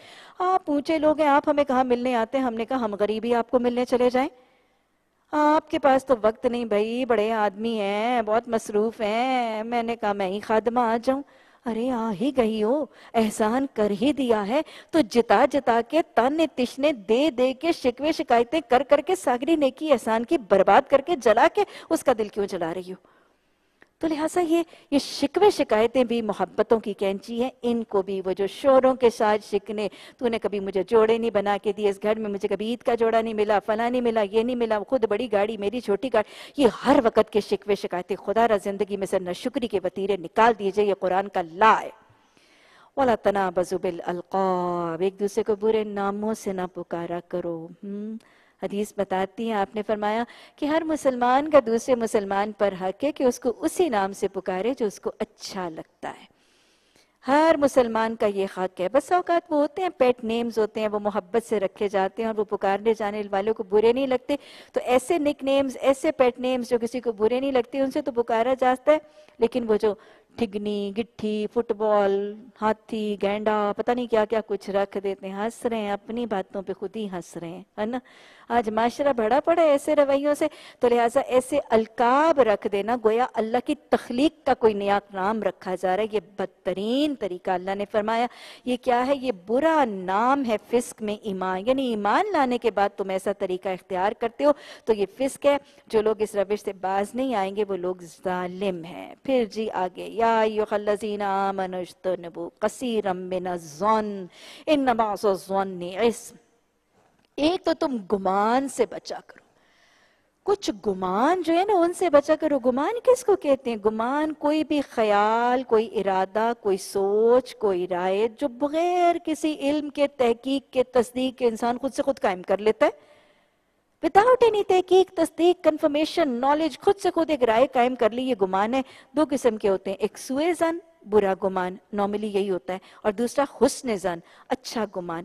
حسن زن سے منع نہیں کیا گیا، سوئے زن برے گمان سے منع کیا گیا۔ اور نارملی ہوتا ہے، سوئے زن ہے آپ آپ نے کسی کو دعوت دی، وہ نہیں آئی اور بدگمانیاں لے کے بیٹھے رہے یہ تو آتی نہیں ہے۔ میری خوشی میں خوشی نہیں ہوتی۔ میری میری بھلائی سے، میری ترقی سے جل جاتی ہے کڑ جاتی ہے۔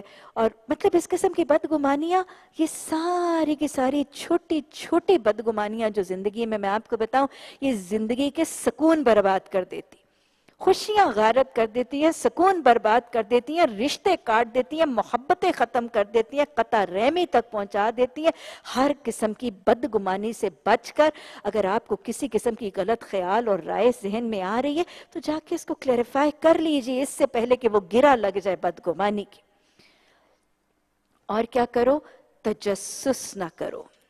تجسس نہ کرو۔ ویسے بھی بدگمانی کے حوالے سے یاد رکھیے گا نا وہ حضرت عبداللہ حضرت عبداللہ ان کا وہ معاملہ کہ جیسے نبی صلی اللہ علیہ وسلم نے دل کو صاف کرنے کے لیے تین تین دن نبی صلی اللہ علیہ وسلم کی زبان مبارک سے مسجد نبی میں خوشخبری ملی تھی نا جنت کی؟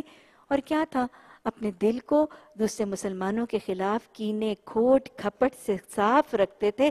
رسول اللہ صلی اللہ علیہ وسلم سے ان کی زبان مبارک سے تین دن پے در پے مسجد نبی میں خوشخبری ملی تھی، کیونکہ کینے، بدگمانیاں، کھوٹ کھپٹ اور غل سے اپنے آپ کو صاف رکھتے۔ ایک اور لا جی کتنے لا آتے چلے جا رہے ہیں۔ وَلَا تَجَسَّسُ تجسس نہ کیا کرو۔ تجسس، کرید، ٹو۔ ان شارٹ زیادہ سی آئی ڈی نہ بنتے پھرا کرو۔ ہر وقت کیوریوسٹیز نہ لگاتے پھرا کرو۔ تجسس تو ایسے جیسے مار ہی کھاتا ہے اور عورتوں کو زیادہ مارتا ہے، میں آپ کو بتاؤں۔ وہ ایک ایک نند ہے۔ وہ کان دروازے کے ساتھ لگا کے کھڑی، سن رہی ہے اندر، بھائی بھابی لڑ رہے ہیں یا کیا کر رہے ہیں؟ ہاں؟ لڑائی ہو رہی ہے، کس بات پہ لڑائی ہو رہی ہے؟ ہاں؟ اب پھر وہ ماں بیٹا بات کر رہے ہیں تو بہو کان دروازے کے ساتھ لگا کے کھڑی ہوئی ہے۔ کسی کا ٹیلی فون سنا جا رہا ہے، کسی کے موبائل کے میسیجز، آپ نے اسے حدیث پڑھی؟ نبی صلی اللہ علیہ وسلم نے فرمایا، جب کسی ایک شخص نے دوسرے شخص کے خط پر ایک نگاہ ڈالی تو اس نے گویا آگ میں جھانکا۔ یہ ایک آگ میں جھانکنے والی بات، یہ تجسس، یہ کیوریوسٹی محلے میں ایک بہو بیا کے آ تو جائے۔ سارے محلے کی باقی خواتین کو تجسس لگ جاتا ہے۔ کتنے بچے اٹھتی ہے بہو؟ کچن کا کام کون کرتا ہے؟ کرنے لگی ہے کہ نہیں کرنے لگی؟ چابیاں دی ہیں ساس نے۔ ارے اللہ کے بندوت ساس نے، اس کو دی نہیں دی۔ وہ اٹھتی ہے، جاگتی ہے، سوتی ہے۔ وہ کچن کا کام کرتی ہے یا ساس کرتی ہے، تمہیں کیا تکلیف ہے؟ You just mind your own business تمہارے اپنے گھر میں کیا ہو رہا ہے؟ تم اس کو مائنڈ کرو۔ تمہاری اپنی عبادات، تمہارے اخلاق کیسے سارے محلے کی فکر، بڑی اپنی فکر نہیں ہے۔ تو لہٰذا اللہ نے کہہ دیا کہ تم تجسس نہ لگاتے پھرا کرو، قرید اور ٹو نہ لگاتے پھرا کرو۔ اور وَلَا يَعْتَبْ بَعْدَكُمْ بَعْدَا یہ تم میں سے بعض جو ہے نا وہ دوسرے کی غیبت بھی نہ کیا کریں غیبت کس کو کہتے ہیں؟ آپ سے پوچھا گیا، یا رسول اللہ صلی اللہ علیہ وسلم، غیبت کسے کہتے ہیں؟ آپ نے فرمایا کہ جب تم میں سے کوئی اپنے کسی دوسرے مومن کی غیر موجودگی میں، اپنے دوسرے کسی مومن بھائی کی غیر موجودگی میں اس کا ذکر کبھی اس طرح سے کرے کہ اگر اس کو پتہ چل جائے تو اس کو برا لگے۔ کسی دوسرے مومن کی ایپسنس میں اس کا ذکر بس اس انداز میں کرے کہ اگر اسے پتہ چل جائے تو اسے برا لگے تو یہ غیبت ہے۔ صحابہ نے فوراً ہی پوچھا، یا رسول اللہ صلی اللہ علیہ وسلم، اگر اس کے اندر برائی ہو بھی؟ کہ مطلب اس کے اندر برائی ہے، and then we are talking about it and we are mentioning تو پھر کیا غلط ہے؟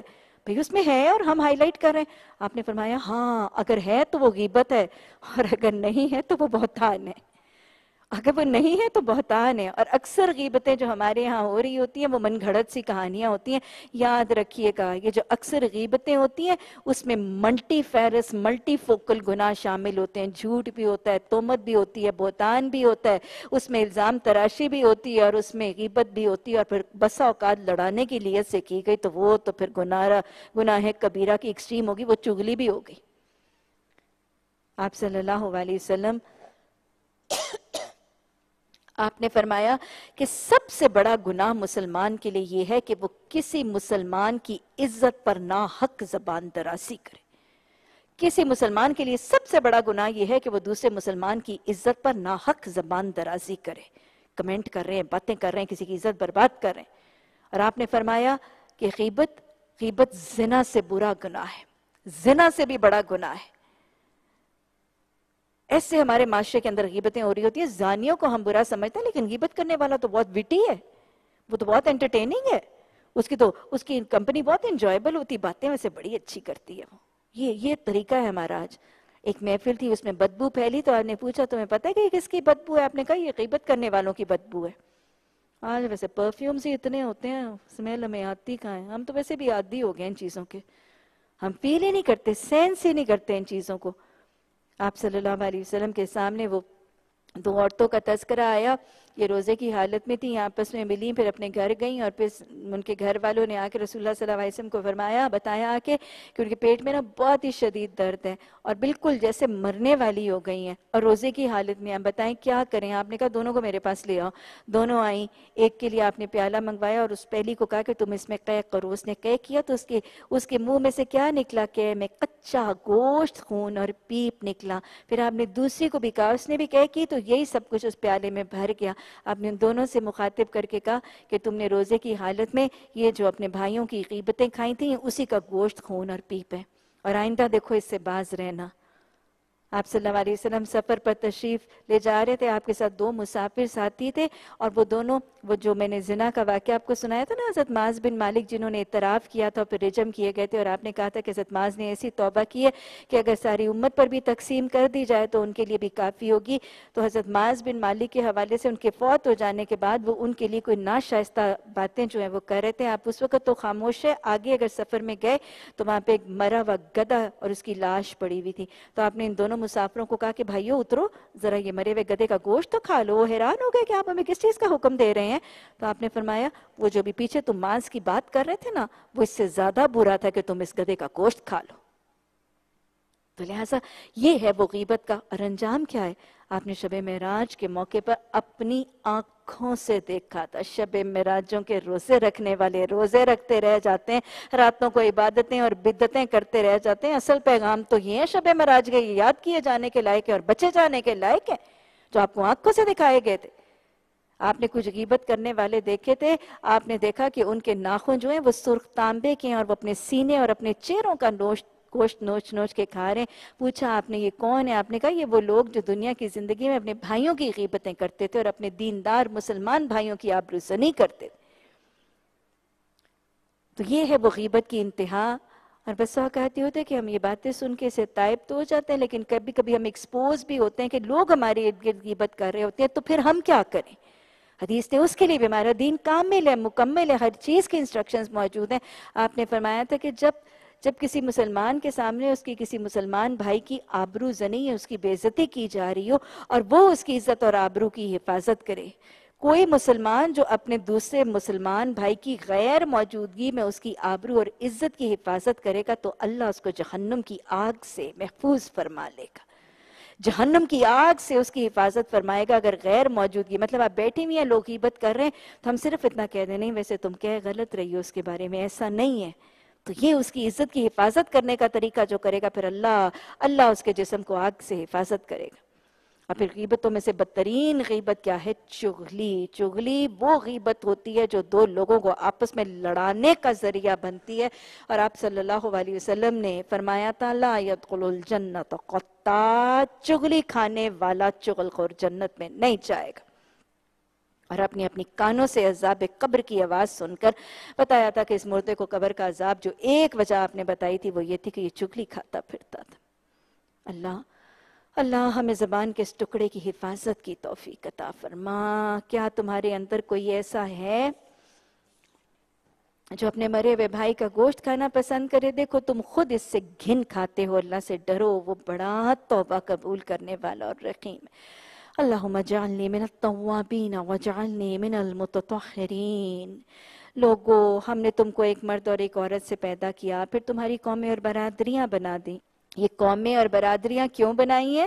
کوئی آپس کے تفاخر کے لیے نہیں، کوئی تکبر کے لیے نہیں، بیٹیوں کے رشتے تلاش کر کے یا بیٹیوں کو گھروں میں انہی انہی کے اندر رشتے نہ ہونے کی وجہ سے گھروں میں بٹھانے کے لیے نہیں بنائی ہیں؟ اللہ نے ذاتیں، برادریاں کیوں بنائی ہیں؟ بس تاکہ ایک تمہاری پہچان، ایک تشخص کا ذریعہ انٹیٹی کا ذریعہ بن جائے، nothing more than that حقیقت در حقیقت اللہ کے نزدیک تم میں سے سب سے زیادہ عزت والا وہ ہے کون؟ ان اکرمکم ان اللہ اتقاکم۔ اللہ تقوی عطا فرما۔ ان اللہ علیم خبیر۔ آپ نے فرمایا نا کہ کسی کسی گورے پر، کسی عربی کو، کسی عجمی پر کوئی فوقیت نہیں، تم سب آدم کی اولاد ہو۔ اور پھر آپ نے حدیث میں تاکید کی، تم سب آدم کی اولاد ہو، مٹی سے بنائے گئے تھے۔ اپنے ابا و اجداد پر فخر کرنا چھوڑ دو، ورنہ تم اللہ کے ہاں حقیر کیڑے سے بھی زیادہ ذلیل ہوگے تم حقیر کیڑے سے بھی زیادہ ذلیل ہوگے اور حدیث میں آتا ہے کہ اللہ تمہاری صورتیں، تمہاری مال اور تمہاری ذاتیں نہیں دیکھتا، تمہارے اعمال کو دیکھتا ہے۔ یہ بدوی کہتے ہیں ہم ایمان لائے ہیں، ان سے کہو تم ایمان نہیں لائے ہو، بلکہ تم یوں کہو ہم متی فرمان ہو گئے ایمان ابھی تمہارے دلوں میں داخل ہی نہیں ہوا۔ اور اگر تم اللہ اور اللہ کے رسول صلی اللہ علیہ وسلم کی فرما برداری کی اختیار کر لو گے تو وہ تمہارے عمل کے اجر میں کوئی کمی نہیں کرے گا۔ وہ بڑا درگزر کرنے والا رحیم ہے۔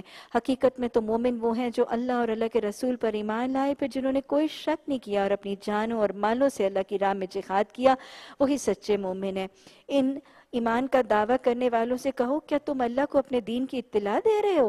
حالانکہ اللہ زمین اور آسمانوں کی ہر چیز کو جانتا ہے اور وہ ہر چیز کا علم رکھتا ہے۔ یہ لوگ تم پر احسان جتاتے ہیں کہ انہوں نے اسلام قبول کر لیا۔ ان سے کہو، اپنے اسلام کا احسان مجھ پر نہ رکھو، بلکہ اللہ نے تم پر احسان کیا کہ اس نے تمہیں ایمان کی ہدایت دی۔ اگر تم واقعی اپنے دعویٰ ایمان میں سچے ہو اللہ زمین اور آسمان کی ہر پوشیدہ چیز کا علم رکھتا ہے اور جو کچھ تم کرتے ہو وہ سب اس کی نگاہ میں ہے۔ جو مذاق اڑاتے ہو، جو تانے دیتے ہو، جو شکوے کرتے ہو، جو عیب تراشی کرتے ہو، جو جو نام رکھتے ہو، جو تجسس کرتے ہو، جو تم غیبتیں، چغلیاں کرتے ہو، جو بدگمانیاں دلوں میں بھی پالتے ہو، علیم بذات صدور اس کو بھی جانتا ہے۔ اللہ سبحانہ تعالیٰ اللہ سبحانہ تعالیٰ ہم سب پر رحم فرما۔ اللہ یہ جو اپنے نفسوں کے شر میں آ کے ہم اپنی زبان کی حفاظت سے رک جاتے ہیں، اللہ ہمیں اپنے نفس پر ضبط کرنے اور اپنی زبان پر لگام دینے کی توفیق عطا فرما۔ اللہم رحمتک ارجو، فلا تکلنی الى نفسی من طرفت عین واصلح لی شأنی کلہ لا الہ الا انتا اللهم ألهمنا رشدا وعزنا من شرور أنفسنا. اللهم إني أعوذ بك من منكرات الأخلاق والأعمال والأحواء والأدواء اللهم طهر قلبي من نفاقي وعملي من الرياء ولساني من القذب وعيني من الخيانة. يا أرحم الراحمين. اللہ سبحانہ تعالیٰ اپنے اخلاق کو سنوارنے کی توفیق عطا فرما۔ اللہ بندگی کے طریقے سکھا، اللہ عبادت کے طریقے سکھا، اللہ حسن سلوک، حسن معاملات، قولو للناس قسنا کرنے کی توفیق عطا فرما۔ اللہ ہماری عبادات میں حسن عطا فرما، ہمارے معاملات میں حسن عطا فرما۔ اللہ سب سے بڑھ کے ہمیں اخلاق کا حسن عطا فرما۔ اللہ سبحانہ تعالیٰ، اللہ زبان کے اس ٹکڑے، اس گوشت کے ٹکڑے، اس تلوار کو سنبھالنے کی توفیق عطا فرما اس پر لگام ڈالنے اس کو قابو کرنا ہمارے لیے آسان بنا دے۔ اللہ سبحانہ تعالیٰ، یہ یہ زبان کا ٹکڑا، یہ قوت گویائی اللہ جس سے ہم قرآن کی تلاوت کرتے ہیں۔ اللہ جس سے قرآن کے دروس دیتے ہیں، اللہ جس سے تیرا ذکر کرتے ہیں، تیرے رسول صلی اللہ علیہ وسلم پر درود بھیجتے ہیں۔ اللہ اسی زبان سے کہیں چگلیاں، غیبتیں کرنے والے نہ بن جائیں، لوگوں کے دل دکھانے، کلیجے کاٹنے والے نہ بن جائیں۔ اللہ اسی زبان سے لوگوں کے گھروں میں فتنے، فساد، جھگڑے ڈلوانے والے نہ بن جائیں۔ اللہ اسی زبان سے لوگوں کے نام رکھ کے ان کی قیت کا مذاق اڑانے والے نہ بن جائیں۔ اللہ اس زبان کی حفاظت کی توفیق عطا فرما یہ جو تیری بہترین امانت ہے، اس میں خیانت سے بچنے کی توفیق عطا فرما یا مقلب القلوب ثبت قلبی علی دینک یا مصرف القلوب صرف قلبی علی طاعتک ربنا لا تزع قلوبنا بعد إذ هديتنا وهب لنا من لدنك الرحمة إنك أنت الوهاب. سبحانك اللهم وبحمدك. نشهد أن لا إله إلا أنت. نستغفرك ونتوب إليك. سبحان ربك رب العزة عما يصفون وسلام على المرسلين والحمد لله رب العالمين. آمين. ثم آمين.